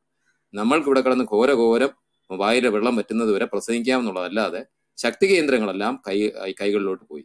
അപ്പൊ ഇൻട്രോസ്പെക്ഷൻ ആണ് best way of dealing things സത്യസന്ധമായിട്ട് പ്രതികരിക്കുക എന്നുള്ളതാണ് എല്ലാവർക്കും ചെയ്യാൻ ബേസിക് ആയിട്ട് വേണ്ട ഒരു ആദ്യത്തെ ക്വാളിറ്റി കൂടുതൽ ഈ സബ്ജക്ട് കൂടുതൽ പറയുന്നത് I am condemning again this atrocity ഇങ്ങനത്തെ സെലക്റ്റീവ് ആയിട്ടുള്ള ഔട്ട്ബേസ്റ്റ് സെലക്റ്റീവ് ആയിട്ടുള്ള ടാർഗറ്റിംഗ് ഇങ്ങനെയുള്ള കാര്യങ്ങൾ അനലൈസ് ചെയ്യുക എക്സാം ചെയ്യുക സത്യസന്ധമായിട്ട് എല്ലാവരും. പിന്നെ വാലിഡേറ്റ് ചെയ്യുക പ്രെഡിക്റ്റ് ചെയ്യുക. I am predicting something here കേരളത്തിൽ ഈ പോക്ക് പോവുകയാണെന്നുണ്ടെങ്കിൽ പത്ത് കൊല്ലമൊന്നും എന്റെ ഒരു ഞാൻ പലപ്പോഴും പലയിടത്തും തുറന്നു പറഞ്ഞിട്ടുള്ളതാണ്. പത്ത് കൊല്ലമൊന്നും വേണ്ട. അതിന് ചുരുങ്ങിയ ഇതിൽ തന്നെ നമുക്ക് പല കാര്യങ്ങളും കാണാൻ പറ്റും. ഒരു സൈഡിലോട്ട് മാത്രം നോക്കിയിരിക്കുന്ന ആൾക്കാർ എല്ലാ സൈഡുകളിലേക്കും നോക്കണം. സത്യസന്ധമായിട്ട് പ്രതികരിക്കണം. ആത്മാർത്ഥമായിട്ടുള്ള ആഗ്രഹമാണ്. ആരെയും ഇപ്പോഴും പേഴ്സണലായിട്ട് ടാർഗറ്റ് ചെയ്യാനോ പിന്നെ അറ്റാക്ക് ചെയ്യാനോ സോഷ്യൽ മീഡിയയിലൂടെ ഇവിടെ വന്ന് ഇത് ചില കാര്യങ്ങൾ പ്രതികരിക്കാതെ ഇരിക്കുന്നത് തന്നെ ഈ ലാർജർ ഒരു ഒരു കോൺഫ്ലിക്റ്റ് നമ്മുടെ ഫ്രണ്ടിൽ നിൽക്കുന്നത് കൊണ്ടാണ്. മ്യൂച്വൽ റെസ്പെക്റ്റ് ആണ് നമുക്ക് പരസ്പരം വേണ്ടത്. അത് അങ്ങോട്ടും ഇങ്ങോട്ടും തെറ്റുകുറ്റങ്ങൾ അംഗീകരിച്ച് മുന്നോട്ട് പോകുന്നതാണ് എല്ലാവർക്കും സത്യസന്ധമായ രീതിയിലുള്ള ഒരു പാത്ത് വേ നമ്മൾ വെട്ടിത്തെളിക്കണമെങ്കിൽ അതിൽ നമ്മൾ ശ്രമിക്കേണ്ടത്. അല്ലെങ്കിൽ ആ പാത്ത് വേ പല സൈഡിലായിട്ട് പോവുകയും ആ നമ്മൾ വെട്ടിത്തെളിച്ച പാത്ത് വേയിൽ പല ആൾക്കാരും അവരുടെ തേരോട്ടം നടത്തുകയും ചെയ്യും. നന്ദി നമസ്കാരം. Thank okay thank you Raju ബദറെ അല്ല ബ്രദറെ ഒരു കാര്യം. ഇടയിൽ ഒരു അനൗൺസ്മെന്റ് അനൗൺസ്മെന്റ് എന്ന് വെച്ച് കഴിഞ്ഞാൽ ഈ ബാക്ക് ചാനലിലൂടെ മുഹമ്മദ് ഷാൻ എന്ന് പറയുന്ന ഒരുത്തം വന്നുകൊണ്ട് ഭീഷണിപ്പെടുത്താൻ നോക്കുന്നുണ്ട്. എനിക്കെതിരെ കേസ് കൊടുക്കും. വർഗീയ പരത്തുന്നതിന് എനിക്കെതിരെ കേസ് കൊടുക്കും. നിന്നെ അഴി എണ്ണിച്ചിരിക്കും നിന്റെ എല്ലാ വർഗീയ ക്ലബ്ബ് പ്രസംഗങ്ങളും ക്ലബ് ഹൗസ് പ്രസംഗങ്ങളും ഞങ്ങളുടെ കയ്യിലുണ്ട്. നിനക്ക് നീ തന്നെ കുഴി തോണ്ടി നീ കോടതിയിൽ ഒരുപാട് എടുത്ത് കയറാൻ തയ്യാറായിക്കോ ജാമ്യമില്ലാതെ അകത്ത് കിടക്കാനുള്ള വകുപ്പുണ്ട് എന്നൊക്കെ പറഞ്ഞിട്ടാണ്. പിണറായി പിണറായി വിജയനെ സമ്പന്നൻ എന്ന് വിളിച്ചോണ്ട് എനിക്കെതിരെ കേസ് എടുക്കുമെന്ന് പറഞ്ഞിട്ടുണ്ട്. പിണറായി വിജയനെ സമ്പന്നൻ എന്ന് വിളിച്ചോണ്ട്. അവിടെ മുഹമ്മദ് ഷാനെ ഇതുപോലെയുള്ള കുറേ ഭീഷണികളൊക്കെ തുടക്കത്തിൽ കേട്ടിട്ടാണ് ഇവിടെയും വരെ എത്തിയിരിക്കുന്നത്. മനസ്സിലായ? നിങ്ങൾ കോടതി പോവുകയാണെന്നുണ്ടെങ്കിൽ എന്നെ സംബന്ധിച്ച് അത് സന്തോഷമാണ്. കാരണം എന്ന് വെച്ച് കഴിഞ്ഞാൽ ഞാൻ പറഞ്ഞ ഓരോ കാര്യവും കൃത്യവും വസ്തുനിഷ്ഠവുമായിട്ട് തെളിയിക്കാൻ നിങ്ങളുടെ പ്രമാണ ഗ്രന്ഥങ്ങളിൽ നിന്ന് എടുത്ത് തെളിയിക്കാം. നിങ്ങളുടെ നിങ്ങളുടെ വലിയ കാര്യത്തിൽ കൊണ്ടു നടക്കുന്ന മാനവരിൽ മഹോന്നതനൊക്കെ ആരാണെന്ന് കോടതി കോടതിയെ ബോധ്യപ്പെടുത്താൻ. കുറഞ്ഞ പക്ഷെ ചില പത്രങ്ങളിൽ അത് റിപ്പോർട്ട് ചെയ്യാതിരിക്കില്ലല്ലോ. അത്രയും സംഗതികളിൽ അത് പുറത്ത് എത്തിക്കുക റീച്ച് ഇപ്പൊ സംസാരിക്കുന്നതിനേക്കാൾ കൂടുതൽ റീച്ച് കിട്ടും. മനസ്സിലായ? അതുകൊണ്ട് കോടതിയെ അത് എന്നും പറഞ്ഞുകൊണ്ട് പേടിപ്പിച്ച് നിശബ്ദനാക്കാമെന്നും വിചാരിക്കേണ്ട. അങ്ങനെയൊക്കെ ആകുകയാണെങ്കിൽ തുടക്കത്തിൽ തന്നെ ഞാൻ മിണ്ടാതിരിക്കുമായിരുന്നു ആദ്യം എഴുതി തുടങ്ങി ഒരാഴ്ചയ്ക്കുള്ളിൽ തന്നെ ഞാൻ വായ ഉറക്കണ്ട മിണ്ടാതിരുന്നേ പക്ഷെ കൊല്ലം എത്രയായിപ്പോ അപ്പൊ ഈ- ഇതിനേക്കാളും വലുത് കേട്ടിട്ടുണ്ട് കേട്ടോ. അപ്പോൾ അത്തരം ആ ബാക്ക് ചാനൽ ജിഹാദൊക്കെ നിർത്തി കയ്യിൽ വെച്ചോ? എട്ടായി മടക്കി പോക്കറ്റിൽ തന്നെ വെച്ചോ? ശരി ചർച്ച നടക്കട്ടെ. ഞാനത് അവനൊരു ഇതായിട്ട് പറഞ്ഞു അനിൽ ബദറെ അതായത് എന്തെങ്കിലും ഒരു ചർച്ച നടത്തി കഴിഞ്ഞാൽ അപ്പം തന്നെ വന്നിരുന്നിട്ട് ഒന്നെങ്കിൽ തെറി. അല്ലെങ്കിൽ ഗുണ്ടായിസം ഭീഷണി നിങ്ങളെ അത് ചെയ്യും ഇത് ചെയ്യും ഇപ്പോൾ വെട്ടിക്കൊല്ലും ഈ അവിടെ കയറ്റി ഇവിടെ കയറ്റി ഇതവരുടെ ഒരു സ്വഭാവം. ആശയപരമായിട്ട് എന്തെങ്കിലും ഉണ്ടെങ്കിൽ കയറുക എന്റെ ബായി നമ്മുടെ ഒരു കാര്യം ഒരു കാര്യം ആ ആ, സംസാരം. ഗുരു ബ്രദർ ഓ ഗുരു ബ്രദർ പോയോ ഓക്കെ. ഒന്നുമില്ല കണ്ടിന്യൂ ചെയ്തോ. അൽബി ബ്രദറെ അൽബി ബ്രദറെ ഒറ്റ മിനിറ്റ്. ഞാൻ ബാക്ക് ചാനൽ ഒരു മെസ്സേജ് വിട്ടായിരുന്നു കണ്ടായിരുന്നോ? Albi brother. ആൽബി ബ്രദർ ഞാൻ ബാക്ക് ചാനൽ ഒരു മെസ്സേജ് വിട്ടായിരുന്നു. ആൽബി? ഓക്കെ ശരി ശരി. ഓക്കെ ചെയ്തു. കണ്ടിന്യൂ കണ്ടിന്യൂ എനിക്ക് ഇതിനകത്ത് ഒരു കാര്യം മാത്രമേ പറയാനുള്ളൂ. ഈ ഈ ലീഗലായിട്ട് പോകുമെന്ന് പറഞ്ഞു കഴിഞ്ഞാൽ അവർക്ക് തന്നെ ഒരു ഒരു എക്സാമ്പിൾ കൊടുക്കാനുള്ളത് ഈ എയ്റ്റി ട്വന്റി വിഷയത്തിൽ ക്രൈസ്തവർ മിണ്ടാതിരിക്കായിരുന്നു. അവർ ലീഗലായിട്ട് പോയി അവസാനം ഇപ്പോൾ തോറ്റു തുന്നമ്പാടി ഇരിപ്പുണ്ട്. അപ്പം ഇവിടെ ഉള്ള ക്രൈസ്തവരെ വെറുതെ ചൊറിയരുത്. ഞങ്ങൾക്കും ആ രീതിയിൽ നമുക്ക് ലീഗൽ നിങ്ങൾ ലീഗൽ കളിക്കുവാണെങ്കിൽ നമുക്ക് ലീഗൽ ചെയ്യാൻ പറ്റും. പറ്റാതിരിക്കാനൊന്നുമില്ല. എല്ലാ ഇവിടെ നിയമം എല്ലാവർക്കും ഒരുപോലാണ്. അപ്പോൾ ലീഗൽ ജിഹാദ് വെച്ച് പേടിപ്പിക്കരുത്. തിരിച്ച് അതേ രീതിയിൽ തന്നെ അവരുടെ നേതാക്കന്മാർക്ക് കിട്ടും എന്നുള്ള കാര്യത്തിൽ നിങ്ങൾ ഓർക്കുക. അപ്പം ഇവിടെ നിയമം ഒരാൾക്ക് മാത്രമല്ല. എന്തായാലും ഇപ്പം ഇപ്പം ഇവിടെ ഭരിക്കുന്നത് ഇവിടെ ജിഹാദികളല്ല ഇവിടെ ഭരിക്കുന്നത് ഇവിടെ ഭരിക്കുന്നത് ഇന്ത്യയിൽ ജനാധിപത്യ രീതിയിൽ ഭരി ഭരിക്കുന്ന ഒരു ഒരു ഭരണഘടനയും അതിനുള്ള സർക്കാർ ഉള്ള ഉള്ളിടത്തോളം കാലം ആ ഭീഷണി ചെയ്യുകയാണെങ്കിൽ തിരിച്ചതുപോലെ ഇപ്പം അനിൽ ബ്രദറിന് കേസ് കൊടുക്കുവാണെങ്കിൽ ഞങ്ങൾക്കൊരു നൂറ് കേസ് തിരിച്ചതുപോലെ തരാൻ പറ്റും. അപ്പോൾ നിങ്ങളത് മനസ്സിലാക്കുക. ഈ പറഞ്ഞതിന്റെ പേര് വെച്ച് വേണേൽ ഞങ്ങൾക്ക് രണ്ട് കേസ് തരാൻ പറ്റും. അപ്പം അങ്ങനെ പോവുകയാണെങ്കിൽ ഇവിടെ കേസുകളുടെ വലിയൊരു നിര തന്നെ കാണും. അപ്പൊ അങ്ങനെ ഈ എന്ത് കാര്യം വെച്ച് നിങ്ങൾക്ക് എങ്ങനെ ഭീഷണിപ്പെടുത്തി? ഇപ്പം ഹാരിസ് മദനി പലർക്കും എതിരെ കേസ് കൊടുത്തെന്ന് കേട്ടു. അവസാനം ഹാരിസ് മദനി തന്നെ കേസ് ഇട്ടിട്ട് പോയി. അപ്പൊ ആ ഗതി വരരുത്. അപ്പൊ അതുകൊണ്ട് ഈ ഇവിടെ പ്രതികരിക്കുമ്പം അഭിപ്രായ സ്വാതന്ത്ര്യമാണ് ഇവിടെ ഉള്ളത്. അഭിപ്രായ സ്വാതന്ത്ര്യത്തിൽ നിന്നുകൊണ്ട് ഞങ്ങളുടെ ഒരു സഹോദരനെ നിങ്ങൾ വെട്ടിക്കൊല്ലാൻ ശ്രമിച്ചപ്പം അല്ലെങ്കിൽ ഉപദ്രവിക്കാൻ ശ്രമിച്ചപ്പം അതിനെ പ്രതികരിക്കുന്നവരെ കേസ് കൊടുത്ത് ഭീഷണിപ്പെടുത്തുന്ന പറഞ്ഞാൽ അത് കയ്യിൽ മടക്കി പോക്കറ്റ് വെച്ചാൽ മതി. തൽക്കാലം അത് ഇങ്ങോട്ട് എടുക്കണ്ട. ആഹ് ഇങ്ങനൊക്കെ ഞങ്ങളെ കൊണ്ട് പറയിക്ക പറയിക്കുന്നത് തന്നെ മോശമാണ്. കാരണം ഞങ്ങൾക്ക് ഇങ്ങനൊന്നും പറയുന്ന ആൾക്കാരല്ല. പക്ഷെ ആ ഒരു ഭീഷണിയുടെ കാര്യങ്ങളൊക്കെ ഞങ്ങൾക്ക് ഇപ്പം അനിൽ ബ്രദറിനെതിരെ എന്തെങ്കിലും കൊടുത്തു കഴിഞ്ഞാൽ ഇവിടെ അനിൽ ബ്രദറിനെയൊക്കെ ഫോളോ ചെയ്യുന്ന നൂറുകണക്കിന് ആയിരക്കണക്കിന് ലക്ഷക്കണക്കിന് യുവാക്കന്മാരുണ്ട്. ഞങ്ങൾക്കും നിങ്ങളുടെ കൂട്ട് ഫണ്ട് റേസ് ചെയ്യാനായിട്ട് വലിയ പാടൊന്നുമില്ല. ഞങ്ങളുടെയൊക്കെ ഞങ്ങൾക്കും ഞങ്ങളും ഞങ്ങളുടെയൊക്കെ സഭകളും ഇടവകളും ഒക്കെ ഒരു കേട രീതിയിൽ തന്നെ ഫോളോ ചെയ്യുന്ന രീതികളാണ്. ഞങ്ങൾക്കൊരു ഫണ്ട് റേസ് ചെയ്യണമെങ്കിലോ ഞങ്ങളുടെ ആശയങ്ങൾ പ്രചരിപ്പിക്കണം. ഇപ്പം മുഖ്യധാര മാധ്യമങ്ങൾ ഞങ്ങൾക്കെതിരെ നിന്നിട്ടും ഇവിടെ എല്ലാ വിഷയങ്ങളും ഞങ്ങൾ കൺവേ ചെയ്യുന്നുണ്ട്. ഞങ്ങൾക്ക് വാട്സപ്പ് മാത്രം മതി അല്ലെങ്കിൽ ഫേസ്ബുക്ക് മാത്രം മതി. അത് ചെയ്യാനായിട്ടുള്ള കാര്യങ്ങൾ ഉള്ളത് കൊണ്ടാണ് നമ്മളിവിടെ ചെയ്യുന്നത്. പിന്നെ ഞങ്ങൾ ഈ ഈ വെറും തറ ലെവലിലോട്ട് ഞങ്ങളെ കൊണ്ടുവരരുത്. ഞങ്ങൾക്ക് അതിനോട് താല്പര്യമില്ല. ഞങ്ങൾ മറ്റു കാര്യങ്ങളും ഒക്കെയാണ് നമുക്ക് ചെയ്യാനായിട്ടുള്ള ക്വാളിറ്റി കുറച്ചും കൂടെ നല്ല കാര്യങ്ങൾ ചെയ്യാൻ. അതുകൊണ്ട് അനിൽ ബ്രദറിനെ അങ്ങനെ ആരെങ്കിലും ഭീഷണിപ്പെടുത്തുന്നുണ്ടെങ്കിൽ ഞങ്ങൾ ഇത് പ്രതീക്ഷിച്ച് തന്നെയാണ് ഇരിക്കുന്നത്. അതുകൊണ്ട് ഞങ്ങൾക്ക് തിരിച്ച് അതുപോലെ നിങ്ങൾക്ക് തരാനുള്ള സമ്മാനങ്ങൾ ഞങ്ങളുടെ കയ്യിൽ ഉണ്ടെന്നുള്ള കാര്യം നിങ്ങൾ ഓർത്തിരിക്കുക. അതുകൊണ്ട് ലീഗൽ എന്നുള്ള സംഭവം കയ്യിൽ വെച്ചിരിക്കുക. മറ്റേ അടുത്ത ആൾക്ക് പോവാം. Thank you. അനിൽ ബ്രദറെ ഞാൻ ബാക്ക് ചാനൽ മെസ്സേജ് വിട്ട് ശ്രദ്ധിക്കുക. അടുത്തത് നമ്മുടെ പ്രദീപ് ബ്രദറാണ് കേട്ടോ. പ്രദീപ് ബ്രദർ സംസാരിക്കും. ആ ഹാ ഓക്കെ. ഞാൻ അൽബ്രദർ ബ്രദർ സംസാരിച്ചത് അവസാനമൊക്കെയാണ് കേട്ടത്. ഞാൻ എഴുന്നേറ്റ് വന്നതേ ഉള്ളൂ. ഇവിടെ ആ, ഏഴുമണി ആയതേ ഉള്ളൂ. ഇത് ഇന്നലത്തെ ഈ സംഭവം ഇത് ഇനിയും ആവർത്തിക്കാനാണ് സാധ്യത. ഇതെന്തെന്ന് പറഞ്ഞാൽ ഇസ്ലാം പൊളിറ്റിക്കൽ ആണെന്ന് മനസ്സിലാക്കാത്തതാണ് നമ്മുടെ ഈ പ്രശ്നമേ. ഇസ്ലാം ഒരു മതമാണെന്നുള്ള രീതിയിൽ നമ്മൾ അതിനെ കൈകാര്യം ചെയ്യുന്ന അതിനെ ആ രീതി മാത്രം കൈകാര്യം ചെയ്യുന്നിടത്തുനിന്ന് മാറി. ഇസ്ലാമിനെ ഒരു പൊളിറ്റിക്കലായിട്ട് തന്നെ കണ്ട് ഇസ്ലാം പൊളിറ്റിക്കലാണെന്ന് മനസ്സിലാക്കി നമ്മൾ അതിനെ കൈകാര്യം ചെയ്യാൻ തുടങ്ങേണ്ടിയിരിക്കുന്നു അല്ലെങ്കിൽ അത് താമസിച്ചിരിക്കുന്നു. കാരണം ഇവരെങ്ങനെയാണ് ഇതിനെ ഇപ്പൊ ഇത് ഈ പറയുന്ന വാർത്ത ഞാൻ ഇന്നലത്തെ ചാനലുകളിലൊക്കെ ഒന്ന് നോക്കി. ഈ പ്രധാന വാർത്തകളൊക്കെ അതിന്റെ ബിറ്റ്സ് ഒക്കെ നോക്കി ക്ലിപ്പുകൾ അങ്ങനെയൊന്നും ഞാൻ കണ്ടില്ല. ഇനി ഏതെങ്കിലും ചാനൽ വന്നോന്ന് ഞാൻ ഞാൻ ഞാൻ ഇന്നലെ വർക്കിങ്ങിലായിരുന്നു. അത് കഴിഞ്ഞിട്ട് ഈ ഫേസ്ബുക്ക് പോസ്റ്റുകൾ നമ്മൾ ഇടുന്ന ഫേസ്ബുക്ക് പോസ്റ്റുകൾ അല്ലാതെ ഏതെങ്കിലും ഒരിടത്തൊന്നും ഇതൊന്നും വന്നതായിട്ട് ഞാൻ കാണുന്നില്ല. അപ്പൊ ഇത് പൊളി ഇസ്ലാം പൊളി ഇപ്പൊ ഏതെങ്കിലും ഒരു സംഘീയ ഒരു ഒരു എന്താ ആർ എസ് എസ്സുകാരൻ ആക്രമിക്കുക. ഇങ്ങനെ ഇങ്ങനെ ഒരു ഇതായിരുന്നെങ്കിൽ എല്ലായിടത്തും വന്നേനെ. ഒരു രണ്ട് വീട്ടുകാർ തമ്മിൽ അടി ഉണ്ടാക്കുകയായിരുന്നെങ്കിൽ അല്ലെ ഇതിപ്പോ ഒരു ബസ് തടഞ്ഞു നിർത്തി ഒരു കുടുംബത്തെ ആക്രമിക്കാൻ ശ്രമിച്ച് കൊലപ്പെടുത്താൻ ശ്രമിച്ച് മുസ്ലിങ്ങളെ നിങ്ങളുടെ കാര്യം പറയുമ്പോൾ അതൊരു ഒരു സ്ഥലത്തും ഇപ്പൊ വാർത്തയാവുന്നില്ല. അതിന്റെ കാരണം ഇവർ പൊളിറ്റിക്കൽ ആയതുകൊണ്ട് ഇവർ പൊളിറ്റിക്കൽ ഒരു ശക്തിയായിട്ട് വളർന്നു വരുന്നതുകൊണ്ടാണ്. അല്ലെങ്കിൽ മാധ്യമങ്ങൾക്ക് ഇവരെ ഭയപ്പെടുത്തുന്നതുകൊണ്ട് ഇവരെ ആൾബലവും കൊണ്ട് ഭയപ്പെടുത്തുന്നു. അതുകൊണ്ട് നമ്മൾ ഇപ്പൊ ഈ ഇപ്പൊ ഇന്നലെ വരെ ഇന്നലെ വരെ ഞാനിപ്പോ ഒരു ഫേസ്ബുക്ക് പോസ്റ്റ് ഇടുമ്പോൾ ഞാൻ ഒരിക്കലും മുസ്ലിങ്ങളെന്ന് അഡ്രസ് ചെയ്യാറില്ല ഞാൻ എപ്പോഴും സുഡാപ്പികളെന്നോ അല്ലെങ്കിൽ ആ രീതിയിൽ ഒരു ഇസ്ലാമിക് തീവ്രവാദികളെന്നോ ഒക്കെ ആയിരുന്നു. കാരണം മുസ്ലിങ്ങളെല്ലാം ഇതിനകത്ത് ഉൾപ്പെടുന്നില്ല എന്ന് നമ്മൾ അങ്ങ് മനസ്സുകൊണ്ട് പറയുക. എന്ന് അന്ന് അങ്ങ് അസ്യൂം ചെയ്തുകൊണ്ട് അല്ലെങ്കിൽ അവരെ അങ്ങനെ അധികം വേദനിപ്പിക്കണ്ട എന്ന് പറയും പക്ഷെ ഇന്നലെ ഞാൻ പോസ്റ്റ് ഇട്ടപ്പോഴത്തേക്ക് ഞാൻ മുസ്ലിങ്ങളെന്ന് തന്നെ പറഞ്ഞ് പോസ്റ്റ് ഇടും. കാരണം ഇന്നലെ രണ്ട് സംഭവങ്ങളാണ് ഉണ്ടായത്. ഒന്ന് തൊടുപുഴയിലും ഒന്ന് പാകിസ്ഥാനിലും. പാകിസ്ഥാനിൽ അവർ ചുട്ടുകൊന്നു കൊന്നു. മുഹമ്മദിന്റെ ഏതാണ്ട് പോസ്റ്റർ വലിച്ചു കീറിയെന്നും പറഞ്ഞു. ഇവിടെ ചുട്ടുകൊല്ലാൻ സമ്മതിച്ച് പറ്റിയില്ല. യാത്രക്കാരുണ്ടായിരുന്നു.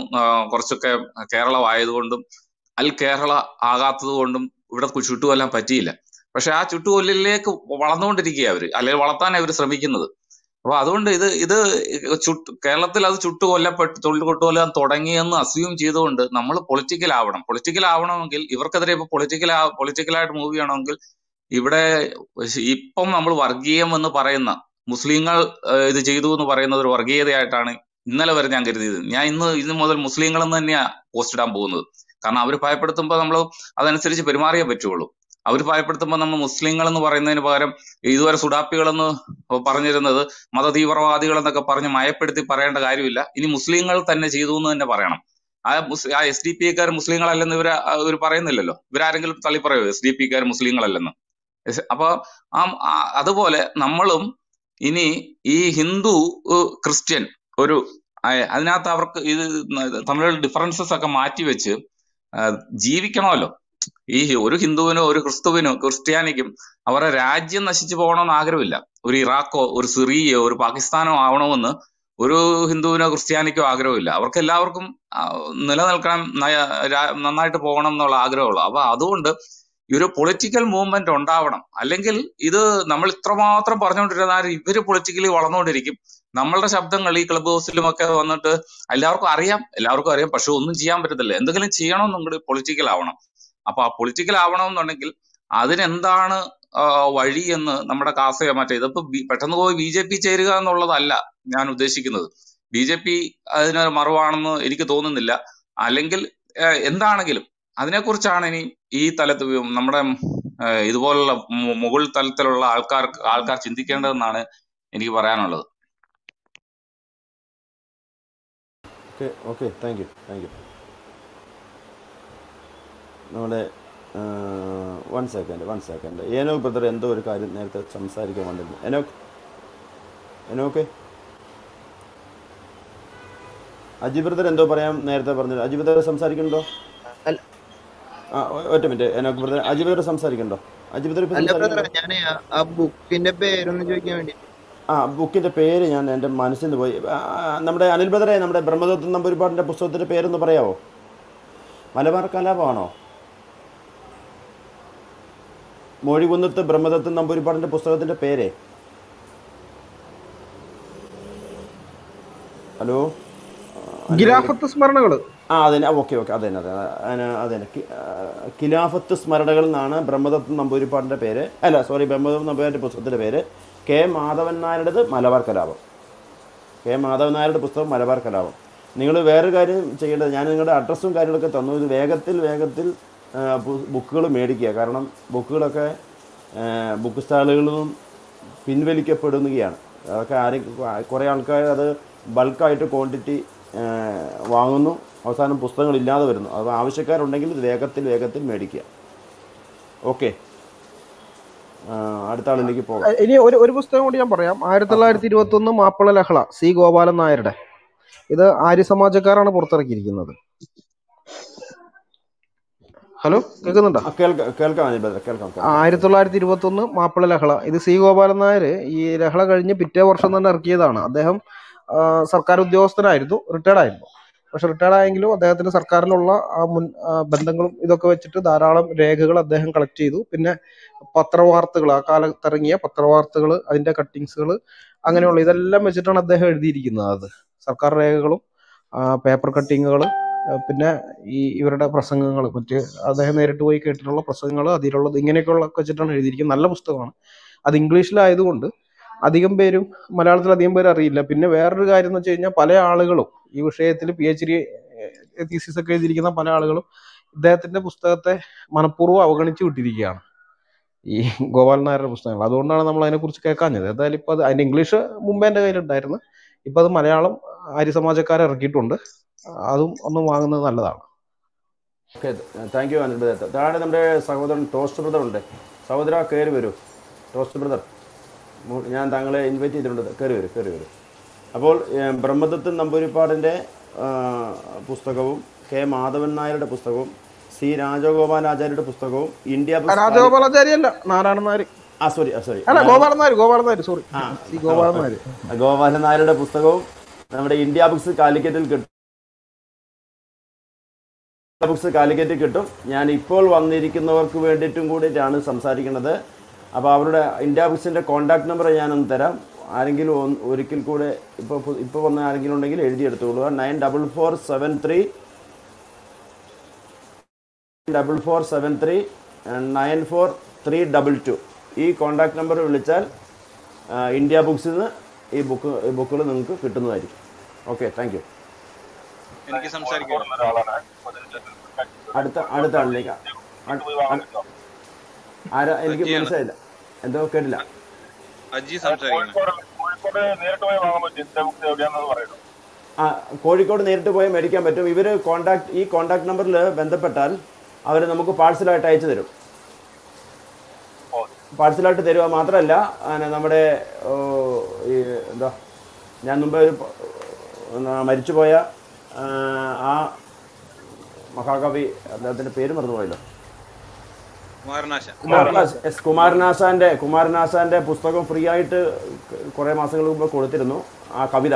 അതും കിട്ടാൻ സാധ്യതയുണ്ട്. നിങ്ങൾ എല്ലാവരും ഇത് മേടിക്കണം മേടിച്ച് വായിക്കണം. ചരിത്രം എന്താണെന്ന് പഠിക്കണം. ഓക്കെ താങ്ക് യൂട്യൂബിൽ കവിതയായിട്ട് തന്നെ ചൊല്ലിയിട്ടുണ്ട് കേൾക്കാം. അതെ അതെ ഞാൻ നമ്പർ കോണ്ടാക്ട് നമ്പർ ഒരിക്കൽ കൂടെ പറയാം. നിങ്ങൾ ശ്രദ്ധിച്ച് കേട്ടുകൊള്ളുക. Nine double four seven three തൊണ്ണൂറ്റി നാല് നാൽപ്പത്തി ഏഴ് മൂന്ന്.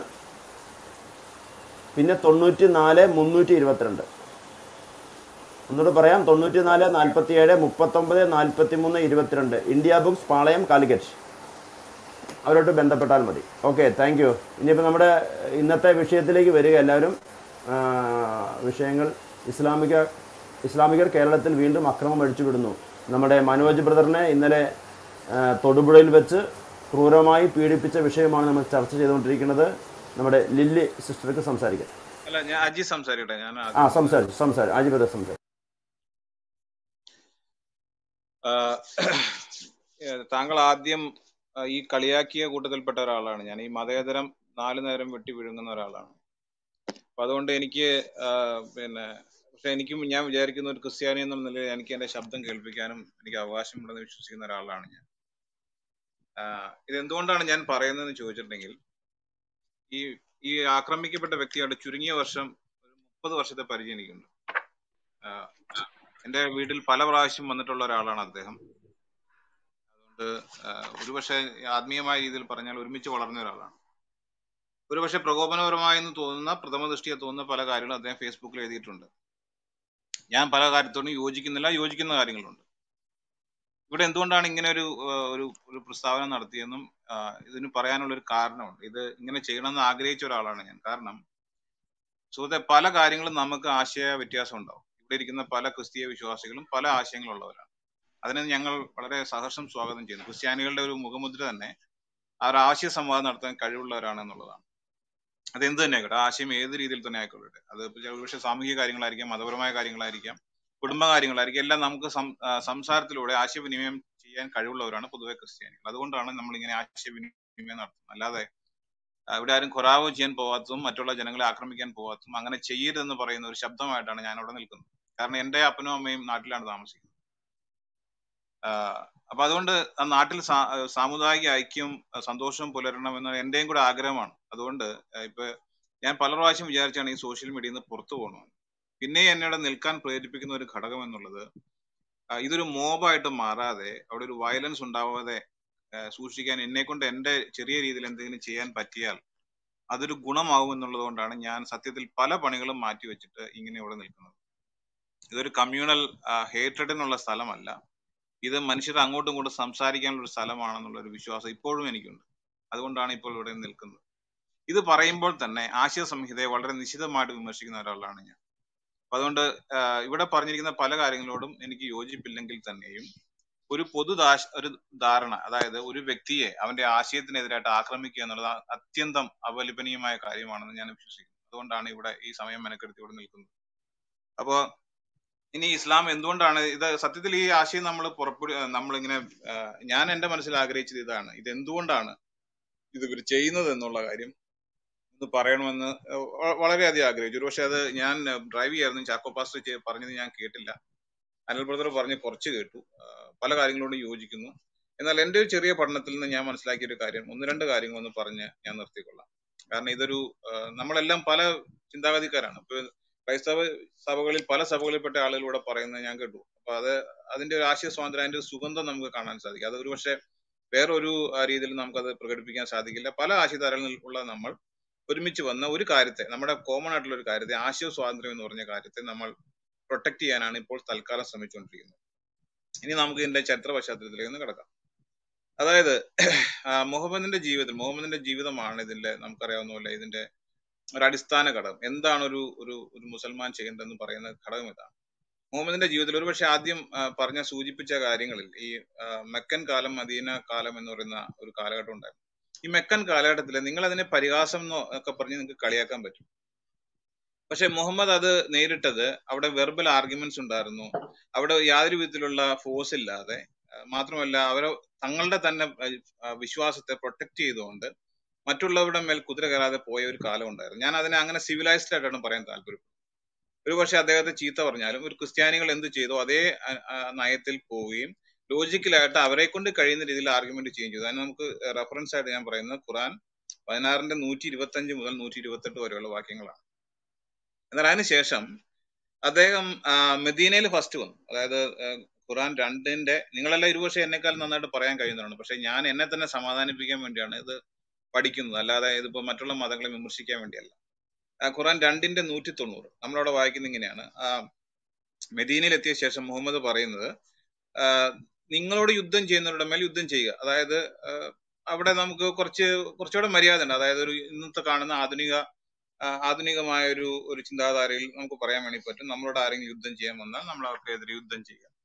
അത് ഇന്നത്തെ ഒരു പരിഷ്കൃത സമൂഹത്തിലാണെങ്കിൽ പോലും പലരും പറയുന്ന കാര്യമാണ്. ഒരു രണ്ട് കണ്ണത്ത് അടിച്ചാൽ പിന്നെ എന്ത് ചെയ്യാം? തിരിച്ചടിക്കാന്ന് മാത്രമേ ഉള്ളൂ എന്ന് പറയുന്ന ഒരു ഒരു മാനസിക ഭാവം എന്നാൽ അതിന്റെ ശേഷം അത് അവിടെ തീരുവാണെങ്കിൽ സത്യത്തിൽ കുഴപ്പമില്ലായിരുന്നു. എന്നാൽ ഇസ്ലാം അവിടെ തീരുന്നില്ല.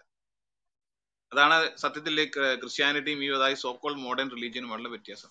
ക്രിസ്ത്യാനിറ്റി ഒന്നാമത്തെ സ്റ്റേജിൽ നിൽക്കുമ്പോൾ ഞാൻ ആദ്യം പറഞ്ഞ മെക്കൻ സ്റ്റേജിൽ നിൽക്കുമ്പോൾ ഡിഫൻസീവ് ഫൈറ്റിംഗ് എന്ന് പറയുന്നത് ഇന്ന് കാണുന്ന സാമാന്യ ആധുനിക മതങ്ങൾ നിൽക്കുമ്പോൾ ഈ ഇസ്ലാം ഒരു ഒരു പടി കൂടെ കടന്നു. ഒന്നല്ല ഞാൻ ഇനി അടുത്ത് പറയാൻ പോണാണ് അതിലും ഭയങ്കര. അപ്പൊ അടുത്ത സ്റ്റേജിൽ നമ്മൾ കാണുന്നത് അവരോട് പൂർണമായിട്ട് ആക്രമിക്കുക. അതായത് ഖുറാൻ രണ്ടിന്റെ നൂറ്റി തൊണ്ണൂറ്റി ഒന്ന്. ഇതിന് നിങ്ങൾക്ക് ആർക്കെങ്കിലും തീർച്ചയായിട്ടും ഇത് തെറ്റാണെങ്കിൽ റെഫ്യൂട്ട് ചെയ്യാവുന്നതാണ്. മുകളിലേക്ക് കടന്നു വന്നോ അല്ലെങ്കിലോ. ഞാൻ എന്റെ കയ്യിൽ English ഖുറാനുള്ളത് kill them where you find them and turn them out of turn them out from where they have turn you out ഇത് ഖുറാൻ രണ്ടിന് നൂറ്റി തൊണ്ണൂറ്റി ഒന്നാണ് ഞാൻ വായിച്ചത്. ഇത് കൂടാതെ പിന്നെ നമ്മൾ കാണുന്നത് ഖുറാൻ ഒമ്പതിന്റെ അഞ്ച്. ഒമ്പതിന്റെ അഞ്ചിൽ അൺകണ്ടീഷണൽ ആയിട്ടുള്ള ഫൈറ്റ് ആണ്. ഒരു കണ്ടീഷനും വേണ്ട. എവിടെ വെച്ച് കണ്ടാലും ആക്രമിക്കാം. നിങ്ങൾക്ക് തീർച്ചയായിട്ടും അതിനെതിരെ പ്രതിരോധിക്കാവുന്നതാണ് നിങ്ങളുടെ ആശയങ്ങൾ കൊണ്ടുവരാവുന്നതാണ്. ഞാനിപ്പോൾ ഞാനിപ്പോ എന്നെ ആരോ നിർബന്ധിച്ച് മോഡാക്കി. ഞാൻ ഇത് ഒരു പൊതുവെ ഇങ്ങനെ ചില അല്പം റബൽ ചിന്താഗതി ആയതുകൊണ്ട് മോഡാവാൻ താല്പര്യമില്ലാത്ത ഒരാളാണ്. ആ പച്ചക്കുത്ത് അവിടെ ഉണ്ടെന്നുള്ളൂ. നിങ്ങൾക്ക് നിങ്ങൾ പറഞ്ഞ കാര്യം ശരിയാണെങ്കിൽ ഞാൻ അംഗീകരിക്കാം. അതിന് യാതൊരു ബുദ്ധിമുട്ടുമില്ല. ആഹ് മാത്രമല്ല അടുത്തത് ഈ ക്രിസ്ത്യാനികളെ സംബന്ധിച്ച് ഏറ്റവും പ്രധാനപ്പെട്ട കാര്യം ഖുറാൻ ഒമ്പതിന്റെ ഇരുപത്തി ഒമ്പത് അനുസരിച്ച് ക്രിസ്ത്യാനികളെ സ്പെഷ്യൽ ആയിട്ട് ഒരു പ്രൊവിഷൻ ഉണ്ട്. അവർ ക്രിസ്ത്യാനികളെ സ്പെഷ്യൽ ആയിട്ട് തെരഞ്ഞു ആക്രമിക്കുക എന്നാണ് പറയുന്നത്. ഇതാണ് ഇതിന്റെ ഒരു ചരിത്രപരമായ ഖുറാനിന്റെ ഒരു ഞാനൊരു ക്രിസ്ത്യാനി എന്നുള്ള നിലയിൽ മനസ്സിലാക്കുന്ന കാര്യം. അപ്പൊ അതുകൊണ്ടാണ് ഇത് പറയേണ്ടി വരുന്നത്. അല്ലാതെ ഇപ്പൊ ഇവിടെ ഇവിടെ ഒരു ഒരു റൂമിട്ട് മറ്റു നിങ്ങളെ തിരിച്ചാക്രമിക്കാൻ ക്രിസ്ത്യാനികൾ പോവുകയാണെന്നൊന്നും ഞാൻ വിചാരിക്കുന്നില്ല. അങ്ങനെ ഒരു പക്ഷേ എനിക്ക് തോന്നുന്നത് ഏറ്റവും നന്നായിട്ട് സമ്മപ്പ് ചെയ്ത് ബ്രദർ ഇപ്പൊ ഇവിടെ ഇല്ല. അദ്ദേഹം അദ്ദേഹം പറഞ്ഞൊരു കാര്യം ഇതാണ്. ക്രിസ്ത്യാനി എന്നുള്ള നിലയിൽ ഞങ്ങൾ തീർച്ചയായിട്ടും തിരിച്ച് ആക്രമിക്കില്ല പക്ഷേ ഒരു പൗരൻ എന്നുള്ള നിലയിൽ ഒരു ഇന്ത്യൻ പൗരൻ എന്നുള്ള നിലയിൽ ആക്രമിക്കപ്പെട്ട ആ ആ മനുഷ്യന് എന്റെ ഒരു സുഹൃത്താണ് അദ്ദേഹം. അദ്ദേഹത്തിന് അദ്ദേഹത്തിന്റെ കാര്യങ്ങൾ ലീഗലായിട്ട് പറയാനും എല്ലാം സ്വാതന്ത്ര്യമുണ്ട്. ഫേസ്ബുക്ക് ചെയ്തൊരു പോസ്റ്റിനാണെങ്കിൽ അദ്ദേഹത്തിനെതിരെ ഫൈൻ ചുമത്താം. കഴുത്തു വെട്ടാൻ നിർവാഹമല്ല സുഹൃത്ത്. അത് ഇന്ത്യൻ ഇന്ത്യൻ ഭരണഘടനയ്ക്ക് എതിരാണ് അതുകൊണ്ട് ഇതുപോലെ ഈ വംശവെറികളെയും അതുപോലുള്ള ആക്ഷേപങ്ങളെയും ഞാൻ ഞാൻ അവലംബിക്കുന്നതോടൊപ്പം തന്നെ കേരളത്തിൽ സൗഹാർദ്ദവും സന്തോഷവും ഉണ്ടാവണമെന്നാണ് എന്റെ എല്ലാം താല്പര്യം. അതുകൊണ്ടാണ് സത്യത്തിൽ ഞാൻ പല പ്രാവശ്യം ആലോചിച്ചാണ് ഈ ക്ലബ് ഹൗസിൽ നിന്ന് വിട്ടുപോകുന്നത്. ഇവിടെ നിൽക്കുന്ന ഒരു മിതവാദികളുടെ ശബ്ദമായിട്ടാണ് എന്ന് പറയുമ്പോൾ തന്നെ ഈ പറയുന്ന തീവ്ര തീവ്ര രീതിയിൽ പറയുന്ന ആളുകളെയും ഞാൻ അംഗീകരിക്കുന്നു. കാരണം അത് അവർക്ക് വളരെ വർഷങ്ങൾ ഈ പറയുന്ന പോലെ ഫേസ്ബുക്കിലും സോഷ്യൽ മീഡിയയിലും അവഹേളിക്കപ്പെട്ടവരുടെ ശബ്ദമാണ് അത് അതും കാണാതെ പോകരുത്. ഇത് എന്റെ പേഴ്സണൽ ആയിട്ട് എന്റെ ശബ്ദമാണ്. നിങ്ങൾക്ക് ഇതിനെ അടിച്ചമർത്താം നിങ്ങൾക്ക് ഇല്ലായ്മ ചെയ്യാം. പക്ഷേ അങ്ങനെ സംഭവിച്ചാൽ സംഭവിക്കാൻ പോകുന്ന കാര്യം കേരള മനസാക്ഷി പിന്നെ നമുക്ക് ദുഃഖിക്കേണ്ടി വരും. അതുകൊണ്ട് പല കാര്യങ്ങൾ പറയാനുണ്ട്. ഒത്തിരി പേര് ലൈനിൽ കൊണ്ട് എനിക്ക് വേണമെങ്കിൽ ഒരു പത്ത് പതിനഞ്ച് പേര് ഹാൻഡ് റൈസ് ചെയ്തിട്ടുണ്ട്. അവരെ നമുക്ക് അക്കോമഡേറ്റ് ചെയ്യാവുന്നതാണ്. ഇതിനെപ്പറ്റി ആർക്കെങ്കിലും പറയാനില്ലെങ്കിൽ ഞാൻ മോഡ് ചെയ്യാം. Okay thank you brother thank you നമ്മുടെ അടുത്തത് കീലേരി കീലേരി കീലേരി സംസാരിച്ച ലില്ലി സിസ്റ്റർ ലില്ലി സിസ്റ്റർ സംസാരിക്കും. താങ്ക് യു ബ്രദർ അതായത് ഫസ്റ്റ് ഓഫ് ഓൾ ഞാൻ കണ്ടം ചെയ്യുന്നു. അതായത് എനിക്കിത് എനിക്കിത് മനസ്സിലാവുന്നില്ല. എന്താണ് ഇപ്പൊ ഞാൻ ഇത്ര നാൾ ജീവിച്ച് വളർന്ന ഈ നാട്ടിൽ ഇങ്ങനെ ഒരു change of the social fabric അതാണ് എന്നെ ഡിസ്റ്റർബ് ചെയ്യണം. ഈ ഒരു ഇൻസിഡന്റ് എന്നതിനേക്കാളും പിന്നെ ഇൻസിഡന്റ് ഒരുപാട് പേര് വന്ന ഒരാൾ ആക്രമിക്കുക അങ്ങനെയൊന്നും എനിക്ക് ചിന്തിക്കാൻ പറ്റുന്നില്ല. അപ്പൊ എനിക്ക് പറയാനുള്ളത് നമ്മൾ സ്പീക്കപ്പ് ചെയ്യണം. അപ്പോ സ്പീക്കപ്പ് ചെയ്യണം എന്ന് പറയുമ്പോൾ ഇപ്പൊ ഈ പറഞ്ഞ പോലെ ഒരു ഇതൊരു പൊളിറ്റിക്കൽ ഐഡിയോളജിയാണ് അപ്പൊ അതിനൊരു പൊളിറ്റിക്കൽ പ്രഷർ ഗ്രൂപ്പ്സ് ആയിട്ടെങ്കിലും ഒന്ന് ഒന്ന് നമ്മൾ ഓർഗനൈസ് ചെയ്തില്ലെങ്കിൽ ഇതുപോലെ എല്ലാവരുടെ ഉള്ളിലും ഉണ്ട് എല്ലാവർക്കും അറിയാം പക്ഷെ ഒന്നും ചെയ്യാൻ പറ്റില്ല എന്നുള്ള അവസ്ഥ വരും. പിന്നെ അതുപോലെ ഒരു ബുള്ളിയിങ് മെന്റാലിറ്റി ആണെങ്കിൽ അക്രമം ഒരിക്കലും പാടില്ല ഞാൻ അതല്ല പറയുന്നത് പക്ഷെ ആ രീതിയിൽ തന്നെ അവർക്കെതിരെ സ്റ്റാൻഡ് ചെയ്താലേ അവർക്ക് ആ ലാംഗ്വേജ് മനസ്സിലാവുള്ളൂ. അപ്പോ ഇറ്റ്സ് നോട്ട് വയലൻസ് പക്ഷെ എന്താ പറയാ ഇതിനോട് അതിന്റെ രീതിയിൽ തന്നെ സ്ട്രോങ് ആയിട്ട് പ്രതികരിക്കണം. ഈ ചെയ്തവരോട് ആ ചെയ്ത മനോഭാവം ഉള്ളവരോട് അല്ലാതെ എല്ലാവരോടും എന്നല്ല.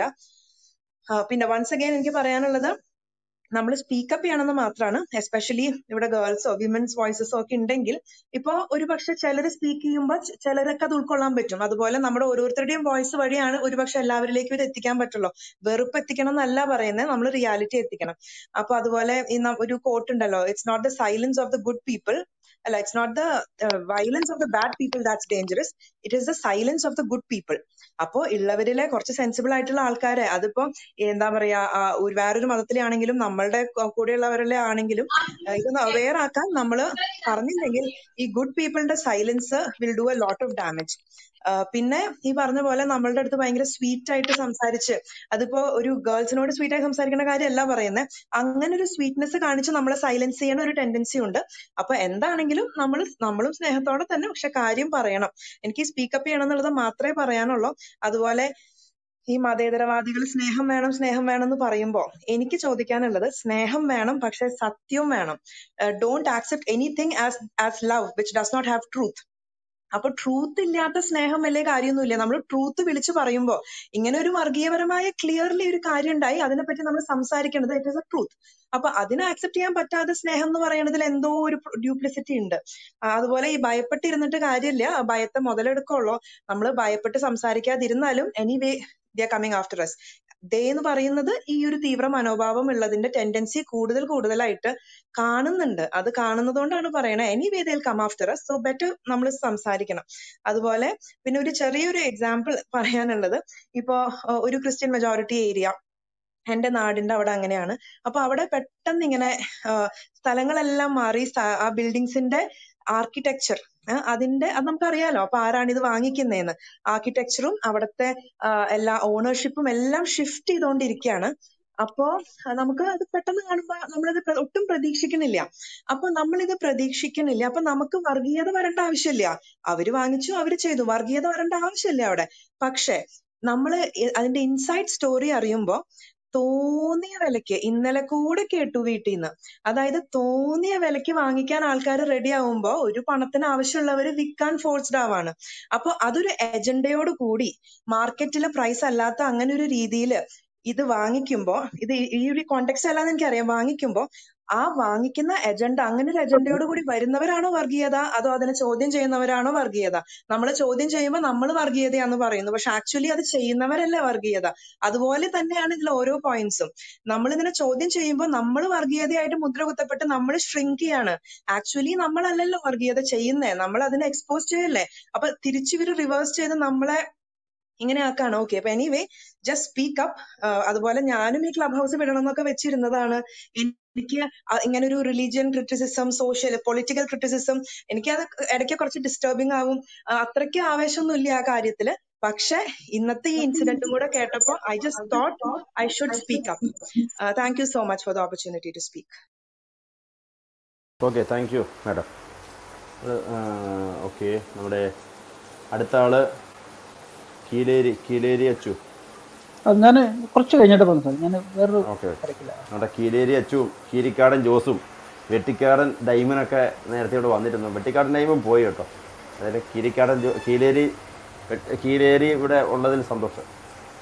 ഓക്കെ നമ്മുടെ Benjamin Netanyahu Benjamin Netanyahu Israel മുൻ പ്രധാനമന്ത്രി. ആൾ നമസ്കാരം. സംസാരിച്ചോ മാത്രം സംസാരിച്ചോ? നമ്മുടെ മക്രോണിന്റെ ഫോട്ടോ ആണല്ലോ ബെഞ്ചമിൻ. ബെഞ്ചമിൻ നെതന്യാഹുവിന്റെ പേരും മക്രോണിന്റെ ഫോട്ടോയും. അപ്പൊ തിരിഞ്ഞ് അറിയാമല്ലോ കാര്യം എന്താവുമെന്ന് ഓക്കെ മനസ്സിലായി മനസ്സിലായി. പറഞ്ഞു പറഞ്ഞു എന്തെങ്കിലും പറയാണ്ട് പറഞ്ഞു.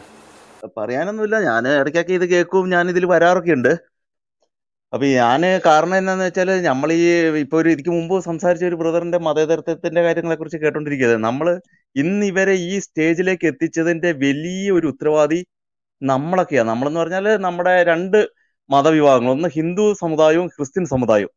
കാരണം അവർ മതേതരത്വത്തിന്റെയും കപട മതവിശ്വാസത്തിന്റെയും പുറകെ പോയപ്പം ഇവർ ഉള്ളാലെ പണി തുടങ്ങി. അതായത് ത- പണിയായിരുന്നു ഇവർ. ഇങ്ങനെ മണ്ണെടുത്തോണ്ടേയിരുന്നു ഉള്ളിൽ ഉള്ളിൽ ഉള്ളിൽ ഉള്ളിൽ അവരിങ്ങനെ എടുത്തെടുത്ത് എടുത്ത് എടുത്ത് ഇപ്പൊ വലിയ പൊത്തായി നിൽക്കുന്നോടെല്ലാം ചവിട്ടി താഴുക അപ്പൊ ഇനി ആ അതിനെല്ലാം കാരണം ശരിക്കും നമ്മളാ. നമ്മളെന്ന് പറഞ്ഞാൽ നമ്മൾ ഇവരുടെ ഈ ഈ മണ്ണെടുക്കുന്ന കാര്യം നമ്മൾ അറിഞ്ഞില്ലായിരുന്നു. അറിഞ്ഞാലും നമ്മളത് വിഷയമില്ലാത്ത സാധിക്കും അത് സാരമില്ല ശരിയാ ചെറുതല്ലേ അങ്ങനെ ഇങ്ങനെ. പക്ഷെ ഇതിന്റെ ഈ ഈ ഈ ഇവരുടെ ഈ വളർച്ചയ്ക്ക് ശരിക്കും വഴിമരുന്നിട്ട ഈ രണ്ട് കമ്മ്യൂണിറ്റി അവരെ ആ പറഞ്ഞിട്ട് കാര്യമില്ല. കാരണം ഞാൻ നേരത്തെ ഒരു ക്ലബ് ഹൗസിൽ ഞാൻ പറഞ്ഞായിരുന്നു ആയിരത്തി തൊള്ളായിരത്തി ഇരുപത്തി ഒന്നിൽ ഒരു വംശകത്തിയ ഒരു വിവാഹത്തെ നടത്തിയിട്ടും ആ വംശകത്തി അല്ല അത് സ്വാതന്ത്ര്യ പ്രസ്ഥാനമാണെന്ന് പറയുന്ന ഒരു പ്രസ്ഥാനമാണ് മാർക്സിസ്റ്റ് പാർട്ടി. ആ മാർക്സിസ്റ്റ് പാർട്ടിയുടെ കൂടെയാണ് ഇന്ന് ഹിന്ദു കമ്മ്യൂണിറ്റിയിലെ എൺപത് ശതമാനവും. അപ്പൊ ഒന്ന് ആലോചിച്ച് നോക്കിയേ ആർക്കാണ് ആരാ ആർക്കാണ് ഇവർ പിന്നെ വഴിമരുന്ന് അല്ലെങ്കിൽ വഴി തെളിച്ചു കൊടുത്തുകൊണ്ടിരിക്കുന്നത് ഈ സത്യം തിരിച്ചറിയാത്ത ഒരു കമ്മ്യൂണിറ്റി അതായത് ഒരു വംശഹത്യയ്ക്ക് നടത്തിയിട്ടും അത് വംശഹത്യയല്ല അത് സ്വാതന്ത്ര്യ പ്രസ്ഥാനമാണെന്ന് പ്രസ് നിൽക്കുന്ന ഒരു ഒരു പാർട്ടി പ്രസ്ഥാനത്തിന്റെ കൂടെ എൺപത് ശതമാനം ഒരു ഒരു കമ്മ്യൂണിറ്റി ഒന്നടങ്കം നിൽക്കുമ്പോൾ ഇത് ഇവർ ഇത് ഇവർക്ക് ശരിക്കും ചാൻസ് അല്ലേ? ഇത് തിരിച്ചറിയാതെ അല്ലെങ്കിൽ ഇത് തിരിച്ചറിയാതെ ഈ നിൽ നിൽക്കുമ്പോൾ ഈ നമ്മൾ ഓരോരുത്തരും ഇവരുടെ ഈ പ്രവർത്തനങ്ങൾ മനസ്സിലാക്കാതെ ഇപ്പോഴും മതേതരം അല്ലെങ്കിൽ എന്തെങ്കിലും ആട്ടെ അല്ലെങ്കിൽ അങ്ങനെ ആട്ടെ എന്ന് വെച്ചേക്കുമ്പോൾ അത് വലിയൊരു വിഴുങ്ങി ഇതൊരു തിരമാല വന്ന് അടിഞ്ഞ് ഒരു സുനാമി പോലെ വിഴുങ്ങി പോകുന്ന ഒരു ഒരു കാലഘട്ട കാര്യത്തിലേക്ക് അടുക്കുന്നത്. അത് തിരിച്ചറിയാത്ത നമ്മളെ രണ്ട് കമ്മ്യൂണിറ്റിനെയും പറഞ്ഞാൽ മതി. അത് തിരിച്ചറിയാതെ ഇന്നും മതേതര പാർട്ടികളിൽ വിശ്വസിക്കുന്നവരെ കുറ്റപ്പെടുത്തിയാൽ മതി. അത്രേ എനിക്ക് പറയാനുള്ളൂ. ഓക്കെ താങ്ക് യു ബദ്രെ മുകളിലുള്ള ഇന്നലത്തെ നമ്മുടെ മനോജ് ബദ്രനെ ആക്രമിച്ചതിന്റെ ലിങ്ക് മുകളിൽ ഇട്ടിട്ടുണ്ട്. നിങ്ങൾക്കത് ഏതെങ്കിലും സമയത്ത് കാണാവുന്നതാണ്. Okay thank you. ഷിജു ബദ്രെ എന്താ പറഞ്ഞാൽ കേട്ടില്ല. എനിക്കൊരു രണ്ട് മിനിറ്റ് സംസാരിക്കാൻ സംസാരിക്കും. സംസാരിക്കും ഞാൻ ഈ മനോജിനെ ആക്രമിച്ച കേസ് സംബന്ധിച്ച് ചില കാര്യങ്ങൾ പറയാൻ വേണ്ടിയിട്ടാണ് ഈ മനോജിനെ ആക്രമിച്ചത് ആര ആര് തന്നെ ആയിരുന്നാലും ഇപ്പോൾ കേസ് നടക്കുന്നു പ്രതികൾ പിടിക്കപ്പെടട്ടെ എന്ന് ആഗ്രഹിക്കുന്നു. ഈ ഇദ്ദേഹത്തെ എനിക്ക് വളരെ വ്യക്തിപരമായിട്ട് എന്റെ ചെറുപ്പം മുതൽ അറിയാവുന്ന പക്ഷെ അദ്ദേഹം ഒരു ഫേസ്ബുക്കിൽ ഒരു പോസ്റ്റ് അദ്ദേഹം സ്വന്തമായിട്ട് എഴുതിയുണ്ടാക്കി ക്രിയേറ്റ് ചെയ്ത പോസ്റ്റുകളൊന്നും അതിനകത്ത് അദ്ദേഹത്തിന്റെ ഫേസ്ബുക്കിൽ ഞാൻ കണ്ടിട്ടില്ല. ഇവിടെ കേരളത്തിൽ പത്രമാധ്യമങ്ങളിൽ വന്ന ന്യൂസുകൾ തന്നെ പോസ്റ്റുകളായി പലരും ഇട്ടത്. അതായത് മദ്രസ പീഡനങ്ങളുടെയും പോപ്പുലർ ഫ്രണ്ടിന്റെ അല്ലെങ്കിൽ സോറി എസ് ഡി പി ഐയുടെ രീതികളെ കുറിച്ച് രാഷ്ട്രീയപരമായ പോസ്റ്റുകൾ വന്ന പോസ്റ്റുകൾ അദ്ദേഹം ഷെയർ ചെയ്തിട്ടുണ്ട്.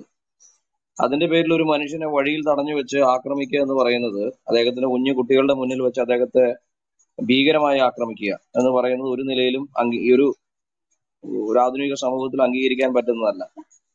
ഇവിടെ മനോജ് വീട്ടിൽ നിന്ന് ഇറങ്ങിയപ്പോൾ തന്നെ ഫോണിൽ കോൾ വരുന്നു. വണ്ണപ്പുറത്ത് എത്തുന്നതിന് മുമ്പ് തന്നെ.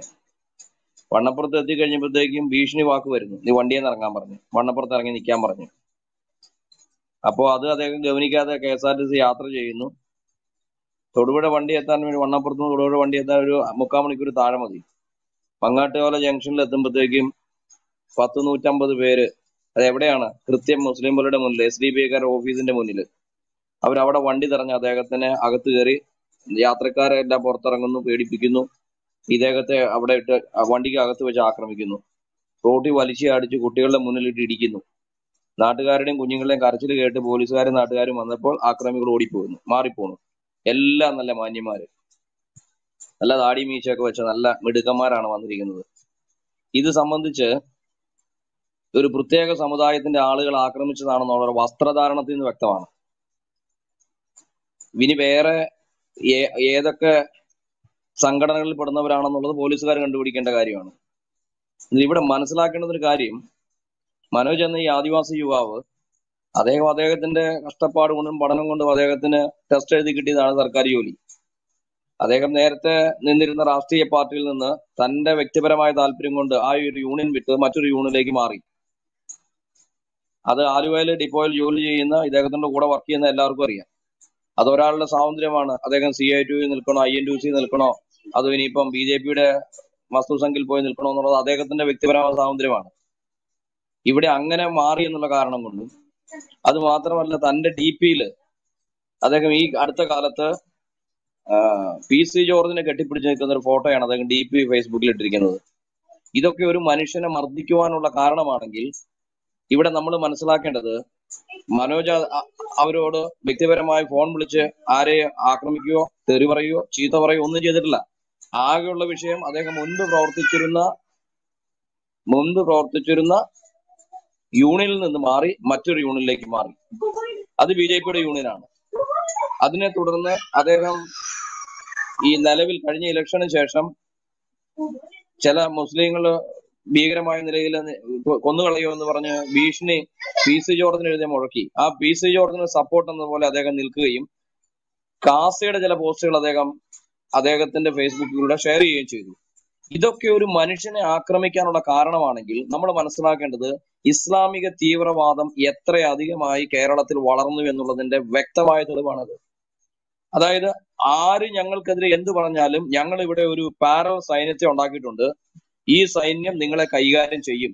ലാസ്റ്റ് കൊച്ചുങ്ങളോട് പറഞ്ഞു കൊച്ചുങ്ങൾ കേട്ട മൊഴിയിൽ കൊച്ചുങ്ങൾ പറഞ്ഞതായിട്ട് ഞാൻ അറിഞ്ഞത് ഞങ്ങളോട് കളിച്ചാൽ ഇനിയും നിന്നെ ബാക്കി വെച്ചേക്കേലടാ എന്ന് പറഞ്ഞിട്ടാണ് ഇവന്മാര് പോയത്. അപ്പം നമ്മൾ മനസ്സിലാക്കേണ്ടത് ഇതൊരു വാണിങ് എന്നുള്ള നിലയിലുള്ള ഒരു ആക്രമണമാണ്. ആർക്കെതിരെയുള്ള വാണിങ് ഇവർ തന്നെ ചാപ്പ കുത്തിയിരിക്കുന്നു. ഏതെങ്കിലും ഒരു വ്യക്തി കേരളത്തിലുള്ള ഒരു വ്യക്തി സി പി എമ്മിലോ കോൺഗ്രസിലോ അല്ലാതെ പ്രവർത്തിക്കുന്നുവെങ്കിൽ അത് ബി ജെ പിക്ക് വേണ്ടി പ്രവർത്തിക്കുന്നുവെങ്കിൽ ബി ജെ പിന്റെ തൊഴിലാളി യൂണിയനുകളിൽ അംഗത്വം എടുക്കുന്നുവെങ്കിൽ അവർ ക്രിസംഗികളാണെന്നും അവരെ ഞങ്ങൾ കൈകാര്യം ചെയ്യുമെന്നും. ഈ അടുത്ത കാലത്ത് ഇവിടെ ക്ലബ് ഹൗസ് ചർച്ചകളിൽ പങ്കെടുക്കുമ്പോൾ ചില പ്രത്യേക റൂമുകളിൽ തുടരെ തുടരെ കേൾക്കുന്ന ഒരു ശബ്ദമുണ്ട്. കേരളത്തിൽ മുസ്ലിങ്ങൾ ഭയങ്കര വർഗീയ കലാപം ഉണ്ടാക്കും. ഇവിടെ വർഗീയ വിദ്വേഷം വളർത്തുന്നുണ്ട്. കേരളത്തിൽ രക്തപ്പുഴ ഒഴുകും. ഞാൻ ക്ലബ്ബുകളുടെ പേര് പറയുന്നില്ല. ആ ക്ലബ്ബുകൾ സ്ഥിരമായി ചർച്ചയിൽ പോയിരുന്ന ആറാടി തെമിർത്ത് അത് കേട്ട് ചിരിക്കുന്ന കുറെ മണ്ടന്മാര് അവരും പേരുകൊണ്ട് ക്രിസ്ത്യാനികളാ. ഇവർ ഈ ന്യൂസ് ഇവർക്ക് അവിടുന്ന് കിട്ടി? നിങ്ങൾ കഴിഞ്ഞ ഒന്ന് രണ്ട് മാസത്തെ കേരളത്തിലെ ചരിത്രം പരിശോധിക്കൂ. എത്രയോ സ്ഥലങ്ങളിലാണ് ഈ ഇസ്ലാമിക തീവ്രവാദികൾ എസ് ഡി പി ഐക്കാരും ഇങ്ങനെയുള്ള ആളുകളും പലരെയും വെട്ടിയും കുത്തിയും പിടിച്ചിരിക്കുന്നു കഴിഞ്ഞ ഒന്നര രണ്ട് മാസത്തിനിടയിൽ മൂന്ന് കേസ് കേരളത്തിൽ സംഭവിച്ചു. അപ്പൊ നമ്മൾ മനസ്സിലാക്കണം ഇത്ര കൃത്യമായിട്ട് ക്രൈസ്തവർ ആക്രമിക്കപ്പെടാൻ പോവുകയാണെന്ന് ക്രിസംഗികൾ ആക്രമിക്കപ്പെടാൻ പോവുകയാണെന്ന് ഇങ്ങനെ ഒരു ന്യൂസ് ക്ലബ് ഹൗസ് ചർച്ചയിലുള്ള ഇരിക്കുന്ന ആളുകൾ ക്രിസ്ത്യൻ നാമധാരികൾ പറയണമെങ്കിൽ ആരോ മൈക്കോൺ ചെയ്യുന്നു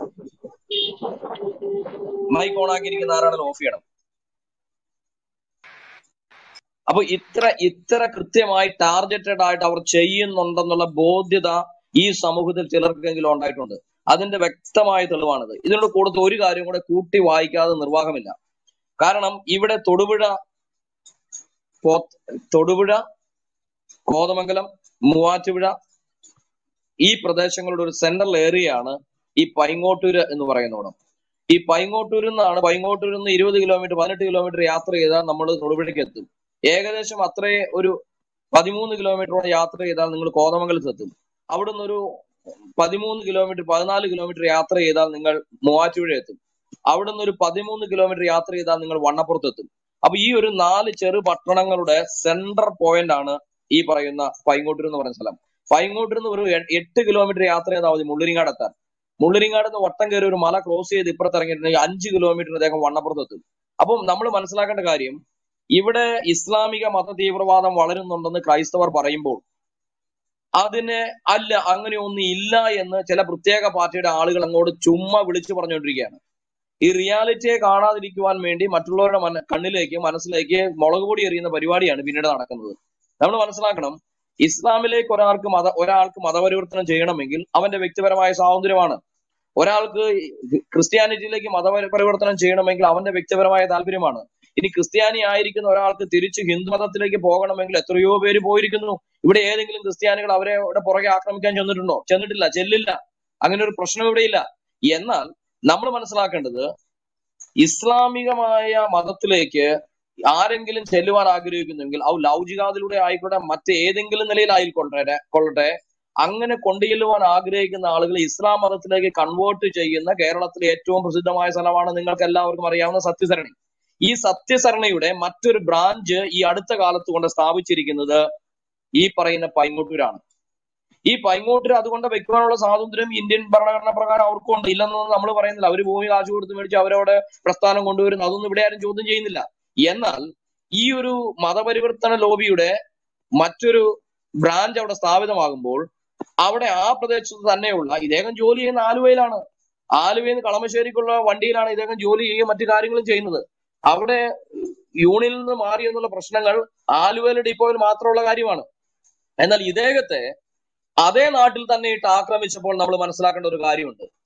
ഈ സത്യസരണി പോലെയുള്ള ഭീകര പ്രസ്ഥാനങ്ങളും മതമാറ്റ ലോബിയുടെ സംഘടനകളും ഓഫീഷ്യൽ വർക്ക് നടത്തുന്ന പ്രദേശത്ത് ഉള്ള ക്രിസ്ത്യാനികൾക്ക് ഒരു താക്കീതാണിത്.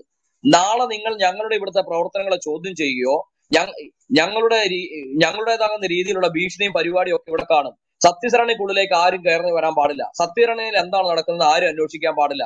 അത്തരമൊരു വളരെ പ്ലാൻഡ് ആയിട്ടുള്ള ഒരു ഒരു ടാർഗറ്റഡ് ആയിട്ടുള്ള ഒരു ഭീകര പ്രവർത്തനമാണ് അവിടെ നടന്നിരിക്കുന്നത്. അതിന്റെ കാരണം ഈ മനോജിനെ ആക്രമിച്ചതിലൂടെ രണ്ട് കാര്യങ്ങൾ അവർ നേടിക്കഴിഞ്ഞു. ഒന്ന് ക്രിസംഗികളെ ഞങ്ങൾ ആക്രമിക്കും. രണ്ട് ക്രിസ്ത്യൻ കൺവേർട്ട് ആണെങ്കിലും ഇവൻ ഹിന്ദു ആയതുകൊണ്ട് ഇവൻ അതിന്റെതാകുന്ന ആനുകൂല്യം. കാരണം ഇവർ മലയറിയ വിഭാഗത്തിൽ നിന്ന് വന്നുകൊണ്ട് സർക്കാരിന്റെ രേഖകളിൽ ഇവർക്ക് അതിന്റെ ആനുകൂല്യങ്ങളുണ്ട്. അത്തരം നില അവർ ക്രിസ്ത്യാനികളാണെങ്കിലും ഉണ്ട് കേരളത്തിൽ. അപ്പൊ ഈ ഒരു അവസ്ഥയിലുള്ള ഒരുവനെ ആക്രമിക്കുന്നതിലൂടെ ഡബിൾ ടാർഗറ്റിംഗ് ആണ് അവർ ചെയ്തിരിക്കുന്നത്. കൺവേർട്ട് ആയാലും ഹിന്ദു ആണോ നീ ആക്രമിക്കപ്പെടും. കൺവേർട്ട് ആയാൽ നീ ക്രിസംഗിയാണോ നിന്നെ ഞങ്ങൾ ആക്രമിച്ചിരിക്കും. കാരണം നീ പ്രവർത്തിക്കുന്നത് നിന്റെ രീതി ഞങ്ങൾക്ക് ശരിയല്ല. എസ് ഡി പി എക്ക് ശരിയല്ല. ഇസ്ലാമിക പ്രസ്ഥാനങ്ങളുടെ മെയിനായ രീതികളോട് ശരിയല്ല. ഞങ്ങൾ ചെയ്യുന്ന രഹസ്യാത്മികമായ കാര്യങ്ങൾ ഞങ്ങളുടെ ഇംഗിതങ്ങൾ അതിനെതിരെ ഒരു ശബ്ദം ഉയർത്തിയാലും അതിനെതിരെ ഒരു പോസ്റ്റ് നീ ഷെയർ ചെയ്താലും നിന്നെ ഞങ്ങൾ ആക്രമിച്ചിരിക്കും. അതിന് ഞങ്ങൾക്ക് ആലുവയും പെരുമ്പാവിനും ആവശ്യമില്ല. ഞങ്ങൾക്ക് അതിന് ഏറ്റവും നല്ല മേഖല ഇന്ന് സത്യസരണയുടെ ഓഫീസ് ഏരിയ വന്നിരിക്കുന്ന സ്ഥലം തന്നെയാണ്. അവിടെയുള്ള അല്ലാത്തവരുടെ മേലുള്ള ഒരു മാനസികമായ ഭീകര അന്തരീക്ഷം വെക്കുക എന്നുള്ളതാണ് ഇവർ ഉദ്ദേശിച്ചിരിക്കുന്നത്. ഈ മനോജിനെ അറിയാത്ത ആരും ഈ പറയുന്ന ഈ പറയുന്ന പോത്താനിക്കാടോ അല്ലെങ്കിൽ ഈ പൈങ്ങോട്ടൂരോ ഈ പറയുന്ന മുണ്ടിരിങ്ങാടോ ഒന്നുമില്ല. ഇദ്ദേഹം ആക്രമിക്കപ്പെടുമ്പോൾ തീർച്ചയായിട്ടും അവന്റെ നാട്ടിൽ ഇസ്ലാമികമായ കുപ്പായമിട്ട് നടക്കുന്ന ആളുകൾക്ക് ലഭിക്കുന്ന ഒരു മാനസികമായ അപ്രഹാരമുണ്ട്. ഞങ്ങൾക്കെതിരെ പ്രതികരിച്ചവനെ ഒരു പോസ്റ്റ് ഇട്ടവനെ ഞങ്ങൾ തല്ലിച്ചതച്ചുവെങ്കിൽ ഞങ്ങളുടെ ഈ പ്രസ്ഥാനത്തിനോ ഞങ്ങളുടെ മതപരിവർത്തന ലോബിക്കെതിരെയോ ഞങ്ങളുടെ ഈ ആക്രമണ സ്വഭാവത്തിനെതിരെയോ മിണ്ടിപ്പോയാൽ നിന്റെയൊക്കെ വീട്ടിൽ കയറി ഞങ്ങൾ തല്ലും ഞങ്ങൾ കൊല്ലും ഞങ്ങൾ അടിക്കും ഞങ്ങൾ എന്തും ചെയ്യുമെന്നുള്ള ഒരു ഭീഷണിയുടെ മെസ്സേജ് ആണ് ഈ പാവം മനോദിനെ മർദ്ദിച്ചതിലൂടെ ഇവർ കൊടുത്തിരിക്കുന്നത്. രണ്ട് തൊടുപുഴയിൽ വളരുന്ന എസ് ഡി പി ഐ തൊടുപുഴയിൽ വളരുന്ന പോപ്പുലർ ഫ്രണ്ട് നമ്മൾ മനസ്സിലാക്കണം ഇവിടെ പെരുമ്പാവൂരാകട്ടെ ആലുവയിലാകട്ടെ ഇവിടെ ഏത് ഭീകരവാദത്തിന്റെ കേസ് വന്നാലും അതിലെല്ലാം പ്രതികളുണ്ട്. പെരുമ്പാവൂരിൽ നിന്നും ആലുവയിൽ നിന്നും ഈരാട്ടുപേട്ടയിൽ നിന്നും ഒക്കെയുള്ള പ്രതികളുണ്ട്. ഏത് മെയിൻ കേസ് എടുത്തോ എൻ ഐ എ അന്വേഷിക്കുന്നത് അതിലെല്ലാം ഇവിടുന്ന് പ്രതികളുണ്ട്. എന്നാൽ നമ്മൾ മനസ്സിലാക്കേണ്ടത് ഈ പ്രതികൾ ഇസ്ലാമിക പശ്ചാത്തലത്തിലുള്ളവർ വളരെ കൂടുതൽ പാർക്കുന്ന പ്രദേശത്ത് നിന്നാണ് നമ്മൾ ധരിക്കുന്നുവെങ്കിൽ നമുക്ക് തെറ്റി. കേരളത്തിൽ ഏറ്റവും വലിയ പോപ്പുലർ ഫ്രണ്ടിന്റെയും എസ് ഡി പി ഐയുടെയും ഭീകരവാദം നടന്നിട്ടുള്ളത് തൊടുപുഴ കേന്ദ്രീകരിച്ചാണ്. നിങ്ങൾ മനസ്സിലാക്കണം ജോസഫ് സാറിന്റെ കൈവെട്ട് കേസിൽ പ്രതികൾ തൊടുപുഴക്കാരുണ്ട്. അതുപോലെ തന്നെ ഇ. ഐ. ജബ്ബാർ മാഷിനെ ആദ്യമായി ആക്രമിക്കുകയും അതായത് കൈ തല്ലി ഒടിക്കുകയും ചെയ്തത് തൊടുപുഴ വെച്ചാണ്. തൊടുപുഴയിൽ അദ്ദേഹത്തിന്റെ പ്രസംഗം കഴിഞ്ഞ് വന്നപ്പോഴാണ്. അതിന്റെ കാരണം നമ്മൾ മനസ്സിലാക്കണം. ഈ ജബ്ബാർ മാഷ് അത്യാവശ്യം കളരിമുറകളൊക്കെ അറിയാവുന്ന ഒരു ആരോഗ്യമുള്ള മനുഷ്യനായതുകൊണ്ട് അദ്ദേഹം തട്ടിത്തടഞ്ഞ് ഇമാരെ തട്ടിയിട്ട് അദ്ദേഹം ഓടി രക്ഷപ്പെട്ടു. എന്നിട്ടും അദ്ദേഹത്തിന്റെ കൈ ഒരു തല്ലി ഒടിച്ചു അപ്പം അത് കൂടാതെ ഇപ്പോൾ നടന്നിരിക്കുന്നത് കഴിയ കഴിഞ്ഞിടെ നമ്മൾ എല്ലാവരും കേട്ട ഒരു ഒരു വോയിസ് റെക്കോർഡുണ്ട് അതായത് പി സി ജോർജിന്റെ പ്രശ്നം കഴിഞ്ഞപ്പോൾ പി സി ജോർജിനെ അവിടെ ഞങ്ങൾ തോൽപ്പിച്ചു എന്ന് പറഞ്ഞ് വെല്ലുവിളി വരികയും നിന്നെ പുറത്തിറങ്ങിയാൽ തല്ലുവെന്നും പറഞ്ഞ ആ വോയിസിന് ശേഷം തൊട്ടുപിറകെ തൊടുപുഴ ബേസ് ചെയ്തിട്ട് നമുക്ക് എങ്ങനെ പ്രവർത്തിക്കണമെന്നും പറഞ്ഞ് എസ് ഡി പി ഐയുടെ പ്രവർത്തകർ പുറത്തുവിട്ട ഒരു വോയിസ് നമുക്ക് ലീക്ക് ചെയ്ത് കിട്ടി. നിങ്ങൾ എത്ര പേര് കേട്ടെന്നറിയില്ല അവർ പറയുന്നത് തൊടുപുഴ നമുക്ക് പിടിച്ചെടുക്കണം. പി. ജെ. ജോസഫിന് പ്രായമായി. ജോസഫ് സാറ് മരിച്ചു കഴിഞ്ഞാൽ അവന്റെ മകനെ ഇനി ഇവിടെ ഇറങ്ങാൻ അനുവദിക്കരുത്. തൊടുപുഴയിൽ പ്രവർത്തിക്കാൻ വേണ്ടി നമ്മൾ പിള്ളേരെ മലബാറിൽ നിന്നോ അല്ലെങ്കിൽ ആലപ്പുഴയിൽ നിന്നോ വേണമെങ്കിൽ ഇറക്കി തരാം ഏത് പിള്ളേരെ എന്ത് കാര്യത്തിന് ഇറക്കി തരാമെന്ന് ഇവർ പറയുന്നത് തൊടുപുഴ എന്താ? ഗുണ്ടായുസം കൊണ്ട് ജയിക്കാമോ? ഇവിടെ വോട്ട് ബാങ്ക് രാഷ്ട്രീയം കൊണ്ട് തൊടുപുഴയിൽ ഒരു സീറ്റ് പിടിച്ചെടുക്കുവാൻ കൈവെട്ട് കേസിലെ പ്രതിക്ക് മുനിസിപ്പൽ തെരഞ്ഞെടുപ്പിൽ സാധിച്ചുവെങ്കിൽ അതിന്റെ അഹങ്കാരമാണ് ഇവർ വീണ്ടും പറയുന്നത്. അപ്പൊ നമ്മൾ മനസ്സിലാക്കേണ്ട കേസ് തൊടുപുഴ എന്ന ഭൂപ്രദേശത്തെ ക്രിസ്ത്യാനികൾ മതേതരവാദികളായി ഹിന്ദുക്കൾ ആ പട്ടണത്തിൽ പുരാതനമായ പട്ടണത്തിൽ ഇവരൊന്നും ഇല്ലാതിരുന്ന കാലത്ത് അവിടെ ജനിച്ചു വളർന്നപ്പെട്ട വളർത്തപ്പെട്ടവരാണ് ഞങ്ങളൊക്കെ. ഞങ്ങളുടെ പൂർവികർ അവിടുത്തുകാരല്ല എന്നാൽ തൊടുപുഴയിലെ മുസ്ലിങ്ങളെ പരിശോധിച്ച് തമിഴ്നാട്ടിൽ നിന്നും കുടിയേറി വന്നവരാണ്. പാട്ടപെറുക്കാനും ഒട്ടക്കച്ചവടത്തിനും വണ്ടി കച്ചവടത്തിനും വേണ്ടിയിട്ട് അന്നേ കാലത്ത് റബ്ബറും ഒട്ടുപാലും മൃഗങ്ങളുടെ കച്ചവടത്തിനും വേണ്ടി വന്ന ആളുകൾ തമ്പടിച്ചവരാണ് തൊടുപുഴയുള്ള മുസ്ലിങ്ങൾ. ഇവർ അവിടെയുള്ള അച്ചായന്മാരുടെ ഹിന്ദുക്കളുടെയും വേലക്കാരും പണിക്കാരുമായി വളർന്നവരാണ്. എന്നാൽ ടൗണിനോട് കൂടെ പട്ടണം വളർന്നപ്പോൾ അതിൽ പട്ടണത്തിൽ ബിസിനസ് പശ്ചാത്തലത്തിൽ ജനിച്ചു വളർത്തപ്പെട്ട ഇവരുടെ പൂർവികർ നല്ല വിദ്യാഭ്യാസവും നല്ല നിലയിലുള്ള സാമുദായികമായ അന്തരീക്ഷവും ക്രൈസ്തവർ ഒരുക്കി കൊടുത്തത് അനുഭവിച്ചു കഴിഞ്ഞിട്ട് ഇന്നിപ്പോ സംഭവിച്ചുകൊണ്ടിരിക്കുന്നത് എന്താണ്? ഈരാട്ടുപേടയിൽ എന്താണ് സംഭവിച്ചത്? അതിന്റെ സെക്കൻഡ് സിറ്റിയാണ് തൊടുപുഴ ഇപ്പൊ വളർന്നു വരുന്നത്. ഒരു മേഖല. ഇവിടെ വർഗീയ സ്റ്റേറ്റ്മെന്റ് അല്ല ഞാൻ പറയുന്നത്. ഒരു പട്ടണം വളരുമ്പോൾ അവിടെ ഹിന്ദുക്കൾക്കും മുസ്ലിങ്ങൾക്കും എല്ലാവർക്കും വളരാം. എന്നാൽ ഞങ്ങൾ ഇങ്ങനെ ചെയ്യും. അതിന് ഞങ്ങൾ ഇവിടെ ആളെ ഇറക്കും. ഇനി ഇവിടെ ജോസഫ് സാറിന് പറ്റില്ല. ഞങ്ങൾ വേറെ കാര്യങ്ങൾ ചെയ്യും എന്നൊക്കെയുള്ള വോയിസ് ലീക്ക് ചെയ്ത് പുറത്തു വരുമ്പോൾ ഇന്ന് തൊടുപുഴയിൽ എന്താണോ സംഭവിച്ചത്? ഇത് നാളേക്കുള്ള മുന്നറിയിപ്പാണ്. മുന്നറിയിപ്പായി നാം മനസ്സിലാക്കണമെന്ന് അവരുദ്ദേശിക്കുന്നു എന്നാണ് ഞാൻ പറയുന്നത്. നമ്മളത് ഇന്നും മനസ്സിലാക്കുന്നില്ല എങ്കിൽ ഈ ഭീഷണിയുടെ ഭാഷ ഈ ആക്രമണത്തിന്റെ ശൈലി ഇതുകൊണ്ട് ഉദ്ദേശിക്കുന്ന കാര്യം ഞങ്ങളെ ആരും ചോദ്യം ചെയ്യരുത്. ഞങ്ങൾ ഞങ്ങൾക്ക് ഇഷ്ടമുള്ളത് ചെയ്യും. ഞങ്ങൾ കോൺഗ്രസിനെ ഹൈജാക്ക് ചെയ്തിരിക്കുന്നു സി പി എമ്മിനെ ഹൈജാക്ക് ചെയ്തിരിക്കുന്നു. ഇന്ന് സി പി എം എന്താ ചെയ്തുകൊണ്ടിരിക്കുന്നത്? സി പി എം ചെയ്തുകൊണ്ടിരിക്കുന്നത് അവർക്ക് മൂക്കറ്റം മുങ്ങിയിട്ട് കണ്ണ് മാത്രമേ കാണത്തുള്ളൂ ഇന്ത്യൻ രാഷ്ട്രീയത്തിൽ. കേരളത്തിലെ ഭരണം കൂടെ നഷ്ടപ്പെട്ടു പോയാൽ സി പി എമ്മിന് ഇവിടെ വോയിസ് ഉണ്ടാകില്ല ഇന്ത്യയിൽ. ഇത് മനസ്സിലാക്കിക്കൊണ്ട് എന്ത് തെണ്ടിത്തരവും എന്ത് ചറ്റത്തരവും എന്ത് തോട്ടിത്തരവും ചെയ്യുന്ന ആളുടെയും ഏത് പ്രസ്ഥാനത്തെയും കൂടത്ത് നിർത്തി നാല് വോട്ടിന് വേണ്ടി എന്ത് കൊള്ളരനായ്മയ്ക്കും കൂട്ടു നിൽക്കാമെന്ന് സഹാക്കൾ അങ്ങ് കരുതുകയാണ്. അവിടെ നമ്മൾ മനസ്സിലാക്കുന്നത് കോൺഗ്രസിന് പൂർണ പിന്തുണയുള്ള കേരള കോൺഗ്രസിന് വലിയ സപ്പോർട്ടുള്ള ചില ഏരിയകളിൽ ചിലരെ തോൽപ്പിക്കുവാൻ ഞങ്ങൾക്ക് ഞങ്ങൾക്ക് മുസ്ലിമിന്റെ വോട്ട് മതി എന്നുള്ള ദാഷ്ട്യമാണെങ്കിൽ തീർച്ചയായും നിങ്ങൾ മനസ്സിലാക്കി മനസ്സിലാക്കിക്കൊള്ളുക ഈ സഹാക്കൾ മനസ്സിലാക്കേണ്ട ചരിത്രമുണ്ട്. ലോക ചരിത്രം നിങ്ങൾ പഠിക്കണം. ഇസ്ലാമുമായിട്ട് എവിടെയെല്ലാം ഇസ്ലാമിക രാഷ്ട്രീയ പാർട്ടികളുമായി ഏതൊക്കെ രാജ്യങ്ങളിൽ നിങ്ങൾ അവിഹിത ബന്ധം പുലർത്തിയിട്ടുണ്ടോ? അവിടെ പൊളിറ്റിക്കൽ ഇസ്ലാം കടന്നു വരുമ്പോൾ അതിനെ രണ്ട് കൈയും കൂട്ടി സ്വീകരിച്ച കമ്മ്യൂണിസ്റ്റ് പ്രസ്ഥാനങ്ങൾ ഉണ്ടായിരുന്ന രാജ്യങ്ങൾ ഇന്ന് ഇസ്ലാമിന്റെ പരിപൂർണമായ നിയന്ത്രണത്തിലാണെന്നുള്ളത് മറന്നു പോകരുത്. ഇത് മലേഷ്യയിലേക്ക് ചെല്ലുക. അവിടെ എന്താണ് സംഭവിച്ചത്? നിങ്ങൾ അതിന്റെ ചരിത്രം ഒന്ന് പഠിക്കുക. നിങ്ങൾ ഇവിടെ തൊട്ടടുത്ത രാജ്യമായ അഫ്ഗാന്റെ ചരിത്രം പഠിക്കുക. ഒരു കാലത്ത് കമ്മ്യൂണിസ്റ്റ് രാജ്യം ഇന്നത്തെ അവസ്ഥ എന്താണ് അവിടെ?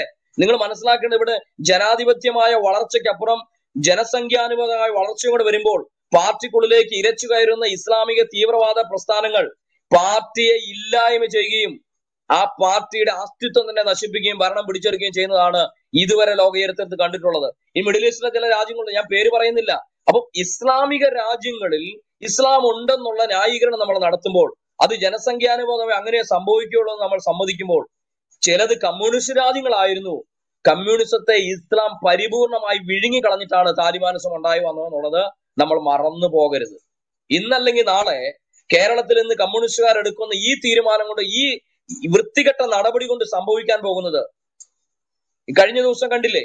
കൈവെട്ട് കേസിലെ പ്രതികളെ എല്ലാം അവരുടെ എല്ലാം ഇത് ഇളവങ്ങ് കൊടുത്തു അവരെല്ലാം പുറത്തിറങ്ങി. വളരെ നല്ല കാര്യമാണിത്. നാളെ കമ്മ്യൂണിസം കേരളത്തിൽ നിന്നല്ല ഇന്ത്യയിൽ പോലും ഉണ്ടാകില്ല നിങ്ങൾ ഇന്ന് ഈ കാണിക്കുന്ന പരിപാടി കൊണ്ട്.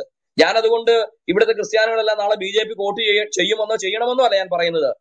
പക്ഷെ വിവേകം എന്ന് പറയുന്നത് ശ്രീ പിണ പിണറായി വിജയൻ ഉണ്ടെങ്കിൽ പണ്ടുണ്ടല്ലോ പണ്ട് ഈ പ്രായമാധിക്യം കൊണ്ട് ഇന്ന് ഒന്നും മിണ്ടാതിരിക്കുന്ന സഹാബ് അച്യുതാനന്ദൻ അദ്ദേഹം എത്ര നിശിതമായിട്ട് ഇസ്ലാമിനെ ഇതിനുള്ളിലേക്ക് കടന്നു കയറ്റത്തെ അദ്ദേഹം ചെറുത്തിരുന്നു. വംശീയതയാണ് വർഗീയതയാണെന്നും പറഞ്ഞ്. അന്നും ഈ പിണറായി വിജയൻ സഖാവ് ചെയ്തുകൊണ്ടിരുന്ന വോട്ട് ബാങ്കിന് വേണ്ടി പിടിക്കുകയായിരുന്നു. ഇന്ന് കമ്മ്യൂണിസ്റ്റ് പാർട്ടിയുടെ ഒഫീഷ്യൽ തലത്തിലുള്ളവർക്ക് വളരെ അപ്പർ ഹാൻഡ് ലഭിച്ചപ്പോൾ സംഭവിച്ച വളരെ മോശമായ ഒരു നിലയാണിത്. ചോദ്യം ചെയ്യുവാൻ ഇന്ന് ഇസ്ലാമിക ഭീകരവാദത്തെ രാഷ്ട്രീയപരമായി ചോദ്യം ചെയ്യുവാൻ കേരളത്തിൽ ഒരു സർക്കാരില്ല. ഒരു ഗവൺമെന്റ് ഇല്ല. ഒരു മനുഷ്യരില്ല. ഇത് എങ്ങോട്ടായി ഈ സംസ്ഥാനത്തെ കൊണ്ടുപോയിക്കൊണ്ടിരിക്കുന്നത്? ഇന്ന് മനോജ് നാളെ ഞാൻ- ഞാനായിരിക്കാം. ഇവിടെ സ്പീക്കേഴ്സ് പാനലിലുള്ള പലരും ആകും നമ്മളത് മനസ്സിലാക്കണം. ഞങ്ങളെ എതിർത്താൽ ഞങ്ങൾ തല്ലും ഞങ്ങൾ കൊല്ലും ഞങ്ങൾ ഇടിക്കും ഞങ്ങൾ ഇല്ലായ്മ ചെയ്യും. ഞങ്ങൾ കൈവെട്ടും. അപ്പം ഈ ക്രിസ്മസ് മാസം ഈ ഡിസംബർ മാസം ഇനിയും നിങ്ങൾ നോക്കിയിരുന്നുകൊള്ളുക ആഗോള യാഗ വ്യാപകമായിട്ട് ഇസ്ലാമിക ടെററിസ്റ്റുകൾ ക്രിസ്ത്യാനികളെ ആക്രമിക്കാൻ തീരുമാനിച്ച വിവരം ഇവിടെ ലീക്ക് ചെയ്ത് ന്യൂസുകൾ കേരളത്തിൽ അടക്കം വന്നിട്ടുണ്ട്. ഇത് നമ്മൾ വിചാരിക്കുന്നത് ഇതങ്ങ് യൂറോപ്പിൽ നടക്കാൻ പോകുന്നതാണ് ഇതങ്ങ് എന്താ പറയുന്നത് ഇതങ്ങ് അമേരിക്ക നടക്കാൻ പോകുന്നതാണ് എന്നൊക്കെ നമ്മൾ വിചാരിച്ച് ഇങ്ങനെ സ്വസ്ഥമായിട്ട് ഇരിക്കുകയാണ്. നിങ്ങളുടെ മൂക്കിന്റെ താഴെയും ഇത് സംഭവിച്ചു കൂടാ എന്നില്ല. നിങ്ങളുടെ മൂക്കിന്റെ താഴെയും ഇത് സംഭവിക്കാം. സംഭവിച്ചെന്ന് വന്നേക്കാം. അപ്പോഴും നമ്മൾ അത് ഒറ്റപ്പെട്ട ഇൻസിഡന്റ് ആയി കണക്കാക്കും. അതിന് രാഷ്ട്രീയമാനം നമ്മൾ കൊടുക്കും. പക്ഷെ ആക്രമിക്കപ്പെടുന്നത് ആര്? എന്തുകൊണ്ടെന്നുള്ള ചോദ്യം വരുമ്പോഴാണ്. മനോജ് ആക്രമിക്കപ്പെട്ടത് എന്തുകൊണ്ടാ? ഒരു ഇന്ത്യൻ പൗരൻ എന്നുള്ള നിലയിൽ അദ്ദേഹത്തിന് തന്റെ യൂണിയൻ മാറാൻ അവകാശമില്ലേ? താൻ വിശ്വസിക്കുന്ന കാര്യങ്ങളെ സപ്പോർട്ട് ചെയ്യുന്ന പോസ്റ്റുകൾ അദ്ദേഹത്തിന് ഫേസ്ബുക്കിൽ പ്രചരിപ്പിക്കാൻ അവകാശമില്ലേ? മനോജ് ഏതെങ്കിലും മുസ്ലിമിനെ തെറി ഏതെങ്കിലും മുസ്ലിമിന് കാശ് കൊടുക്കാനുണ്ടോ? ഏതെങ്കിലും എസ് ഡി പി കാരന്റെ വീട്ടിൽ കയറി തല്ലിയോ? ഏതെങ്കിലും എസ് ഡി പി കാരനെ തട്ടിച്ച് അവന്റെ സ്വത്ത് തട്ടിയെടുത്തോ? ഇല്ലല്ലോ. പിന്നെ എന്താണ് മനോജ് ചെയ്ത തെറ്റ്? മനോജ് ചെയ്ത തെറ്റ് അദ്ദേഹം വിശ്വസിക്കുന്ന കാര്യത്തെക്കുറിച്ച് സപ്പോർട്ടീവായി പോസ്റ്റ് ഷെയർ ചെയ്തു. രണ്ട് അദ്ദേഹത്തിന് തോന്നി കോൺഗ്രസിനോട് ചേർന്നുള്ള തൊഴിലാളി യൂണിയനിൽ നിന്ന് അദ്ദേഹം ഐ എൻ ടി സി വിട്ട് ബി ജെ പിയുടെ തൊഴിലാളി യൂണിയനിലേക്ക് മാറി. ബി ജെ പിയുടെ തൊഴിലാളി യൂണിയനിൽ ചെന്നതിന് ശേഷം തൊഴിലാളി യൂണിയനിലുള്ള മീറ്റിങ്ങുകൾക്കുള്ളിൽ ഇദ്ദേഹം ബി ജെ പിന്നെ സപ്പോർട്ട് ചെയ്ത് സംസാരിച്ചു. ഇതാണ് പ്രശ്നം. അപ്പം ഇവിടെ ഒരു മനുഷ്യൻ ഐ എൻ ടി സിയിൽ നിൽക്കണോ?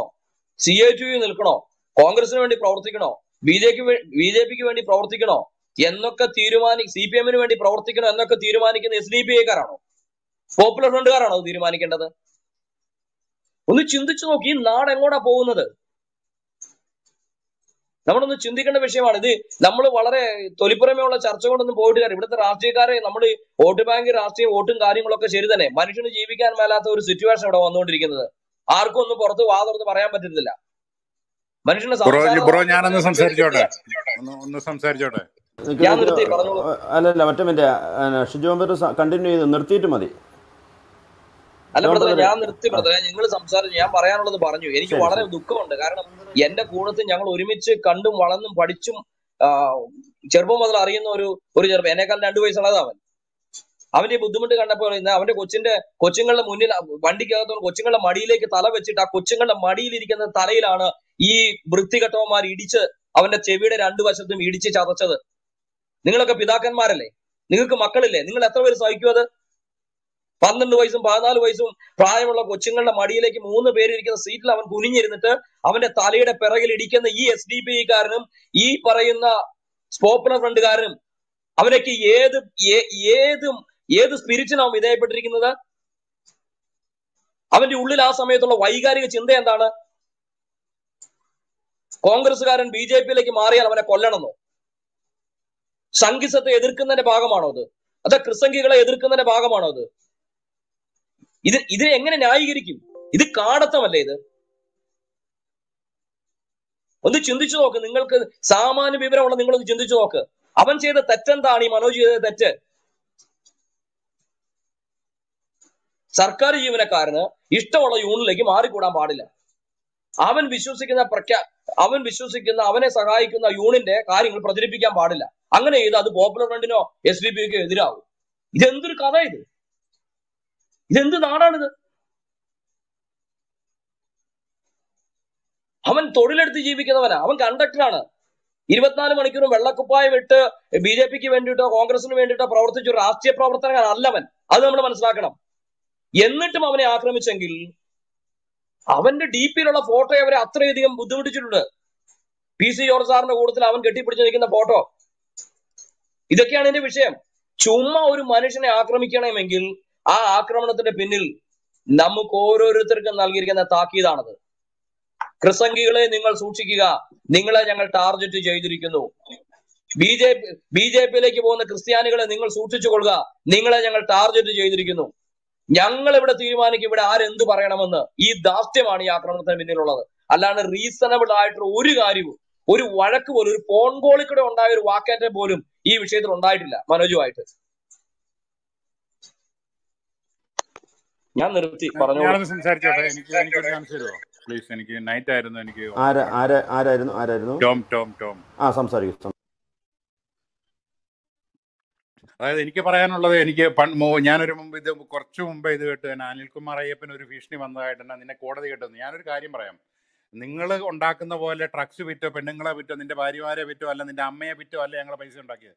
ഞങ്ങൾ ജോ ഞങ്ങൾ പഠിച്ചു പാസ്സായി നല്ല ഒന്നാന്തരമായിട്ട് യൂറോപ്പിലും അമേരിക്കയിലും ഇവിടെ എവിടെയൊക്കെ പോയി നല്ല ഒന്നാന്തര നീയൊക്കെ സ്വപ്നം കാണുന്നതിലും കൂടുതൽ ലെവലിലെത്തിയവരാണ് ഞങ്ങളെ. ഞങ്ങൾ വിചാരിച്ചു കഴിഞ്ഞാൽ ഇവർക്കൊക്കെ എതിരെ ഒരു കേസ് വന്നു. അനിൽകുമാർ അയ്യപ്പനോ സെബാസ്റ്റ്യൻ പുന്നക്കലിനോ അല്ലെങ്കിൽ അനിൽ അനിൽ കുടുത്തോടോ ആർക്കും ഒരു കേസോ അതില്ലെങ്കിൽ പല സഹോദരങ്ങളും അതിനകത്ത് തന്നെ. കെവിൻ പീറ്റർ അങ്ങനെ പലരും ഉണ്ട് ഇത്. അത് നിമിഷ നേരം കൊണ്ട് ഇവരെന്ന് വിചാരിച്ച നിമിഷ നിമിഷ നേരം കൊണ്ട് കോടിക്കണക്കിന് രൂപ ഇവരുടെ ഇതിലേക്ക് വരാനുള്ള ഇത് ഞങ്ങൾക്കുണ്ട്. ഞങ്ങൾ പത്തൊമ്പത് വർഷമായിട്ട് അതായത് നീയൊക്കെ കപ്പയും ചമ്മന്തിയും കഴിക്കുന്ന സമയത്ത് നല്ല ഒന്നാന്തരം ചോറും ഓലത്തിറച്ചിയും കഴിച്ച് വളർന്നവരാണ് ഞങ്ങൾ ക്രിസ്ത്യാനികൾ അതുകൊണ്ട് ഞങ്ങളെ ഓലപ്പാമ്പ് കഴിച്ച് നിങ്ങൾ പേടിപ്പിക്കണ്ട. നിങ്ങൾ പേടിപ്പിക്കണ്ട. ഞങ്ങൾ വിചാരിച്ചു കഴിഞ്ഞാൽ നിമിഷ നേരം കൊണ്ട് അവർക്ക് എന്ത് സംഭവിച്ചാലും അതായത് അനിൽകുമാർ അയ്യപ്പിന് മുമ്പ് വന്ന ഒരു ഭീഷണി ഉണ്ടല്ലോ അവനൊക്കെ പോകാൻ പറ. അവൻ അനിൽകുമാർ അയ്യപ്പൻ വിചാരിച്ചു കഴിഞ്ഞാൽ നിമിഷ നേരം കൊണ്ട് അയാളുടെ കോണ്ടയിലേക്ക് ഞങ്ങൾ പൈസ അയക്കും. ഏത് കേസും ചെയ്യാനുള്ള പൈസ ഞങ്ങൾ അയക്കും. ഞങ്ങളെ ഓലപ്പാമ്പ് കഴിച്ച് കാണിച്ച് പേടിപ്പിക്കേണ്ട ആവശ്യം നിങ്ങൾക്കില്ല. നിങ്ങൾക്ക് അതിനുള്ള ചാൻസും ഇല്ല. നിങ്ങൾ ഇന്നാണ് ആളായത്. നിങ്ങൾ ട്രക്സ് വിറ്റു അത് വിറ്റു ഒക്കെയാണ് നിങ്ങൾ ആളായത്. അതുകൊണ്ട് ഞങ്ങളോട് കളിക്കാൻ നിങ്ങൾ വരണ്ട. പിന്നെ ഞാൻ ഒരു കാര്യം പറയാം. ഈ ഒരു കരണത്തടിച്ച രണ്ട് രണ്ടാമത്തെ കാരണം അതായത് അപ്പുറത്തെ കാരണം കൂടെ കാണിച്ചു കൊടുക്കണമെന്നുള്ള ആ തിയറിയൊക്കെ പോയി. ഒരു കരണത്തടിച്ച നിന്റെ നാല് കാരണവും നിന്റെ അങ്ങേ അറ്റം വരെ ഞങ്ങൾ അടിച്ചു കൂട്ടിക്കും സത്യമായിട്ടും. എന്നെ ഞാൻ ചങ്ങനാശ്ശേരിക്കാരനാണ്. അല്ല ഞാൻ ഇച്ചിരി അഗ്രസീവായിട്ട് തന്നെയാണ് ഞാൻ ചങ്ങനാശ്ശേരിക്കാരനാണ്. എനിക്ക് ആ ലാംഗ്വേജ് അറിയത്തുള്ളൂ. ഞാൻ വളരെ സോഫ്റ്റ് ആയിട്ട് സംസാരിക്കുന്ന ആളാണ്. പക്ഷെ ഇങ്ങനെയുള്ള സിറ്റുവേഷനിൽ നമ്മൾ വേറൊരു രീതി ചിന്തിച്ചേ പറ്റത്തുള്ളൂ. ഇനിയും കുഞ്ഞാടായിട്ട് ജീവിക്കാനായിട്ട് ഞങ്ങൾക്ക് പറ്റത്തില്ല. ഞങ്ങൾ ചെന്നായിട്ട് ജീവിക്കാൻ തന്നെയാണ് തീരുമാനിച്ചിരിക്കുന്നത്. ഞങ്ങളോട് ഇനി കളിക്കാൻ വരണ്ട. ഞങ്ങൾ ഏത് രീതിയിലും പോയി പണം കൊണ്ട് വേണമെങ്കിൽ അതുകൊണ്ട് പോവും. അല്ലാതെ വേണമെങ്കിൽ അതുകൊണ്ട് പോകാനും ഞങ്ങൾ തയ്യാറാണ്. ടോം ബദറെ ടോം ബദറെ പ്ലീസ് പ്ലീസ് നമ്മൾ അഗ്രസീവായിട്ട് കാര്യമില്ല ബ്രദറെ. നമുക്ക് അവർ അവരുടെ പുസ്തകം വെച്ചിട്ടാണ് അടിക്കുകയും ഇടിക്കുകയും വെട്ടുകയും കുത്തുകയും കൊല്ലുകയും ചെയ്യുന്നത്. നമുക്കത് ചെയ്യാൻ നമ്മുടെ പുസ്തകം അനുവദിക്കുന്നില്ല. നമുക്ക് നമ്മുടെ പുസ്തകം അനുവദിക്കുന്നില്ല. കാര്യം നമ്മളോട് അവർ ചെയ്യുന്ന കാര്യങ്ങളൊക്കെ കാണുമ്പോൾ നമുക്കങ്ങനെയൊക്കെ തോന്നും. പക്ഷേ നമ്മൾക്ക് നമ്മളുടെ ഒരു പ്രമാണമുണ്ട്. അതുകൊണ്ട് നമ്മളങ്ങനെ ചെയ്യാൻ നമുക്ക് പ്രമാണമില്ലാത്തത് കൊണ്ട് നമുക്കത് ചെയ്യാൻ പറ്റില്ല. കേരളത്തിൽ കേരളത്തിൽ ഓരോ ക്രിസ്ത്യാനിയും ഓരോ ഹിന്ദുവും ഓരോ ജൂതനായി മാറണമെന്നാണ് എനിക്ക് പറയാനുള്ളത്. തീർച്ചയായും. നമ്മൾ ബുദ്ധിപരമായി wait wait wait wait wait Saj Saj Saj Saj ബ്രദറെ നമ്മൾ എല്ലാവരും സംസാരിക്കരുത്. ഇത്ര നേരം നമ്മൾ ശാന്തമായിട്ട് സംസാരിച്ചുകൊണ്ടിരിക്കുകയാണ്. എല്ലാവർക്കും അവസരം തരാം. ടോം ബ്രദറെ ടോം ബ്രദറെ ടോം ബ്രദറെ ഒന്ന് മ്യൂട്ട് ചെയ്യും ഒന്ന് മ്യൂട്ട് ചെയ്യും. അതായത് നമ്മൾ നമുക്ക് വിഷമം ഉണ്ടാക്കുന്ന കാര്യങ്ങളാണ് നടക്കുന്നത്. കാരണം നിരപരാധികളായവരെ അറ്റാക്ക് ചെയ്യുന്നു. നിങ്ങൾ നോക്കിക്കോ നമ്മുടെ തൊട്ടടുത്ത് കിടക്കുന്ന പാകിസ്ഥാൻ അതുപോലെ തന്നെ മറ്റു രാജ്യങ്ങളൊക്കെ ഇവിടെ നടക്കുന്നതിന്റെ ആയിരം ഇരട്ടിയാണ് അവർ അനുഭവിക്കുന്ന പീഡ. അവിടെയുള്ള ഹിന്ദുവും അവിടെയുള്ള മുസ് പിന്നെ ക്രിസ്ത്യാനിയും അനുഭവിക്കുന്ന പീഡയൊന്നും നമുക്ക് ഒന്നും പറയാൻ പോലും പറ്റത്തില്ല. അത്രമാത്രം. ഒരു കൊച്ചു പെൺകുഞ്ഞ് വളർന്നു വരുമ്പോൾ പത്തോ പന്ത്രണ്ടോ പതിമൂന്നോ വയസ്സുള്ള ഒരു ഹിന്ദുവോ ക്രിസ്ത്യാനിയോ കുഞ്ഞ് വളർന്നു വരുമ്പോൾ ആ കുഞ്ഞിനെ എപ്പോൾ വേണേലും ഇവർ തട്ടിയെടുത്തിട്ട് പോയി മൂന്നാം നാലാം അഞ്ചാമത്തെ ബീവിയാക്കി ഈ കുഞ്ഞിനെ നിർബന്ധിത മതപരോധം നടത്തുന്ന ഒരു രാജ്യമാണ് പാകിസ്ഥാൻ. അപ്പോൾ നമ്മുടെ മുമ്പിൽ ഞങ്ങളുടെ ഞങ്ങളുടെ ഹൃദയത്തെ കൊണ്ടു നടക്കുന്ന ആൾക്കാരാണ് അതറിയാം ബ്രദറെ അറിയാം അറിയാം. അല്ല ടോം ബ്രദറെ ടോം ബ്രദർ പറയുന്നത് മനസ്സിലാവുന്നുണ്ട്? നമുക്ക് നമുക്കതിന് വികാരപരമായിട്ട് സംസാരിച്ചുകൊണ്ട് തീരുമാനമില്ല എന്നാണ് പറയുന്നത്. ബ്രദറിന്റെ വികാരത്തെ ഞങ്ങൾ മാനിക്കുന്നു. ദയവ് ചെയ്ത് നമുക്ക് അങ്ങനെ സംസാരിക്കാൻ നമുക്ക് പറ്റത്തില്ല. അതുകൊണ്ടാണ് ഓക്കെ. നമ്മൾ അടുത്ത നമ്മുടെ ശര ശരത്ത് ഒന്ന് സംസാരിക്കാം. ശരത്തെ ബ്രദറെ ഒരു ശരത്ത് കാര്യം ശരത്ത് പറയാണ്ടായിരുന്നു ആ പറയൂ പറയൂ പറയൂ. പിന്നെ എടവ മലപ്പുറം ജില്ലയിലെ എടവട്ടപ്പാറ എന്ന് പറഞ്ഞ സ്ഥലത്ത് എന്നെ ഇപ്പൊ ഒരാൾ വിളിച്ചു പറയാ. അപ്പൊ എന്ന് വെച്ചാൽ പത്ത് ഹിന്ദു വീടുകളുണ്ട് അവിടെ. ഈ വീടുകൾക്ക് ചുറ്റും മുസ്ലിംസിന്റെ വീടുകളാ. അപ്പൊ അവിടെയുള്ള വീട്ടുകാരോട് ഇവർ എന്നും ചോദിക്കും. നിങ്ങൾ ഇവർ എവിടെയെങ്കിലും ഒന്ന് പോയി കഴിഞ്ഞാൽ ഇറ്റിങ്ങൾ തെങ്ങ് കയറിയും പാടത്ത് പണിയെടുത്തിട്ട് ജീവിക്കുന്ന ഹിന്ദു സഹോദരങ്ങളാ. അപ്പൊ ഇവർ എവിടെയെങ്കിലും പോയി ഒന്ന് വന്നു കഴിഞ്ഞാൽ ചോദിക്കും നിങ്ങൾ എവിടെ പോയി? നിങ്ങളുടെ സ്ഥലം കൊടുക്കുന്നുണ്ടോ? എന്നും പറഞ്ഞാണ്ട് നിരന്തരം ഇത് ചോദ്യം തന്നെ. കാരണം അവർക്ക് അവർ ജനിച്ചു വളർന്ന ഭൂമിയാ. അവർക്ക് അവിടെ നിന്ന് പോകാൻ ഒരു താല്പര്യമില്ല പക്ഷെ ഇവർ നിരന്തരം ഇങ്ങനെ ചോദിക്കുമെന്നാ പറഞ്ഞത് ഒരു സഹോദരൻ എന്നെ വിളിച്ച ഒരു ഹിന്ദു സഹോദരൻ എന്നെ വിളിച്ച് പറഞ്ഞപ്പോ ഈ കാര്യം. ഓക്കെ ബ്രദർ ഓക്കെ നമ്മുടെ അടുത്ത ആളിലേക്ക് ഒന്ന് പോകാം. അടുത്ത ആൾ നമ്മുടെ ടിജോ ടിജോ ബ്രദർ സംസാരിക്കും. ടിജോ. ഒരു മിനിറ്റ് സംസാരിക്കാൻ പറ്റുമോ? ഒരു മിനിറ്റ് സംസാരിക്കാൻ പറ്റുമോ? ആരാ ആരാ ആരായിരുന്നു? ആരായിരുന്നു? സോനു സോനു സോനു സോനുലേക്ക് വരാം സോനുലേക്ക് വരാം ബ്രദറെ. നമുക്ക് അതിന് മുമ്പ് വന്നവരുണ്ട്. ബ്രദറിലേക്ക് വരാം തീർച്ചയായും വരാം.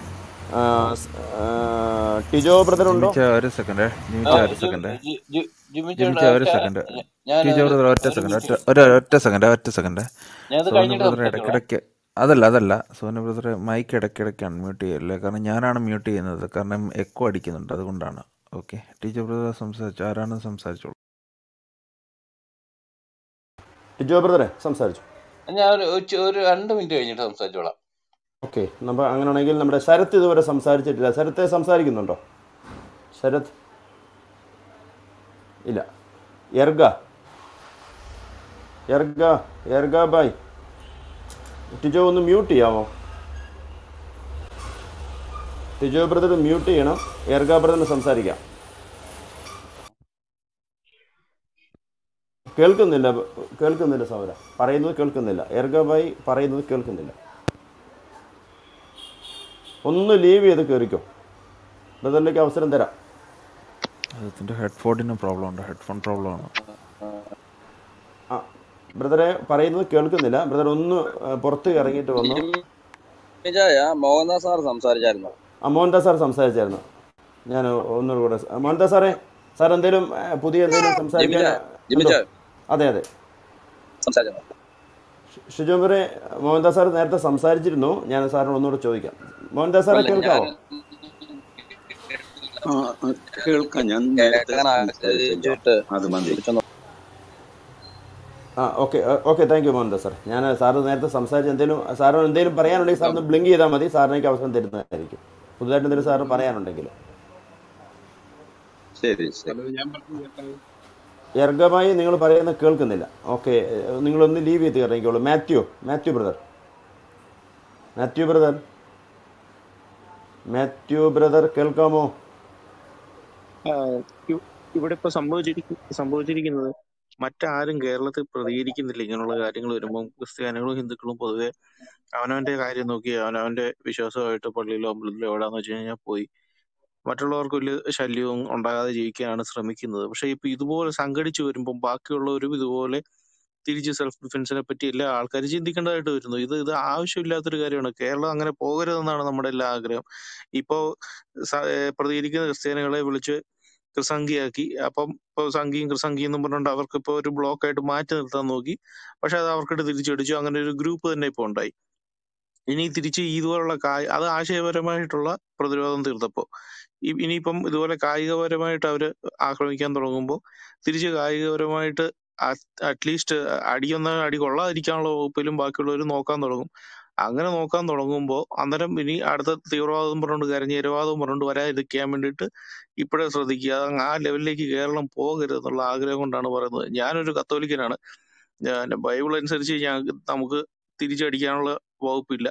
അടിച്ചു കഴിഞ്ഞാൽ അടുത്ത് മറ്റേ കർണം കാണിച്ചു കൊടുക്കുക എന്നാണ് പറഞ്ഞത് മറ്റേ കർണത്തിന് അടിച്ചു കഴിഞ്ഞാൽ അത് അതിന്റെ പരിപാടി എന്നാന്നുള്ള അവിടെ പറഞ്ഞിട്ടില്ല. അത് എന്താണെന്നുള്ളത് സെൽഫ് ഡിഫൻസ് ആണ്.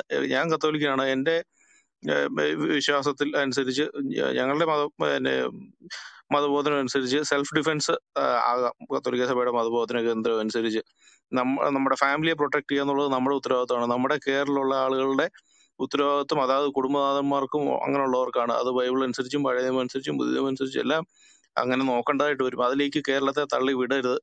നമ്മുടെ കുടുംബത്തിന്റെ മുന്നിൽ വെച്ച് ഇപ്പൊ ആ മനുഷ്യന്റെ പിള്ളേരുടെ മുന്നിൽ വെച്ചാണ് ആക്രമിച്ചിരിക്കുന്നത്. അപ്പൊ ആ പിള്ളേർ അയാളുടെ പിള്ളേരെ കൂടെ ആക്രമിച്ചിരുന്നെങ്കിൽ അയാൾക്ക് അവിടെ മറുകരണം കാണിച്ചു കൊടുക്കാൻ പറ്റത്തില്ല. അയാൾക്ക് അവിടെ നിന്ന് പ്രതിരോധിക്കുക എന്നുള്ള പിന്നെ അയാളുടെ ഉത്തരവാദിത്വം. അയാളുടെ കുട്ടികളെ ആ സമയത്ത് തൊട്ടിരുന്നെങ്കിൽ. അപ്പൊ ആ അവസ്ഥയിലോട്ടൊന്നും മറ്റുള്ളവരെ സംഘടിക്കാനും കാര്യങ്ങൾക്കും നിങ്ങൾ ഇടയാക്കരുത്. അങ്ങനെയൊന്നും കേരളത്തിലെ ക്രിസ്ത്യാനികൾ ഇന്നുവരെ പോയിട്ടില്ല. അതിനുള്ള സാഹചര്യം നിങ്ങൾ ഉണ്ടാക്കരുത്. അതാണ് എനിക്ക് പറയാനുള്ളത്. Thank okay okay brother. Thank you. ജിമിച്ചേട്ടാ ഞാൻ സംസാരിക്കട്ടെ? വൺ സെക്കൻഡ് ആരാണ് നമ്മുടെ സോനു ബ്രദർ വരാം സാർ നമ്മളെ ഒരുപാട് പേര് വെയിറ്റ് ചെയ്യുന്നുണ്ട്. ഞാൻ പെട്ടെന്ന് പെട്ടെന്ന് നമ്മൾ സംസാരിക്കാം. ഇവിടെ ഒരു മുകളിൽ ഒരു ആന്റണി ബ്രദർ ഉണ്ടായിരുന്നു. ബ്രദർ ഇതുവരെ സംസാരിച്ചിട്ടുണ്ടായിരുന്നില്ല. സംസാരിക്കണമെങ്കിൽ സംസാരിക്കാം. സംസാരിച്ചവർ ഇപ്പോൾ ദയവ് ചെയ്തൊന്ന് മ്യൂട്ട് ചെയ്യുക. നമ്മുടെ കീ ഇപ്പോൾ ആരാ പെട്ടെന്ന് സംസാരിക്കാൻ സോനു ആയിരുന്നോ? സോനു. ആ, സോനു സോനു. സോനു ഒന്ന് മ്യൂട്ട് ചെയ്യണം. നമ്മുടെ ക്രമത്തിൽ പോകാമെന്നുള്ള ചിന്തിച്ചായിരിക്കണത്. നമ്മുടെ ഒറ്റ മിനിറ്റ്. ടിജോ ആണ്. അല്ല എനിക്കൊരു ഒരു എനിക്ക് രണ്ട് മിനിറ്റ്. എനിക്ക് പുറത്ത് പോ- ഞാൻ റൂമിലുള്ള പുറത്ത് പോകണം. ഞാൻ നാട്ടിലല്ല ഗുജറാത്തിലുള്ള സോനു സംസാരിക്കും സോനു സംസാരിക്കും. ഞാൻ ചോദിക്കുന്നത് നിങ്ങൾ കുറെ സോറി കേട്ടോ. ഞാൻ വൈകാരികമായിട്ട് സംസാരിക്കാൻ താല്പര്യപ്പെടുന്ന ആളല്ല. വൈകാരികത എനിക്ക് ഇഷ്ടമല്ല. ഓപ്പോസിറ്റ് എന്തെങ്കിലും ഉണ്ടെങ്കിൽ ഞാൻ സംസാരിച്ചാൽ വൈകാരികമായിട്ട് സംസാരിക്കാൻ താല്പര്യം എനിക്ക്. നിങ്ങൾ കുറെ റൂം ഇട്ടിട്ട് ഇങ്ങനെ സംസാരിച്ചിട്ട് എന്തെങ്കിലും അത് കിട്ടാവുള്ളത് എനിക്ക് മനസ്സിലാവുന്നില്ല. ഞാൻ ചോദിക്കുന്ന ഒരു ഒറ്റ കാര്യം മാത്രമേ ഉള്ളൂ. നിങ്ങൾ കുറെ റൂം എടുത്ത് സംസാരിക്കുന്നു. ഇതിനകത്ത് നിങ്ങൾക്ക് ഇതുവരെ എനിക്ക് ഒന്നും കിട്ടുന്ന എനിക്ക് തോന്നുന്നില്ല ഇതുവരെ. അവർ കുറെ മദ്രസ കുട്ടികളാണ്. അവർ ചെയ്യേണ്ട അവർ ചെയ്തുകൊണ്ടിരിക്കുന്നുണ്ട്. അപ്പം ഇന്ത്യയിൽ ചെയ്യേണ്ടതെന്ന് വെച്ചാൽ ചെയ്യാൻ നിങ്ങൾക്ക് പറ്റൂല. ഇവർ പഠിച്ചു വെച്ച തത്വശാസ്ത്രങ്ങൾ അതാണ്. അവിടെ അതിനകത്ത്. അത് മദ്രസ കുട്ടി എന്ന് പറഞ്ഞാൽ അവന്മാരെല്ലാം മദ്രസ കുട്ടികളാണ്. ഒരിക്കലും ഒരുത്തനും എന്ന് മാറിയ മാറി എനിച്ചല്ല അവനൊക്കെ അഞ്ചോ ആറോ വയസ്സ് കൊണ്ട് മദ്രസയാക്കുന്നു ഇറങ്ങി വരുന്നു. ഈ പതിനഞ്ച് വയസ്സ് അല്ലെങ്കിൽ പതിനാറ് വയസ്സ് വരെ ഞാൻ കാണുന്നതാണ് എന്റെ ജീവിതം. പിന്നെ എന്റെ ജീവിതം അത് കണ്ടിന്യൂ ആണ് മുന്നോട്ട് പോണത്. അപ്പൊ അവിടെ എവിടെ അതവിടെ നിലനിർത്ത നിർത്താൻ പറ്റും. ആ നിർത്താൻ നിങ്ങൾക്ക് പറ്റുന്നുമില്ല. പിന്നെ നിങ്ങൾ കുറെ റൂം ഇട്ടിട്ട് ഇങ്ങനെ സംസാരിക്കുക. അതാണ് ഇതാണ് സംസാരിക്കുക എന്താ അവിടെ നിന്ന് കിട്ടാനുള്ളത്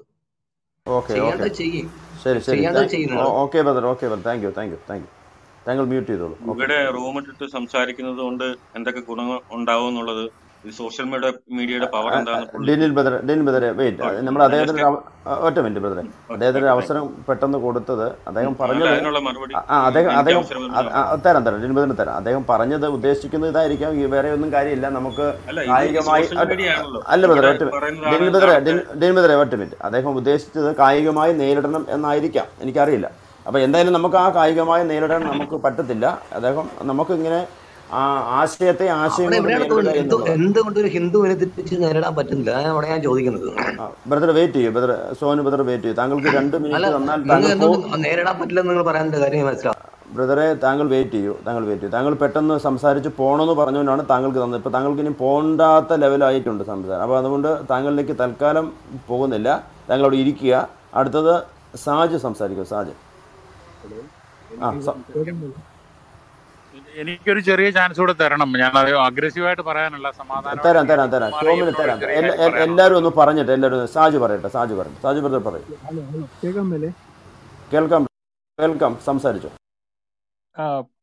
ഇപ്പം പലരും ഇപ്പം പറഞ്ഞു വികാരം വികാരം നാച്ചുറലി വരും. അതിനാന്ന് വെച്ച് കഴിഞ്ഞാൽ എനിക്ക് തോന്നുന്നു ഇപ്പൊ ഒരു ടൈം നമ്മൾ ഇത് ടോളറേറ്റ് ചെയ്യേണ്ട ടൈം കഴിഞ്ഞു. എന്ന് വെച്ച് കഴിഞ്ഞാൽ നമ്മൾ വയലന്റ് ആകണമെന്നോ ഒന്നും അല്ല ഞാൻ പറയുന്നത്.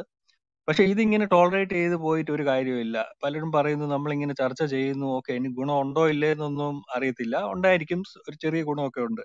പക്ഷെ ചർച്ചയിൽ മാത്രം നിൽക്കേണ്ട കാര്യമില്ല. ഇത് ടോളറേറ്റ് ചെയ്യേണ്ട കാലം കഴിഞ്ഞു. ഇന്ന് ട്വന്റി ട്വന്റി സെഞ്ചുറി ആണ് അല്ലെ ട്വന്റി ഫസ്റ്റ് സെഞ്ചുറി ആണ് നമ്മൾ ഇത് ടോളറേറ്റ് ചെയ്തുകൊണ്ടിരുന്നിട്ട് കാര്യമില്ല. അപ്പം നമുക്ക് ചെയ്യേണ്ടത് എന്നാന്ന് വെച്ച് കഴിഞ്ഞാൽ അല്ല എന്റെ ഒരു ഒരു ഒരു- ഒരു ഇതിൽ എവിടം വരെ വേണേലും സമ്മർദ്ദം ചെലുത്തി ഇപ്പൊ നമ്മൾ നമുക്കറിയാം ഇതൊരു പ്രോബ്ലം ആണ് ഇത് ഇതിനെ എങ്ങനെയെങ്കിലും തടുക്കണം എന്നറിയാം ഇപ്പൊ ഭർത്താവ് വെറുതെ ഇരുന്നിട്ട് സഫർ ചെയ്യുവാണ് അല്ലെ ഞങ്ങൾ ഞങ്ങൾ ക്രിസ്ത്യാനികളാകും ഞങ്ങൾ മരിക്കും ചാവും എന്നൊക്കെ പറഞ്ഞിട്ട് ഓക്കെ അതൊരു നല്ല കാര്യമാണ്. അത് വാളാൽ വാളെടുക്കുന്നവൻ വാളാൽ അപ്പൊ വാളെടുക്കണം എന്നല്ല ഞാൻ പറയുന്നത് പക്ഷെ വേറെ പല ഓപ്ഷൻസ് ഉണ്ട്.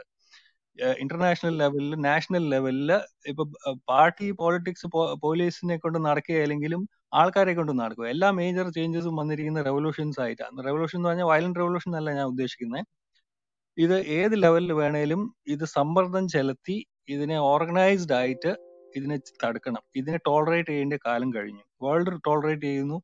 പക്ഷെ നമ്മളൊരു ഒരു അറ്റ്ലീസ്റ്റ് നമ്മൾ ഇച്ചിരൂടെയൊക്കെ മോസ്റ്റ് എഡ്യൂക്കേറ്റഡ് ആയിട്ടുള്ള ഒരു സൊസൈറ്റിയാണ് കേരളം. അത് കാരണമാണ് കേരളത്തിൽ ഇങ്ങനെ ഒരു റിയാക്ഷൻ കാണുന്നത് അപ്പൊ അതിനെ ഡെഫിനറ്റ്ലി ഇതിനെ വളർത്തി ഇതിനെ tolerate tolerate at any cost tolerate ചെയ്യരുത്. അതിനെ എങ്ങനെ ചെയ്യുമെന്നുള്ളത് എല്ലാവരും കൂടെ ഇരുന്ന് ആലോചിച്ച് പല പല ആൾക്കാരുണ്ട് വലിയ ആൾക്കാരുണ്ട് നമ്മുടെ ഗ്രൂപ്പിലും യുനോ റീച്ചും പവറും ഒക്കെ ഉള്ളവരുണ്ട്. അവർക്ക് പോയി. ഇതിനെ ഏത് ലെവലിൽ വരെ വേണേലും എത്ര പൈസ മുടക്കി വേണേലും ഇതിനെ സ്റ്റോപ്പ് ചെയ്യുക സ്റ്റോപ്പ് ചെയ്യണമെന്ന് വെച്ച് കഴിഞ്ഞാൽ ഇതിനെ ഡീസെൻസിറ്റൈസ് ചെയ്ത് കളയണം.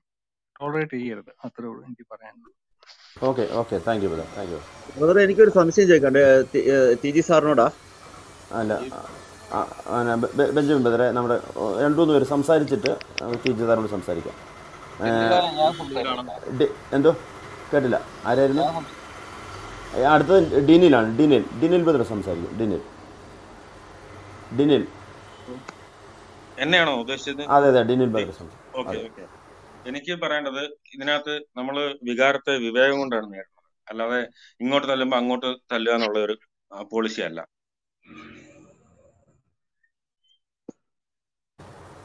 ഓക്കെ അതെ അതെ. താങ്കൾ ഡിനിൽ ഭായ് പോയോ? ഹലോ? ആ ഓക്കെ ഓക്കെ. സംസാരിച്ചു കഴിഞ്ഞോ ബ്രദറെ?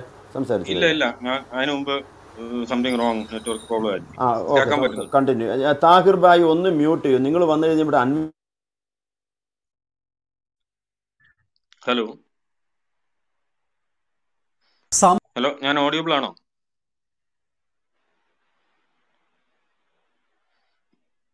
ഹലോ ഞാൻ ഓഡിയബിൾ ആണോ?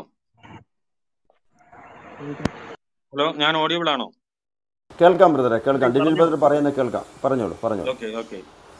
എനിക്ക് പറയാനുള്ളത് ഇത് നമ്മൾ വികാരത്തെ വിവേകം കൊണ്ടാണ് നേരിടേണ്ടത്. അതായത് ഈ പറയുന്ന കാര്യങ്ങൾക്കൊക്കെ ഒരു സൊല്യൂഷൻ വേണമെങ്കിൽ അത് ബി ജെ പി ഇന്ത്യ ഭരിച്ചു കഴിഞ്ഞാൽ പിന്നെ വർഗീയം ആവും. അങ്ങനെ ഒന്നും ചിന്തിച്ചിട്ട് കാര്യമില്ല. കാര്യം പണ്ടും നമ്മുടെ നാട്ടിലെ ഹിന്ദുക്കളായിരുന്നു. അവർ അവരുടെ ആ ഒരു മഹാമനസ്കത കൊണ്ടാണ് ബാക്കിയുള്ള സകല ജാതിയും അവിടെ ഉണ്ടായത്. അപ്പം ഇനി ക്രിസ്ത്യാനികൾ ആലോചിക്കേണ്ടത് ഈ ഇത്തരമുള്ള സുഡാപ്പികളെ അങ്ങനത്തെ ഈ ഈ ഇങ്ങനത്തെ പിന്നെ തീവ്രവാദികളെ ഒക്കെ നേരിടണം എങ്കിലും അതുപോലെ എന്തെങ്കിലും ഒരു ഒരു പുരോഗതി അല്ല- അല്ലെങ്കിൽ ഒരു ഒരു സേഫ്റ്റി വേണമെങ്കിൽ അത് ബി ജെ പി ഭരിച്ചു കഴിഞ്ഞാൽ ഒരു കുഴപ്പമില്ല. ഇനിയിപ്പം ഒന്ന് മാറ്റി ചിന്തിക്കണം. അല്ലാതെ കേരളത്തിലെ ഈ സുഡാപ്പി കമ്മികളും അങ്ങനെയുള്ള ആൾക്കാർ ഭരിച്ച് ഇരിക്കുമ്പം യാ നിങ്ങളൊന്നും പ്രതീക്ഷിച്ചിട്ട് കാര്യമില്ല. നമ്മൾ ഒന്ന് മനസ്സ് മാറ്റി ചിന്തിക്കണം എന്നാണ് എനിക്ക് പറയാനുള്ളത്. അതായത് ബി ജെ പി എന്ന് വെച്ചാൽ ഒരു അതൊരു വർഗീയ പാർട്ടിയായിട്ടൊന്നും കണക്കാക്കേണ്ട കാര്യമില്ല. ഇന്ന് രാജ്യസഭയിൽ അൽഫോൺ കണ്ട കണ്ണന്താനം ഒറ്റ മനുഷ്യൻ മാത്രമേ ഉള്ളായിരുന്നു മുല്ലപ്പെരിയാറിനെ പറ്റി സംസാരിക്കുക. അങ്ങനെ ബി ജെ പി അല്ലേ? വേറെ ഏതെങ്കിലും കമ്മികളെ രാജ്യസഭയിൽ നിങ്ങൾ അവിടെ കണ്ടോ സംസാരിക്കാൻ വേണ്ടിയിട്ട്? കണ്ടില്ലല്ലോ.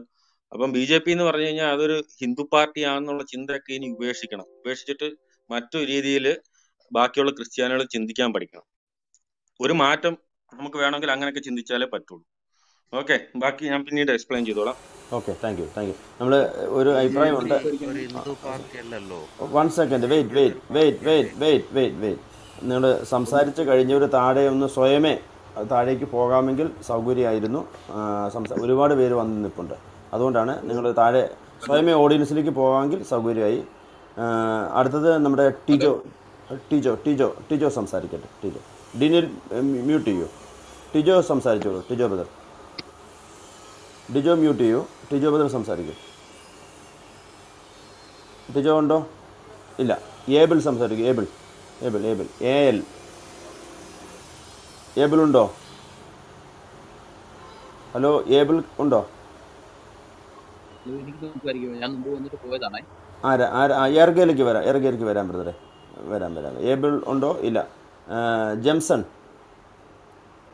ജെംസൺ. ജെംസൺ സംസാരിക്കൂ സംസാരിച്ചു സംസാരിച്ചു. എനിക്കൊരു മൂന്ന് മിനിറ്റെങ്കിലും സമയം തരുമോ മൂന്ന് മിനിറ്റ് എടുത്തോളൂ. ഓക്കെ. ഇവിടെ ഉള്ള എല്ലാവർക്കും നമസ്കാരം. ഇന്നലെ തൊടുപുഴയിൽ ഉണ്ടായ അത്യന്തം ഖേദകരമായ ഒരു സംഗതിയാണ്. അതോടൊപ്പം തന്നെ എനിക്ക് പറയാനുള്ള ഒരു സംഗതി എന്ന് പറഞ്ഞാൽ ഇവിടെ മറ്റേ ഗുജറാത്തിൽ നിന്നുള്ള സനോജോ എന്ന് പറഞ്ഞ പുള്ളി പറഞ്ഞു ഒരു കാര്യം സംസാരിച്ചിട്ട് പോയി.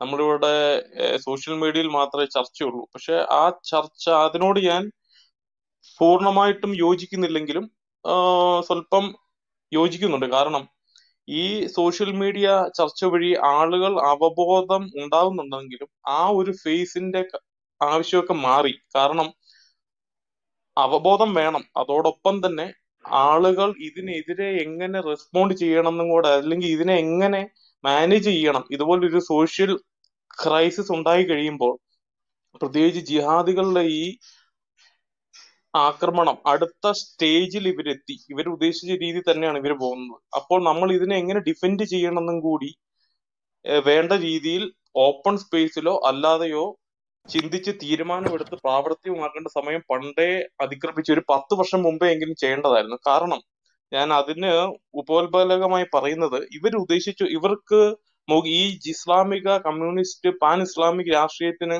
മുഖത്തിനേറ്റ അടിയാണ് ആദ്യത്തെ മോദി ഗവൺമെന്റ്. അത് അവർ ഒട്ടും വിചാരിച്ചില്ല. രണ്ടാമതും മോദി ഗവൺമെന്റ് വന്നു കഴിഞ്ഞപ്പോൾ അവർക്ക് ഫ്രസ്ട്രേറ്റഡ് ആയിരിക്കുകയാണ് ഇവർ ഒട്ടും വിചാരിക്കാതെയാണ് ഇവർ. ഇവരുടെ പ്ലാൻ അനുസരിച്ച് കാര്യങ്ങളൊന്നും നടന്നില്ല. ഈ മോദി ഗവൺമെന്റ് മോദിജിയുടെ ഗവൺമെന്റ് ഒന്നും രണ്ടും ഇവിടെ ഇല്ലായിരുന്നുണ്ടെങ്കിൽ കേരളത്തിൽ ഇപ്പൊ പണ്ടേ അസംഖ്യം ഹൈന്ദവ നസ്രാണി കൂട്ടക്കൊലകൾക്ക് സാക്ഷ്യം വഹിച്ചത്. അത് ഇവർ ഉദ്ദേശിച്ചതെന്ന് പറഞ്ഞാൽ രണ്ടാം യു പി എയുടെ കാലത്തോടുകൂടി ഞാൻ എന്റെ ഒബ്സർവേഷനിൽ നിന്ന് മനസ്സിലാക്കിയത് കേരളത്തിലും തമിഴ്നാട്ടിലും സിവിൽ വാർ ഉണ്ടാക്കുക. സൗത്ത് ഇന്ത്യനെ കേരളത്തിൽ ഇസ്ലാമിക് മൂവ്മെന്റിന്റെ പേരിലും തമിഴ്നാട്ടിൽ ഹിന്ദി വിരുദ്ധത്തിന്റെ പേരിലും ദ്രാവിഡ മുന്നേറ്റത്തിന്റെ പേരിലും സിവിൽ വാർ ഉണ്ടാക്കുക ലക്ഷദ്വീപിനെ ഉപയോഗിക്കുക. അതോടൊപ്പം തന്നെ പഞ്ചാബിലും കാശ്മീരിലും ബംഗാളിലും ആസാ ആസാമിലും സിവിൽ വാർ ഉണ്ടാക്കി രാജ്യത്തെ അരക്ഷിതമാക്കുക എന്നുള്ള ഗൂഢ രാജ്യദ്രോഹപരമായ കുറ്റത്തോടു കൂടിയാണ് ഈ കൂട്ടങ്ങൾ നീങ്ങിക്കൊണ്ടിരുന്നത്. പക്ഷേ ബഹുമാനപ്പെട്ട മോദിജിയുടെ നേതൃത്വത്തിൽ അധികാരത്തിൽ വന്ന ഗവൺമെന്റിന്റെ മൂലം പദ്ധതികൾ മൂലം ഇവർക്ക് ഈ പരിപാടി കംപ്ലീറ്റ് പാളിപ്പോയി. രണ്ടാം മോദി സർക്കാർ വന്നതോടുകൂടി ശരിക്കും അപ്രസക്തരായി പോയി. അതോടൊപ്പം തന്നെ ഭീതി തിരുവാണ് ആ ഭീതിയിൽ നിന്ന് ഉളവായിരിക്കുന്ന ഇവരുടെ ലക്ഷ്യത്തിലോട്ട് അടുക്കാൻ ഇവർക്ക് വന്ന താമസമാണ് ഇവരെ ഹാലിളക്കുന്നത് ഇപ്പോൾ. ഇപ്പൊ നിങ്ങൾ ഈ ഇവർ നമ്മൾ ഈ സംസാരിച്ച പോലെ ഇവരെ ഒരു ഒരു പത്ത് വർഷം മുമ്പ് വരെ നമ്മൾ ഇപ്പോഴും ആളുകൾ പറഞ്ഞുകൊണ്ടിരിക്കുന്നത് ഇസ്ലാമിക തീവ്രവാദികൾ നമ്മുടെ വീടിന്റെ വാതിലിൽ വന്ന് മുട്ടുന്നു മുട്ടു അല്ല വാതിൽക്കൽ എത്തി എന്നാണ്. അതൊക്കെ ഒരു അഞ്ച് പത്ത് വർഷം മുമ്പേ വീടിന്റെ വാതിൽക്കൽ എത്തിക്കഴിഞ്ഞു ഇപ്പൊ വീടിന്റെ വാതിൽക്കൽ കയറി മുട്ടൽ ആരംഭിച്ചിട്ടുണ്ട് അവർ ആ മുട്ടലിന് അടുത്ത് നമ്മുടെ അറുപത് വയസ്സുള്ള അമ്മയുടെയും ഭാര്യയുടെയും സഹോദരിയുടെയും പെൺകുഞ്ഞുങ്ങളുടെയും പ്രത്യേകം പറയുന്ന ആറ് വയസ്സുള്ള പെൺകുഞ്ഞുങ്ങളെ പോലും മുന്നിൽ കിട്ടിയ ഈ നരാധവന്മാര് വിടിയല്ല. ആ കാലഘട്ടത്തിലോട്ടാണ് വരുന്നത്. അന്നും ആവിഷ്കാര സ്വാതന്ത്ര്യവും മനുഷ്യ മഹാമനസ്കതയും സ്വാതന്ത്ര്യബോധവും ഒക്കെ പറഞ്ഞുകൊണ്ടിരിക്കുന്നവന്മാര് ഇതിനകത്തും പറയുന്നമാര് ഒന്ന് ആലോചിക്കണം. അറുപത് വയസ്സായ നിങ്ങളുടെ അമ്മയും സഹോദരിയും ഭാര്യയും ഒക്കെ നിങ്ങളുടെ മുന്നിലിട്ട് ബലാത്സംഗം ചെയ്യുമ്പോഴും ഇതൊക്കെ തന്നെയാണോ നിങ്ങൾ സംസാരിക്കുന്നതെന്നൊന്ന് ആലോചിക്കുക.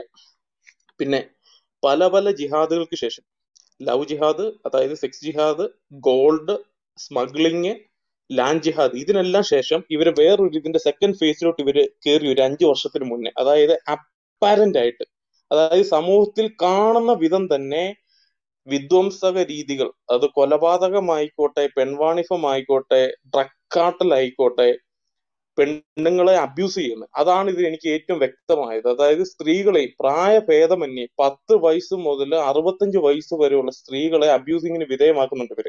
അത് ഇവരുടെ ഒരു നിങ്ങൾ പല സ്ഥലത്തും നോക്കിയാൽ അറിയാം പാൻ ഇസ്ലാമിക് രാഷ്ട്രീയം പിടിമുറുക്കിയിടത്തെല്ലാം സ്ത്രീകളെയും സമൂഹത്തിൽ വന്നുകൊണ്ടിരിക്കുന്ന മാറ്റങ്ങൾ ഒരു സോഷ്യൽ മാർക്കറാണ് ഇത് ഇവർ ശരിക്കും വ്യക്തമായിട്ട് ഇതിനകത്തോട്ട് ഇവർ അടുത്ത സ്റ്റേജിലോട്ട് കയറി കഴിഞ്ഞു ഇവർക്ക് ഇവരെ നയിക്കപ്പെടുന്നവരിൽ നിന്ന് ഇവർക്ക് വ്യക്തമായ സന്ദേശം കിട്ടിയിട്ടുണ്ട്.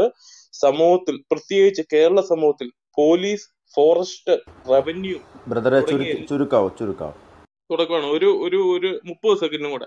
എല്ലാ സമസ്ത മേഖലകളിലും ഉദ്യോഗസ്ഥ തലങ്ങളിലും അതായത് ബ്യൂറോക്രാറ്റിക് ആണെങ്കിലും രാഷ്ട്രീയക്കാർ ഞാൻ പിന്നെ പറയണ്ട വർഷങ്ങളായിട്ട് റിസർവേഷന്റെ പേരിൽ ഇവർ സകല മേഖലകളും കേരളത്തിൽ പിടിമുറുക്കി കഴിഞ്ഞു.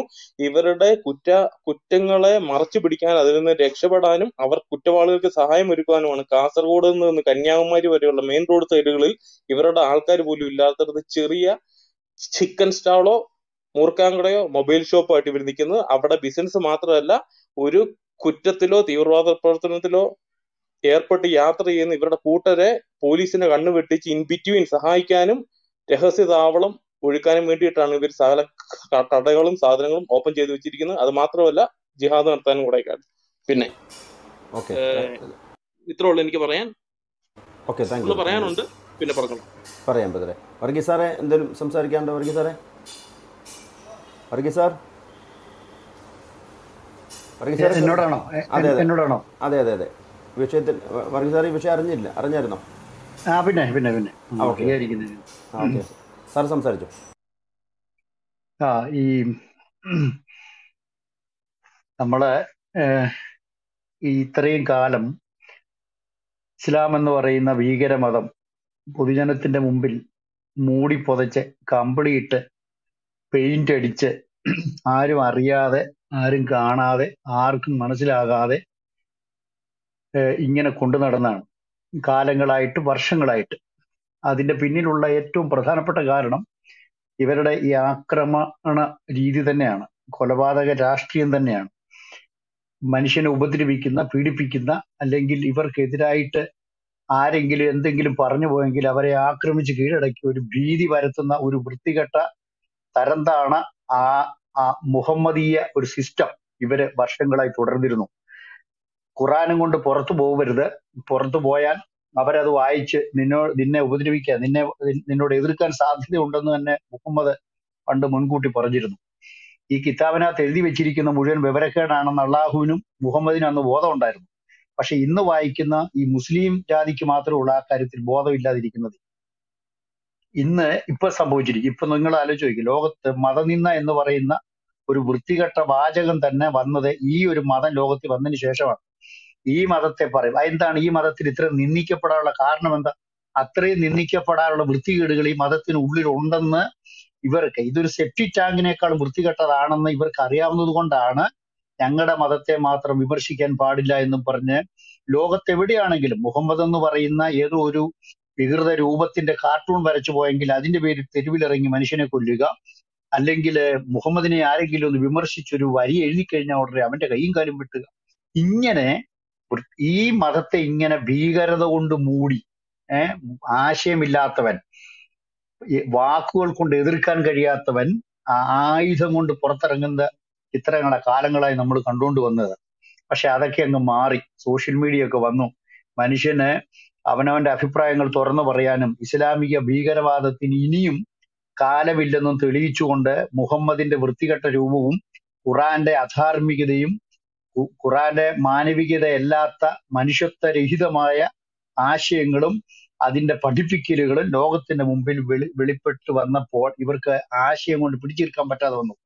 പഠിച്ചിട്ട് വിമർശിക്കൂ സുഹൃത്തുക്കളെ എന്ന് പറഞ്ഞുകൊണ്ട് നാട് നീട നടന്ന് ഇതര മതങ്ങളെ അടച്ചാക്ഷേപിച്ച് അപഹസിച്ച് വീരവാദം മുഴക്കിയിടുന്ന ഇസ്ലാമിക ദാവാ പ്രവാ പ്രവർത്തകരുടെയൊക്കെ എന്താ പറയുക മുഖമൂടികളെ വലിച്ചു കീറി. അപ്പൊ തന്നെ മുഹമ്മദ് എന്ന് പറയുന്ന ഒരു അധാർമിക മതസ്ഥാപകന്റെയും അതുപോലെ ഇസ്ലാം എന്ന് പറയുന്ന ഒരു വൃത്തികെട്ട മതത്തിന്റെയൊക്കെ ആ ആ പ്രാകൃത വികൃത രൂപം സമൂഹത്തിന് മുമ്പിൽ ലോകം വെളിപ്പെട്ട് കഴിഞ്ഞു. ഇനി അവർക്ക് മൂടി വെക്കാൻ പറ്റത്തില്ല. ആൾക്കാരെ കളിയാക്കിക്കൊണ്ടാണെങ്കിലും ഏറിൽ കീറിയ മുഹമ്മദും കിതാബും എല്ലാം കൂടി ഇപ്പോൾ ചന്ദ്രോപരിതലവും ഒക്കെ കഴിഞ്ഞ് വേറെ ഏതൊക്കെ ഒരു ലോകത്തേക്ക് യാത്ര ചെയ്തുകൊണ്ടിരിക്കുകയാണെന്നാണ്. ഇനിയും എം എം അക്ബറോ ബാലുശ്ശേരിയോ അല്ലെങ്കിൽ ഇസ്ലാമ ദാവാപ്രവർത്തകർ ഒരുമിച്ച് പിടിച്ചാൽ പോലും താഴോട്ട് വരാൻ പറ്റാത്ത ഉയരങ്ങളിലേക്ക് അവർ എത്തിക്കഴിഞ്ഞു എന്നാണ് നമ്മൾക്ക് ഇപ്പം കാലാവസ്ഥ മനസ്സിലാക്കിക്കൊണ്ടിരിക്കുന്നത്. ആ അതിന്റെ ഇടയിൽ ഇവർക്ക് ഒരു കാര്യം മനസ്സിലായി. ആൾക്കാർ പഠിച്ചു കഴിഞ്ഞു. ചെറുപ്പക്കാർ വായിക്കാൻ തുടങ്ങി കാര്യങ്ങൾ മനസ്സിലാക്കാൻ തുടങ്ങി കാര്യങ്ങൾ ഗ്രഹിക്കാൻ തുടങ്ങി ഇനിയും മൂടിവെപ്പൽ നടക്കുകയില്ല അപ്പൊ അതിന് പുതിയ പുതിയ തന്ത്രങ്ങൾ അവർ ഇറക്കാൻ തുടങ്ങി. അതിൽ പല തന്ത്രങ്ങൾ ഒന്നായിരുന്നു എം എം അക്ബർ ഇറക്കിയത്. എന്ത് പറഞ്ഞാലും ഞങ്ങളുടെ മുഹമ്മദ് പറഞ്ഞെങ്കിൽ ശരിയാണെന്നുള്ള വൃത്തികേട്. ബാലുശ്ശേരി പറഞ്ഞത് കഴുത്തറത്താൽ അത് മാനവികതയാണെന്ന് പറയുന്ന പ്രസ്താവന. ഇതെല്ലാം വരുന്ന ഈ പുതിയ ചെറുപ്പക്കാർ ഇസ്ലാം എന്ന് പറഞ്ഞ ഭീകരതയെക്കുറിച്ചും വിവരമില്ലാത്ത ചെറുപ്പക്കാർ ഇതൊക്കെ കേട്ട് കഴിയുമ്പോൾ ആവേശം കൊള്ളാൻ ഒരു സാധ്യതയുണ്ട്. അതും കഴിഞ്ഞു. എന്നിട്ട് നടക്കാതെ വന്നപ്പോഴാണ് ഇനിയും ഇവന്മാ ഇവന്മാരുടെ ഏറ്റവും തറ പരിപാടി ആയുധമെടുത്തുള്ള കളി മനുഷ്യനെ ഉപദ്രവിക്കുക. മുസ്ലിം സഹോദരങ്ങൾ ആരെങ്കിലും കേൾക്കുന്നുണ്ടെങ്കിൽ നിങ്ങളുടെ ഈ കഴുത്ത് വെട്ടാനും കൈവെട്ടാനും ഉപദ്രവിക്കാനും നടക്കുന്ന ഈ ഭീകര മൃഗങ്ങളോട് നിങ്ങളൊന്ന് പറയണം. ആശയം കൊണ്ട് എതിർക്കാൻ പറ. അതാണ് ആണത്വം. ആണത്വമില്ലാത്തവന്റെയും കഴിവില്ലാത്തവന്റെയും ഗതികെട്ട പ്രവർത്തനമാണ് ആയുധം എടുത്തുകൊണ്ടുള്ള കളി ഉപദ്രവിച്ചുകൊണ്ടുള്ള പണി. നിങ്ങൾക്ക് ആശയം കൊണ്ട് നിങ്ങൾക്ക് നേരിടാൻ പറ്റുമോ? നിങ്ങൾ എവിടെ നിന്നോട് പറയുമല്ലോ ഞങ്ങളുടെ തല ഉയർത്തി നിൽക്കുന്ന മതമാണ് ആശയം കൊണ്ട് വരാൻ.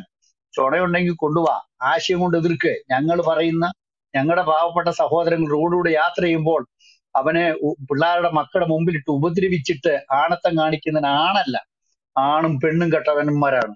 നട്ടലില്ലാത്തവന്മാരാണ്. ആ അതിന്റെ ലക്ഷണമാണ് ഈ ഉപദ്രവങ്ങൾ. അല്ലാതെ ആശയം കൊണ്ട് എതിർക്കാൻ പറ്റുമെങ്കിൽ വന്ന് ആശയം കൊണ്ട് എതിർക്കണം. വന്ന് പറയണം. അതാണ്ട് ഞങ്ങളുടെ മുഹമ്മദ് ശ്രേഷ്ഠനാണ്. ഞങ്ങളുടെ ഇസ്ലാം ശ്രേഷ്ഠമാണ് എന്ന് നിങ്ങൾ ലോകത്തിന് മുമ്പിൽ പറ. അങ്ങനല്ലേ മതങ്ങൾ വളരുന്നത്? അങ്ങനല്ലേ മതപ്രഭാഷണങ്ങൾ നടത്തുന്നത് പാടും അതല്ലാതെ ലോകത്തിലെങ്ങും ഇല്ലാത്ത ഒരു ത്തിന്റെ വൃത്തികെട്ട സ്വർഗത്തെ കുറിച്ച് ചെറുപ്പക്കാരെ പറഞ്ഞ് മോഹിപ്പിച്ച് അവരെ കൊന്നു കൊല വിളിക്കാൻ വേണ്ടി പഠിപ്പിക്കുന്ന നിങ്ങളുടെ ആ മതം ഇനി ഈ ലോകത്തിന് ആവശ്യമില്ല. നിങ്ങൾ എത്ര ആയുധം എടുത്താലും നിങ്ങളെ കാർക്കിച്ചു തുപ്പി ജനം കാലുകൊണ്ട് ചവിട്ടിക്കളയുന്ന ഒരു കാലം വരികയാണ്.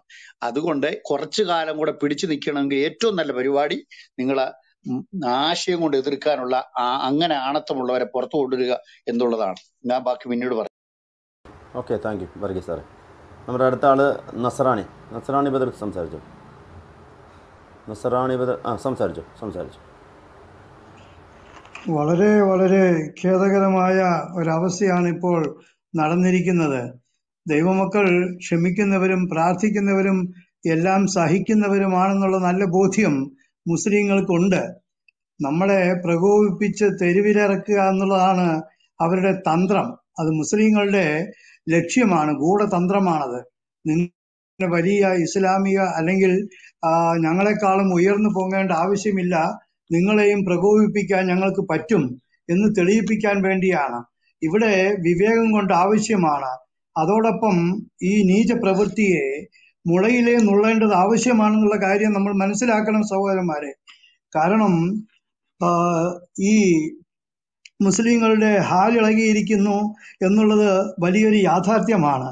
ഇപ്പോഴ് നമ്മൾ ഈ തൊടുപുഴയിൽ നടന്ന കാര്യം നമ്മൾ അത് നിസ്സാരവൽക്കരിച്ചാൽ ഇനി നടക്കാൻ പോകുന്നത് വളരെ നീചമായിരിക്കുന്ന ഇതിന് നീചമായിരിക്കുന്ന കാര്യങ്ങളായിരിക്കും. നേരത്തെ ഒരു സഹോദരൻ തുറന്നു പറഞ്ഞല്ലോ നമ്മളുടെ അമ്മയും പെങ്ങളും ഭാര്യമാരെയും പിടിച്ചുകൊണ്ടു പോകുമ്പോൾ നമ്മൾ എന്തു ചെയ്യും എന്നുള്ളത് ഇപ്പോൾ ചിന്തിക്കണം. ഈ നരാധിപന്മാരെ തളച്ചിടുക. തീർച്ചയായിട്ടും ഒരു ആയിരം പേരെങ്കിലും ഈ ഉടനെ ആ സ്ഥലത്ത് ഈ സംഭവിച്ച സ്ഥലത്ത് മൗനജാതിയായി നമ്മൾ ഒരു എന്താണ് പറയാ ഒരു പ്രതികരണം നടത്തിയില്ലെങ്കിൽ വളരെ അത് ഈ ആക്രമിക്കപ്പെട്ട നമ്മുടെ ഈ സഹോദരനോട് കാണിക്കുന്ന അധാർമ്മതയാണ് എന്ന് ഞാൻ തീർച്ചയായും പറയുന്നു. ഇത് പ്രധാനമന്ത്രിയെ ഉടനെ അറിയിക്കേണ്ടത് ആവശ്യമാണ്. അത് ഈ സമയത്ത് തന്നെ നിങ്ങൾ ചെയ്തിരിക്കുമെന്ന് ഞാൻ വിശ്വസിക്കുന്നു. പ്രാർത്ഥനയാൽ നേരിടുമ്പോൾ തന്നെ ദൈവം പ്രതികാരം ചെയ്യും. അത് നമ്മുടെ വിശ്വാസമാണ്. എന്നാൽ ഈ മുഖ്യമന്ത്രി ഇതൊക്കെ അറിഞ്ഞിട്ടുണ്ടാകും. പക്ഷെ അറിഞ്ഞ ഭാവം ഇദ്ദേഹം കാണിക്കുകയില്ല അതുകൊണ്ട് ഉടനെ തന്നെ പ്രധാനമന്ത്രി ഈ കാര്യം അറിയിക്കുകയും ഞങ്ങൾ എന്ത് ചെയ്യണം എന്നുള്ളതിൽ നീതീകരണം നമ്മൾ നടത്തുകയും ചെയ്യേണ്ടത് ആവശ്യമായിരിക്കുന്നു. വളരെ വിഷമമുണ്ട്. എന്നെ മുസ്ലിങ്ങൾ അടിച്ചപ്പോൾ ഇതേപോലെ പ്രതികരിക്കാൻ ആരുമില്ലായിരുന്നു. ഞാനങ്ങ് സഹിച്ചു. എന്റെ ഇടത് കൈ നശിപ്പിച്ചു. എന്റെ കാലുകൾ മുറിച്ചിട്ടു. കാറ് കൊണ്ട് ഇടിച്ചിട്ടും ബസ് കൊണ്ട് ഇടിപ്പിച്ചിട്ടും ഒക്കെയും അന്ന് ആരുമില്ല. ഇന്ന് നമ്മൾ വളർന്നിരിക്കുന്നു. അതുകൊണ്ട് നമ്മൾ പ്രതികരിച്ചേ പറ്റൂ എന്ന് യേശു ക്രിസ്തുവിന്റെ നാമത്തിൽ നമ്മൾ ഓർമ്മിപ്പിക്കുന്നു. നാം ഒരുമിച്ച് ഇതിനു വേണ്ടി തെരുവിലിറങ്ങി മൗനജാതിയായിട്ടെങ്കിലും നടക്കണം. വേറെ ഒന്നും ഒരു പ്രകോപനവും നമ്മൾ ചെയ്യില്ല. നമ്മൾ ദൈവമക്കളാണെന്ന് ഈ ലോകജനം അറിയാൻ വേണ്ടി മാത്രം അത് ചെയ്യണം. ഓക്കെ സ്തോത്രം. കർത്താവ് അനുഗ്രഹിക്കട്ടെ. ഞാൻ ആ സഹോദരന് വേണ്ടി കുടുംബത്തിന് വേണ്ടി പ്രാർത്ഥിക്കുന്നു. എനിക്ക് വളരെ ദുഃഖവും സങ്കടവും ഉണ്ട്. ദൈവത്തിന് സ്തോത്രം. ആമേ ഓക്കെ താങ്ക് യു നസ്രാണി പാസ്റ്റർ അദ്ദേഹം പറഞ്ഞ ഒരു കാര്യം വളരെ ശ്രദ്ധിക്കേണ്ട ഒരു കാര്യമാണ്. ഏർഗ ബ്രദർ ഒന്ന് മ്യൂട്ട് ചെയ്യോ? ഏർഗ ബ്രദർ ഒന്ന് മ്യൂട്ട് ചെയ്യോ? അദ്ദേഹം പറഞ്ഞൊരു കാര്യം ഇങ്ങനെയാണ്. നമ്മളൊരു പ്രതിഷേധമായി ഒരു മൗനജാഥയെങ്കിലും നടത്തണമെന്നുള്ള ഒരു കാര്യം പറഞ്ഞു. അത് സത്യത്തിൽ നമ്മുടെ കാസയും ഒക്കെ അല്ലെങ്കിൽ ഇങ്ങനെയുള്ള സംഘടനകളെല്ലാം ഏറ്റെടുത്ത് അല്ലെങ്കിൽ നമ്മളൊക്കെ ഒരുമിച്ച് എങ്ങനെ ഇത് നടത്താൻ പറ്റും എന്നതിനെക്കുറിച്ചൊക്കെ സംസാരിക്കുകയും ആലോചിക്കുകയും ചെയ്യുന്നത് നല്ലതായിരിക്കുമെന്ന് ഞാൻ ഞാനും അഭിപ്രായപ്പെടുന്നു. അത് ഏറ്റവും നല്ല കാര്യമാണ്. കാരണം ഇങ്ങനെ നമ്മുടെ നമ്മുടെ സഹോദരനെ മൃഗീയമായി പീഡിപ്പിക്കുമ്പോൾ നമ്മുടെ പ്രതിഷേധം അറിയിക്കാൻ ലഭിക്കുന്ന സന്ദർഭത്തെ നാം ഉപയോഗിക്കുക. അത് മാത്രമല്ല ഏഹ്, സെൻട്രൽ ഗവൺമെന്റിന് അജിത് ഡോവലിന്റെ അദ്ദേഹത്തിനൊക്കെ ഇതിന്റെ കാര്യങ്ങൾ ഡീറ്റെയിൽ ആയിട്ട് നമ്മൾ കംപ്ലൈന്റ് കൊടുക്കാനും ശ്രമിക്കുക. അത് ഏറ്റവും മറുപടി കിട്ടുന്ന ഒരു കാര്യമായിരിക്കും എന്ന് സാധ്യതയുണ്ട്. ദൈവം എല്ലാവരെയും അനുഗ്രഹിക്കട്ടെ. നമുക്ക് അടുത്ത ആളിലേക്ക് പോവാം. വീക്കെൻഡ് സംസാരിച്ചോളൂ പറയാം പറയാം പറയാം. എർഗയാണോ കീലേരിയാണോ?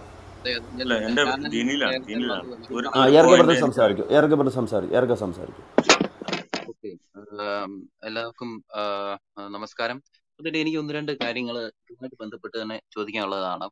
ആദ്യമായിട്ട് നമ്മൾ ഈ പോയിന്റിൽ നിന്ന് സംസാരിക്കുമ്പോൾ ഈ ഒരു അക്രമം വീണ്ടും കേരളത്തിൽ ആരംഭിച്ചിരിക്കുന്നു എന്നുള്ളതാണല്ലോ നമ്മുടെ വിഷയം. അപ്പൊ അങ്ങനെ ഇന്നലെ നടന്ന ഈ അക്രമവുമായിട്ട് ബന്ധപ്പെട്ട് ഇപ്പൊ ഈ പറഞ്ഞതുപോലെ ഒരു എന്താണ് നമ്മൾ പ്രാക്ടിക്കലായിട്ട് നമ്മൾ ചെയ്തിട്ടുള്ളത് എന്നാണ് നമ്മൾ ആദ്യമായിട്ടൊന്ന് ചിന്തിക്കേണ്ടത്. ഈ പറഞ്ഞതുപോലെ ഇപ്പൊ പാസ്റ്റർ പറഞ്ഞു പോയി ഒരു മൗന ജാഥയെങ്കിലും നടത്തുക. അത് വളരെ പ്രധാനപ്പെട്ട ഒരു നമ്മൾ മീഡിയകളൊന്നും ഇത് കവർ ചെയ്യില്ല. നമ്മൾ എന്ത് ചെയ്താലും മീഡിയ അത് കവർ ചെയ്യില്ല എന്നുള്ള കാര്യം വളരെ തീർച്ചയാണ്. പക്ഷേ നേരത്തെ ഒരു സഹോദരൻ സൂചിപ്പിച്ചതുപോലെ ആ പ്രദേശത്തുള്ള ആളുകൾക്ക് ഒരു സമാധാനം നൽകാൻ അവർ ഒറ്റയ്ക്കല്ല എന്നൊരു ചിന്ത ഉണ്ടാകാൻ നമ്മൾ അവിടെ നടത്തുന്ന പ്രാക്ടിക്കലായ ഓരോ നടപടിയും സഹായിക്കും എന്നുള്ളത് വളരെ വ്യക്തമാണ്. അപ്പൊ അതുകൊണ്ട് ആ തരത്തിൽ നമുക്ക് എന്ത് ചെയ്യാൻ സാധിച്ചു എന്നുള്ളത് നമ്മൾ ചിന്തിക്കണം. ഒന്നും ചെയ്യാൻ കഴിഞ്ഞിട്ടില്ലെങ്കിൽ എത്രയും വേഗം അത് ചെയ്യാനുള്ള ഒരു ഇനിഷ്യേറ്റീവ് ആരെങ്കിലും എടുക്കേണ്ടതായിട്ടുണ്ട് എന്നുള്ളതാണ്. ഇനി രണ്ടാമത്തെ ഒരു കാര്യം എനിക്ക് പറയാനുള്ള പലപ്പോഴും ചോദിച്ചത് എന്താണ് ഈ ചർച്ചകളുടെ പ്രാധാന്യം? ഞാൻ പറയുന്നത് നമ്മൾ സ്കൂളുകളിലൊക്കെ പഠിക്കുമ്പം പ്രാക്ടിക്കലും ഉണ്ട് തിയറിയും ഉണ്ട്. ഇപ്പൊ നമ്മൾ ഈ തിയറി പാർട്ടാണ് കൂടുതലായും ഈ ചർച്ചകൾ വഴിയായി അല്ലെങ്കിൽ സെബാസ്റ്റ്യൻ പുന്നക്കലിന്റെ ഷോകൾ വഴിയായിട്ടൊക്കെ നമ്മൾ നടത്തിക്കൊണ്ടിരിക്കുന്നത്. ഞാൻ പറയട്ടെ ഞാൻ ചെറുപ്പത്തിൽ വിചാരിച്ചിരുന്നത് ഈ മുസ്ലിം എന്ന് പറയുന്നത് മറ്റു നമ്മളെ പോലെ തന്നെ ഒരു മതം അത് ഇസ്മായിലിന്റെ പിന്തുടർച്ചയായിട്ടുള്ള മതം അവരങ്ങനെ പോകുന്നത് എനിക്ക് ഇതിനെപ്പറ്റി ഡീറ്റെയിൽ ആയിട്ട് ഒന്നും അറിയില്ലായിരുന്നു. പക്ഷെ ഈ പഠനങ്ങൾ വഴിയായിട്ടാണ് ഇതിന്റെ ഉള്ളടക്കം എന്താണ്? മുഹമ്മദ് എന്ന് പറയുന്നത് ആരായിരുന്നു? അയാൾ ചെയ്തത് കൂട്ടിയത് എന്താണ്? എന്ന് മനസ്സിലാക്കാൻ സാധിക്കും അതൊരു തിയറി പാർട്ട് മാത്രമാണ്. ഇനി നമ്മൾ ചിന്തിക്കുന്നത് പ്രാക്ടിക്കൽ ആയിട്ട് നമ്മൾ ഈ മനസ്സിലാക്കുന്ന തിയറിയുടെ വെളിച്ചത്തിൽ നമ്മൾ എന്താണ് ചെയ്യുന്നത്? നമുക്ക് എന്ത് ചെയ്യാൻ സാധിക്കും എന്നുള്ള ഒരു ചോദ്യം വളരെ പ്രസക്തമാണ്. അതിന് നമ്മൾ നേരത്തെ സൂചിപ്പിച്ച പോലെ പൊളിറ്റിക്കൽ ആയിട്ട് നമുക്ക് മൂവ് ഉണ്ടാവണം. ഇപ്പോഴത്തെ സാഹചര്യത്തിൽ എനിക്ക് തോന്നുന്നു രണ്ട് സാധ്യതകളാണ് നമ്മുടെ മുൻപിൽ ഉള്ളത് ഒന്നുകിൽ നമ്മൾ ഒരു പൊളിറ്റിക്കൽ പവർ എന്നുള്ള രീതിയിൽ ഒരു സംഗതി ഫോം ചെയ്യുക അതിന് ആരെങ്കിലും ഇനിഷ്യേറ്റ് ചെയ്തു. പക്ഷെ അത് അത്ര കണ്ട് സാധ്യമല്ല. കാരണം കേരളത്തിൽ ഏറ്റവും കൂടുതലുള്ളത് ക്രിസ്ത്യൻ വിഭാഗത്തിൽ തന്നെ കത്തോലിക്കരാണ്. പക്ഷെ കത്തോലിക്ക സഭയുടെ കാനൻ നിയമവും മറ്റു കാര്യങ്ങളും എല്ലാം പൊളിറ്റിക്കലി ഇൻവോൾവ് ചെയ്യുന്നതിൽ നിന്ന് അവരെ വിലക്കിയിരിക്കുന്നത് കൊണ്ട് തന്നെ അവരുടെ പിതാക്കന്മാർക്കാകട്ടെ വൈദികർക്കാകട്ടെ ഇതിലേക്ക് ഇറങ്ങി വന്ന് ഒന്നും ചെയ്യാൻ സാധിക്കില്ല. ഇനി അങ്ങനെ എന്തെങ്കിലും ചെയ്താൽ തന്നെ അവരെ താറടിക്കാനുള്ള മറ്റ് പല കാര്യങ്ങൾ ഓൾറെഡി പല വിഷയങ്ങൾ വഴിയായിട്ട് ഇവർ ഉണ്ടാക്കി വെച്ചിട്ടുണ്ട്. അത് കുത്തിപ്പൊക്കി വീണ്ടും കൊണ്ടുവരിക. അല്ലെങ്കിൽ അവിടെ വിഷയമുണ്ടായി ഇവിടെ വിഷയമുണ്ടായി എന്ന് പറയുക. സമൂഹത്തിൽ മുഴുവൻ ഒരു പരിഹാസ രൂപമാക്കി അവരെ അടിച്ചിടാൻ വളരെ എളുപ്പമാണ്. പ്രത്യേകിച്ചും അവർ ഈ പറയുന്ന അവിവാഹിതരായി ജീവിക്കുന്ന ഒരു ക്രമം ഉള്ളതുകൊണ്ട് തന്നെ. അപ്പൊ അങ്ങനെ വരുന്ന സാഹചര്യത്തിൽ അവർക്കുള്ളിൽ നിന്ന് തന്നെ അവർ ആ നേതാക്കന്മാരെ എതിർക്കുന്ന രീതിയും വരും. അതുകൊണ്ട് അവർക്കത് കഴിയുമെന്ന് എനിക്ക് തോന്നുന്നില്ല. അപ്പോൾ എന്താണ് നമുക്ക് ചെയ്യാൻ പറ്റുക? കുറെ കൂടി ചെറിയ കമ്മ്യൂണിറ്റികൾക്കാണ് ചെറിയ കമ്മ്യൂണിറ്റികളുടെ ലീഡർമാർക്കാണ് ഇത്തരത്തിൽ എന്തെങ്കിലും ചെയ്യാനായിട്ട് സാധിക്കുക. അപ്പൊ ആ ഒരു രീതിയിൽ പൊളിറ്റിക്കലായിട്ട് എന്തെങ്കിലും ചെയ്യാൻ പറ്റുമോ എന്ന് നമ്മൾ ചിന്തിക്കണം. അതാണ് ഒന്നാമത്തെ ഓപ്ഷൻ. ഇനി അതല്ല രണ്ടാമത്തെ ഒരു ഓപ്ഷൻ ഉള്ളത് നമ്മൾ ബി ജെ പിയുമായി ചേർന്ന് പ്രവർത്തിക്കുന്ന ഒരു ബി ജെ പി സപ്പോർട്ട് പ്രവർത്തിക്കുക എന്ന് അതിൽ അംഗത്വം എടുത്ത് പ്രവർത്തിക്കുന്നതല്ല ഉദ്ദേശിച്ചത്. അവരോട് അനുഭവം പുലർത്തുക എന്നുള്ളതാണ്. പക്ഷേ അവിടെയും നമുക്ക് പ്രാക്ടിക്കലായിട്ട് വരുന്ന വലിയൊരു പ്രശ്നങ്ങളുണ്ട്. അത് ഞാനിവിടെ മോഹൻദാസ് സാർ ഒക്കെ ഉള്ളത് കൊണ്ട് തന്നെ പറയുകയാണ്. കേരളത്തിൽ പ്രത്യേകിച്ചും ബി ജെ പി എന്ന് പറയുന്നത് ഒരു കോമഡി ഒരു കോമിക്കാക്കി മാറ്റാനുള്ള വളരെ ശക്തമായ ശ്രമങ്ങൾ നേരത്തെ ട്രോളുകൾ വഴിയായിട്ടാണെങ്കിലും മറ്റു ചർച്ചകൾ വഴിയായിട്ടാണ്. ഇതൊരു കോമഡി സംഭവം. എന്ന മട്ടിൽ ചാണകം തിന്നുന്നവർ എന്ന മട്ടിൽ അവതരിപ്പിക്കാൻ വളരെ ശക്തമായിട്ടൊരു ശ്രമം നടക്കുന്നുണ്ട്. അതുകൊണ്ട് തന്നെ ചിലപ്പോൾ നമുക്ക് ബി ജെ പിയുടെ അനുഭവം ഉണ്ടെന്ന് പറയാൻ തന്നെ ചിലപ്പോ നമുക്ക് മടി തോന്നുന്ന ഒരു അവസ്ഥ കേരളത്തിൽ ഉണ്ടാക്കി വെച്ചിട്ടുണ്ട്. ഇനി ഏതെങ്കിലും ഒരു തരത്തിൽ ഒരു ചായ്വ് അങ്ങോട്ട് വരുന്നതായിട്ട് തോന്നിയാൽ അപ്പോൾ തന്നെ നോർത്ത് ഇന്ത്യയിൽ അങ്ങനെ സംഭവിച്ചു ഇങ്ങനെ സംഭവിച്ചു എന്ന മട്ടിൽ പല വാർത്തകളും പെട്ടെന്ന് മീഡിയയിൽ പൊങ്ങി വരും. നോർത്ത് ഇന്ത്യയിൽ പള്ളി കത്തിച്ചു അവിടെ പാസ്റ്റർ അടിച്ചു എന്നുള്ള മട്ടിലുള്ള വാർത്തകൾ പൊങ്ങി വരും. അപ്പൊ ഇതിനെ പ്രതിരോധിക്കേണ്ടത് ബി ജെ പി നേതാക്കന്മാരുടെ ഉത്തരവാദിത്തമാണ്. ഇതിനെ ഒരു കോമഡി പീസാക്കി മാറ്റുന്നതിനെ പ്രതിരോധിക്കാൻ ബി ജെ പി നേതാക്കൾ എന്ത് ചെയ്യുന്നു? ബി ജെ പിയുടെ തലപ്പത്തുള്ളവർ എന്ത് ചെയ്യുന്നു എന്നുള്ളത് അവർ ആത്മശോധന ചെയ്യേണ്ട കാര്യമാണ്. അവർക്ക് ക്രിസ്ത്യാനികളാണ് എഴുപത്തഞ്ച് ശതമാനം എന്ന് പറയുന്നത് ക്രിസ്ത്യാനികളും ഹിന്ദുക്കളും ചേരുന്ന കമ്മ്യൂണിറ്റിയാണ് ഈ ഇരുപത്തഞ്ച് ശതമാനം വരുന്ന ഒരു കമ്മ്യൂണിറ്റി അധാർമികമായിട്ട് ഇവരുടെ മേളിൽ എന്തെങ്കിലും ഒന്ന് ചെയ്യുന്നെങ്കിൽ അതിനെ പ്രതിരോധിക്കാൻ ഇവർ ഒന്നിച്ചാൽ സാധിക്കും. അതിനെ ഒന്നിപ്പിക്കാൻ നിലവിൽ അതിന്റെ ഐഡിയോളജി കൊണ്ട് തന്നെ സാധിക്കുന്നത് ബി ജെ പിക്ക് മാത്രമാണ്. കാരണം ബി ജെ പിക്ക് അതിന്റെ ഐഡിയോളജി കൊണ്ട് തന്നെ വോട്ട് ബാങ്കിന്റെ പേരിൽ ഒരിക്കലും ഒരു മുസ്ലിം വർഗീയ സംഘടനയെ പ്രോത്സാഹിപ്പിക്കാൻ പറ്റില്ല. പക്ഷെ കോൺഗ്രസിനാകട്ടെ കമ്മ്യൂണിസ്റ്റിനാകട്ടെ അത് സാധിക്കും. കാരണം അവരുടെ മതേതരത്വം എന്നുള്ള ഒരു സംഗതി അവരതിൽ ഉള്ളിൽ സൂക്ഷിക്കുന്നുമുണ്ട് ബി ജെ പിക്ക് അതിന്റെ ലേഖകളിൽ കണ്ടേക്കാം. പക്ഷേ മതേതരത്വം ഇല്ലെന്നല്ല ഞാൻ പറയുന്നത്. പക്ഷേ അധാർമികമായ തീവ്രവാദികളുമായി കൂട്ടുചേരാൻ ബി ജെ പിക്ക് സാധിക്കില്ല. അപ്പൊ ബി ജെ പി തീർച്ചയായിട്ടും അതിന്റെ നേതാക്കന്മാർ കൂടി ആലോചിക്കണം. എവിടെയാണ് അതിന് എനിക്ക് തോന്നുന്നത് ഒരു നല്ലൊരു ക്രിസ്ത്യൻ നേതാവ് ഉന്നത തലത്തിൽ ബി ജെ പിക്ക് ഇല്ല കേരളത്തിൽ തന്നെ ഒരു ക്രിസ്ത്യൻ നേതാവ് ബി ജെ പിയുടെ തലപ്പത്തുണ്ടായിരുന്നെങ്കിൽ തീർച്ചയായിട്ടും അത് ഈ കേരളത്തിലെ ക്രിസ്ത്യാനികളെ സ്വാധീനിക്കാൻ കഴിയുന്ന ഒരു അതുകൊണ്ടാണ് പലപ്പോഴും ബി ജെ പി ഒരു ഹിന്ദു പാർട്ടി മാത്രമായിട്ട് ലേബൽ ചെയ്തപ്പെട്ട് പോകുന്നത്. നല്ലൊരു ക്രിസ്ത്യൻ നേതാവ് ഇല്ല ഉയർത്തിക്കാട്ടാൻ പറ്റുന്ന ഒരു ക്രിസ്ത്യൻ നേതാവ് ബി ജെ പിയുടെ തലങ്ങളിൽ ഇല്ല എന്നുള്ള വസ്തുത നമ്മൾ അംഗീകരിക്കണം. ഇവിടെ നമ്മ ടി ജെ മോഹൻദാസ് സാർ ഒക്കെ ഉള്ളത് കൊണ്ട് തന്നെ അവർക്ക് അത്തരത്തിൽ എന്തെങ്കിലും ചെയ്യാൻ സാധിക്കും എന്ന് ഞാൻ വിചാരിക്കുകയാണ്. മൂന്നാമതായിട്ട് നമുക്ക് ഇപ്പൊ പറയുന്ന പോലെ ഈ മുഖ്യമന്ത്രികളോട് ഒന്നും ചെയ്യാൻ സാധിക്കില്ല. അവർ ഇനി ചെയ്യാൻ ആഗ്രഹമുണ്ടെങ്കിൽ പോലും സാധിക്കില്ല. അപ്പൊ നമ്മൾ അതിന്റെ ഹയർ ബോഡികളിലേക്ക് തിരിയുക എന്ന് മാത്രമാണ്. നമുക്ക് കോർട്ടാണ് അല്ലെങ്കിൽ ജുഡീഷ്യറി ആണ് ഇത്തരത്തിൽ നമുക്ക് ആശ്രയിക്കാൻ പറ്റുന്ന ഒന്നാമത്തെ ഒരു മേഖല. രണ്ടാമത്തേത് കേന്ദ്ര ഗവൺമെന്റ് ആണ് ഈ രണ്ട് തലത്തിലും നമ്മുടെ മൂവ്മെന്റ്സ് ഉണ്ടാകണം എന്നുള്ളതാണ് എനിക്ക് പറയാനുള്ളത്. അവസാനമായിട്ട് ഞാൻ ഒരു രണ്ട് ചോദ്യങ്ങളൂടെ ചോദിച്ച് അവസാനിപ്പിക്കുകയാണ്. ഒന്നാമത്തെ ചോദ്യം ഇതാണ്. നമ്മൾ അല്പം മുമ്പ് ഒരു സഹോദരൻ വളരെ വൈകാരികമായിട്ട് കുറെ കാര്യങ്ങൾ സംസാരിച്ചു. അദ്ദേഹം ഇതിന്റെ റിസർവേഷനെ കുറിച്ച് പറഞ്ഞു. റിസർവേഷനെ കുറിച്ച് പറഞ്ഞപ്പോൾ അദ്ദേഹം പറഞ്ഞ ഒരു കാര്യം ഇതാണ്. ഹിന്ദുക്കളായി അല്ലാഞ്ഞിട്ട് പോലും മലയര വിഭാഗത്തിന് റിസർവേഷൻ കൊടുക്കുന്നു എന്നൊരു കമന്റ് അദ്ദേഹം പറഞ്ഞു. അദ്ദേഹം അത് ഉൾക്കൊണ്ട് എനിക്ക് അതിനകത്ത് ക്ലാരിഫൈ ചെയ്യാനുള്ള ഒരു കാര്യം ഇതാണ്. നമ്മൾ റിസർവേഷൻ കൊടുക്കുന്നത് അത് മതാടിസ്ഥാനത്തിലല്ല മറിച്ച് ഈ സമുദായ അടിസ്ഥാനം ചെറിയ സമൂഹങ്ങളുടെ അടിസ്ഥാനം മലയരെ മലയരയ വിഭാഗം. ആ വിഭാഗത്തിൽപ്പെട്ട ഒരാൾ അത് കുരിശു വരയ്ക്കുന്ന ആളാണോ? അതോ അമ്പലത്തിൽ പോകുന്ന ആളാണോ എന്നുള്ളതല്ല വിഷയം. അയാൾ മലയേറിയ വിഭാഗത്തിൽപ്പെട്ട ആളാണോ. അതിനാണ് റിസർവേഷൻ കൊടുക്കുന്നത്. അതുകൊണ്ട് അദ്ദേഹം ക്രിസ്ത്യാനിയാണോ ഹിന്ദു ആണോ എന്നുള്ളതിനല്ല മറിച്ച് ആ വിഭാ ഇപ്പൊ നാടാർ സമൂഹം. നാടാർ സമൂഹത്തിന് അവിടെ സമരം ഉണ്ടായത് എന്തിനു വേണ്ടിയാണ്? നാടാർ സമുദായത്തിലെ ഹിന്ദു ആളുകൾക്ക് റിസർവേഷൻ കിട്ടുകയും നാടാർ വിഭാഗത്തിൽ തന്നെ അതായത് ചരിത്രത്തിന്റെ വഴികളിൽ അടിച്ചമർത്തൽ നേരിടേണ്ടി വന്നതുകൊണ്ടാണ് ഇവർക്ക് റിസർവേഷൻ കൊടുക്കുന്നത്. ആ ചരിത്രത്തിൽ അടിച്ചമർത്തൽ നേരിടേണ്ടി വന്ന ഒരു വ്യക്തി അയാൾ ഇപ്പോൾ കുരിശു വരയ്ക്കുന്നു എന്നുള്ളത് കൊണ്ട് അയാൾക്ക് റിസർവേഷൻ ഇല്ല എന്ന് പറയുന്ന അനീതിക്കെതിരെയാണ് അവിടെ ശബ്ദ ഉയർന്നത് അതുകൊണ്ട് മതാടിസ്ഥാനത്തെക്കാൾ ഉപരിയായി ഇവരുടെ സമൂഹം ഈ കൊച്ചു സമൂഹത്തിന്റെ പേരിലാണ് റിസർവേഷൻ നടത്തുന്നത് എന്നാണ് എനിക്ക് മനസ്സിലാകുന്നത്.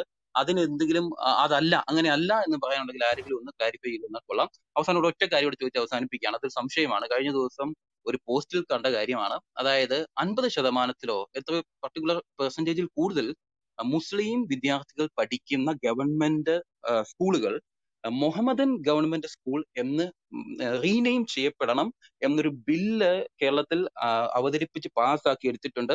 അതിന്റെ അടിസ്ഥാനത്തിൽ കുറേയേറെ ഗവൺമെന്റ് സ്കൂളുകൾ Mohammedan government higher secondary school എന്ന മട്ടിൽ റീനെയിം ചെയ്യപ്പെട്ടിരിക്കുന്നു എന്നൊരു വാർത്ത കേൾക്കാനായിട്ട് ഇടയായി. എനിക്കത് അങ്ങോട്ട് കേട്ടിട്ട് അങ്ങോട്ട് വിശ്വാസം തോന്നിയില്ല.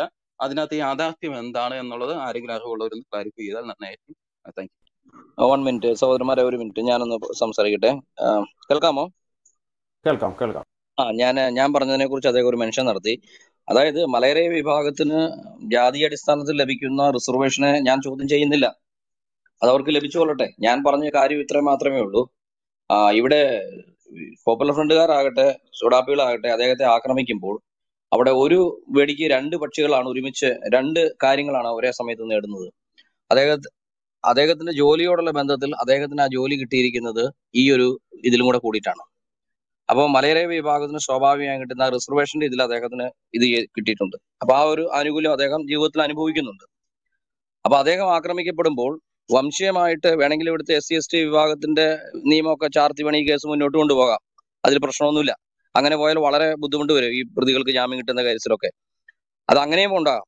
ഇനി മറുവശത്ത് അദ്ദേഹം കൺവേർട്ടായി ക്രിസ്ത്യാനി ആയപ്പോൾ അദ്ദേഹം ക്രിസ്ത്യാനിയാണ് ആക്രമിക്കപ്പെട്ടത്. അപ്പൊ അതിന് വർഗീയമായ ഒരു ആക്രമണത്തിന്റെ ഇതും ഒരു മതപരമായ ഒരു ആക്രമണത്തിന്റെ ഒരു തീവ്ര സ്വഭാവം അതിനകത്ത് വരുന്നുണ്ട്. ഇതിന് അത് ഇത് രണ്ടുമല്ലെങ്കിൽ ഇതിനകത്ത് ഇദ്ദേഹം പ്രവർത്തിച്ചുകൊണ്ടിരുന്ന പാർട്ടി വിട്ട് പാർട്ടിയുടെ എന്താ പറയുന്നത് തൊഴിലാളി സംഘടന വിട്ട് ബി ജെ പിയുടെ തൊഴിലാളി സംഘടനയിലേക്ക് മാറി എന്നുള്ള കാരണം കൊണ്ട് രാഷ്ട്രീയപരമായ ഒരു ഒരു എതിർപ്പിന്റെ അല്ലെങ്കിൽ ഒരു ഒരു രാഷ്ട്രീയപരമായിട്ടുള്ള ഒരു മുൻ വൈരാഗ്യം തീർക്കുന്നതിന്റെ ഭാഗമായിട്ടായിരിക്കും ഈ കേസ് മിക്കവാറും അവർ കോടതിയിൽ കൊണ്ടുവരാനുള്ള സാധ്യതയുള്ളൂ. എന്നാൽ ഞാൻ പറഞ്ഞു വന്നത് അദ്ദേഹം ആക്രമിക്കപ്പെടുമ്പോൾ ഈ രണ്ട് വസ്തുതകളും അവിടെയുണ്ട്. അദ്ദേഹം ഒരു ക്രിസ്ത്യാനിയാണെന്നുള്ളത് അതിനകത്ത് വരുന്നുണ്ട്. അദ്ദേഹം ഒരു താഴേക്കടയുള്ള ഹിന്ദു സമുദായത്തിൽ ഇന്നും സർക്കാരിന്റെ രേഖകളിൽ അദ്ദേഹത്തിന് സ- തസ്തിക ക്രമത്തിൽ ആനുകൂല്യങ്ങൾ മേടിക്കുന്ന ഒരാളായതുകൊണ്ട് ഒരു എസ് സി എസ് ടി കാരനെ ആക്രമിച്ചു എന്നുള്ളതും ഈ കേസിന് വളരെ പ്രാധാന്യം നൽകുന്ന കേസാണ്. അപ്പൊ അവിടെ നാം ഞാൻ മുന്നോട്ട് പറയുന്നത് ഈ എസ് ഡി ബി ഐക്കാരനോ അല്ലെങ്കിൽ ഈ പറയുന്ന പോപ്പുലർ ഫ്രണ്ടുകാരനോ അവിടെ ആക്രമിക്കുമ്പോൾ അവിടെ ആക്രമിച്ചിരിക്കുന്നത് ഈ രാജ്യത്തിന്റെ തദ്ദേശീയനായ ആദിമ പൗരന്മാരിൽ ഒരുവനെയാണ് അവർ ആക്രമിച്ചിരിക്കുന്നത്. അതാണ് ഞാൻ അവിടെ പറഞ്ഞത്. രണ്ടാമത് അദ്ദേഹത്തിന്റെ പൗരസ്വാതന്ത്ര്യത്തിൽ പെടുന്നതാണ് അദ്ദേഹത്തിന് എവിടെ പ്രവർത്തിക്കണം ഏത് മതം വിശ്വസിക്കണം എന്നുള്ളത്. ആ സ്വാതന്ത്ര്യത്തിന്റെ അടിസ്ഥാനത്തിൽ അദ്ദേഹം വിശ്വസിക്കുന്ന കാര്യം അദ്ദേഹം രാഷ്ട്രീയപരമായിട്ട് മതപരമായിട്ട് അദ്ദേഹം പ്രചരിപ്പിച്ചു എന്ന് വരും. അതിനെ തല്ലിയാണ് തീർക്കുന്നത്. അപ്പൊ അദ്ദേഹം ഒരു ക്രിസ്ത്യാനിയാണെന്നുള്ള ഇതുകൊണ്ട് അദ്ദേഹം കാസയുടെ പോസ്റ്റ് ഷെയർ ചെയ്തു. അദ്ദേഹം പി സി ജോർജിനെ സപ്പോർട്ട് ചെയ്ത് നിൽക്കുന്ന ഫോട്ടോ പുറത്തുവിട്ടു ഇതൊക്കെയാണ് ആക്രമണത്തിന് കാരണമെങ്കിൽ അവിടെ ആ ആക്രമണത്തിന്റെ കാരണം തീർത്തും വർഗീയപരമാണ്. അതാണ് ഞാൻ പറഞ്ഞത്. അല്ലാതെ അദ്ദേഹത്തിന് റിസർവേഷനെ ഞാൻ ചോദ്യം ചെയ്യുന്നില്ല. അതിപ്പം അദ്ദേഹത്തിന് മാത്രമല്ല മറ്റു പല കമ്മ്യൂണിറ്റികൾക്കും കിട്ടുന്നുണ്ട്. ഇപ്പൊ നാടാറിന്റെ കാര്യം എൽ സി കിട്ടുന്നുണ്ട്. അങ്ങനെ പലർക്കും കിട്ടുന്നുണ്ട് ക്രിസ്ത്യായതിൽ അതൊന്നും നമ്മൾ ചോദ്യം ചെയ്യുന്നില്ല സഹോദര. ആ. അത് നമ്മുടെ വിഷയമല്ല. നമ്മൾ മതപരമായിട്ടല്ല റിസർവേഷൻ പോകുന്നത്. സമൂഹ ഈ സമൂഹപരമായി അറിയാം അതറിയാം. ഓക്കെ അപ്പൊ ഞാൻ ചോദിച്ച ക്വസ്റ്റ്യനുകൾക്ക് ഒരു ഉത്തരം ആരെങ്കിലും തന്നിരുന്നു? ഒന്നാമത് ആ സ്കൂളുകളുടെ കാര്യം രണ്ടാമത് ഈ പറയുന്ന ഈ ബി ജെ പിയുടെ തലത്തിൽ എന്തുകൊണ്ട് ഇവരിങ്ങനെ ഒരു കോമഡി പീസായിട്ട് കേരളത്തിൽ അവതരിപ്പിക്കപ്പെടുന്നത്? അതിനെതിരായി എന്ത് ചെയ്യാൻ ഇതുവരെ അവർക്ക് സാധിച്ചു എന്നുള്ള കാര്യവും പിന്നെ അതുപോലെ തന്നെ ഈ നടന്ന സ്ഥലത്ത് നമ്മൾ പ്രാക്ടിക്കലായിട്ട് എന്താണ് ചെയ്തത് എന്നുള്ളതിനെ പറ്റി ആരെങ്കിലും ഒന്ന് ഉത്തരം. ഏർഗ ബ്രദറെ അതായത് ബി ജെ പി നേതൃത്വത്തിന്റെ നേതൃത്വമാണ് ഇതിന് മറുപടി പറയേണ്ടത്. കാരണം കേരളത്തിൽ ബി ജെ പി എന്ന് പറയുമ്പോൾ ഉടനെ ചാണകമാണ് വളരെ തരം താഴ്ന്ന രീതിയിലേക്ക് കോമഡിയിൽ അവതരിപ്പിച്ചു എന്ന് താങ്കൾ പറഞ്ഞു. അത് വളരെ സത്യമാണ്. അത് ആ, രീതിയിലേക്ക് അവതരിപ്പിച്ചതിന്റെ ഇവിടുത്തെ ഇടതുപക്ഷവും വലതുപക്ഷവും ഒക്കെ മുന്നിലുണ്ട്. പക്ഷേ അതിന് ആക്കം കൂട്ടുന്ന രീതിയിലുള്ള കുറേ സ്റ്റേറ്റ്മെന്റുകൾ അവർ പറഞ്ഞിട്ടുമുണ്ട് ഒരു നമ്മുടെ ഇപ്പോഴത്തെ നമ്മുടെ കേന്ദ്രമന്ത്രി ഒരു നമ്മുടെ ഡീസൽ വില വർധനവിനെ കുറിച്ചൊരു കാര്യം പറഞ്ഞു. അദ്ദേഹം അദ്ദേഹം നല്ല കഴിവുള്ളൊരു മിനിസ്റ്റർ ആണെങ്കിലും ആ പറഞ്ഞ കാര്യത്തിൽ ഒരു ഒരു കോമഡി ആയിപ്പോയി അങ്ങനെ ചില പ്രശ്നങ്ങളൊക്കെ ഉള്ളതുകൊണ്ടാണ് അങ്ങനെയായത് നമ്മുടെ ജേക്കബ് തോമസ് ഐ പി എസും അൽഫോൺസ് കണ്ണന്താനും ഒക്കെ ബി ജെ പിയുടെ നല്ല നേതാക്കന്മാർ തന്നെയാണ്.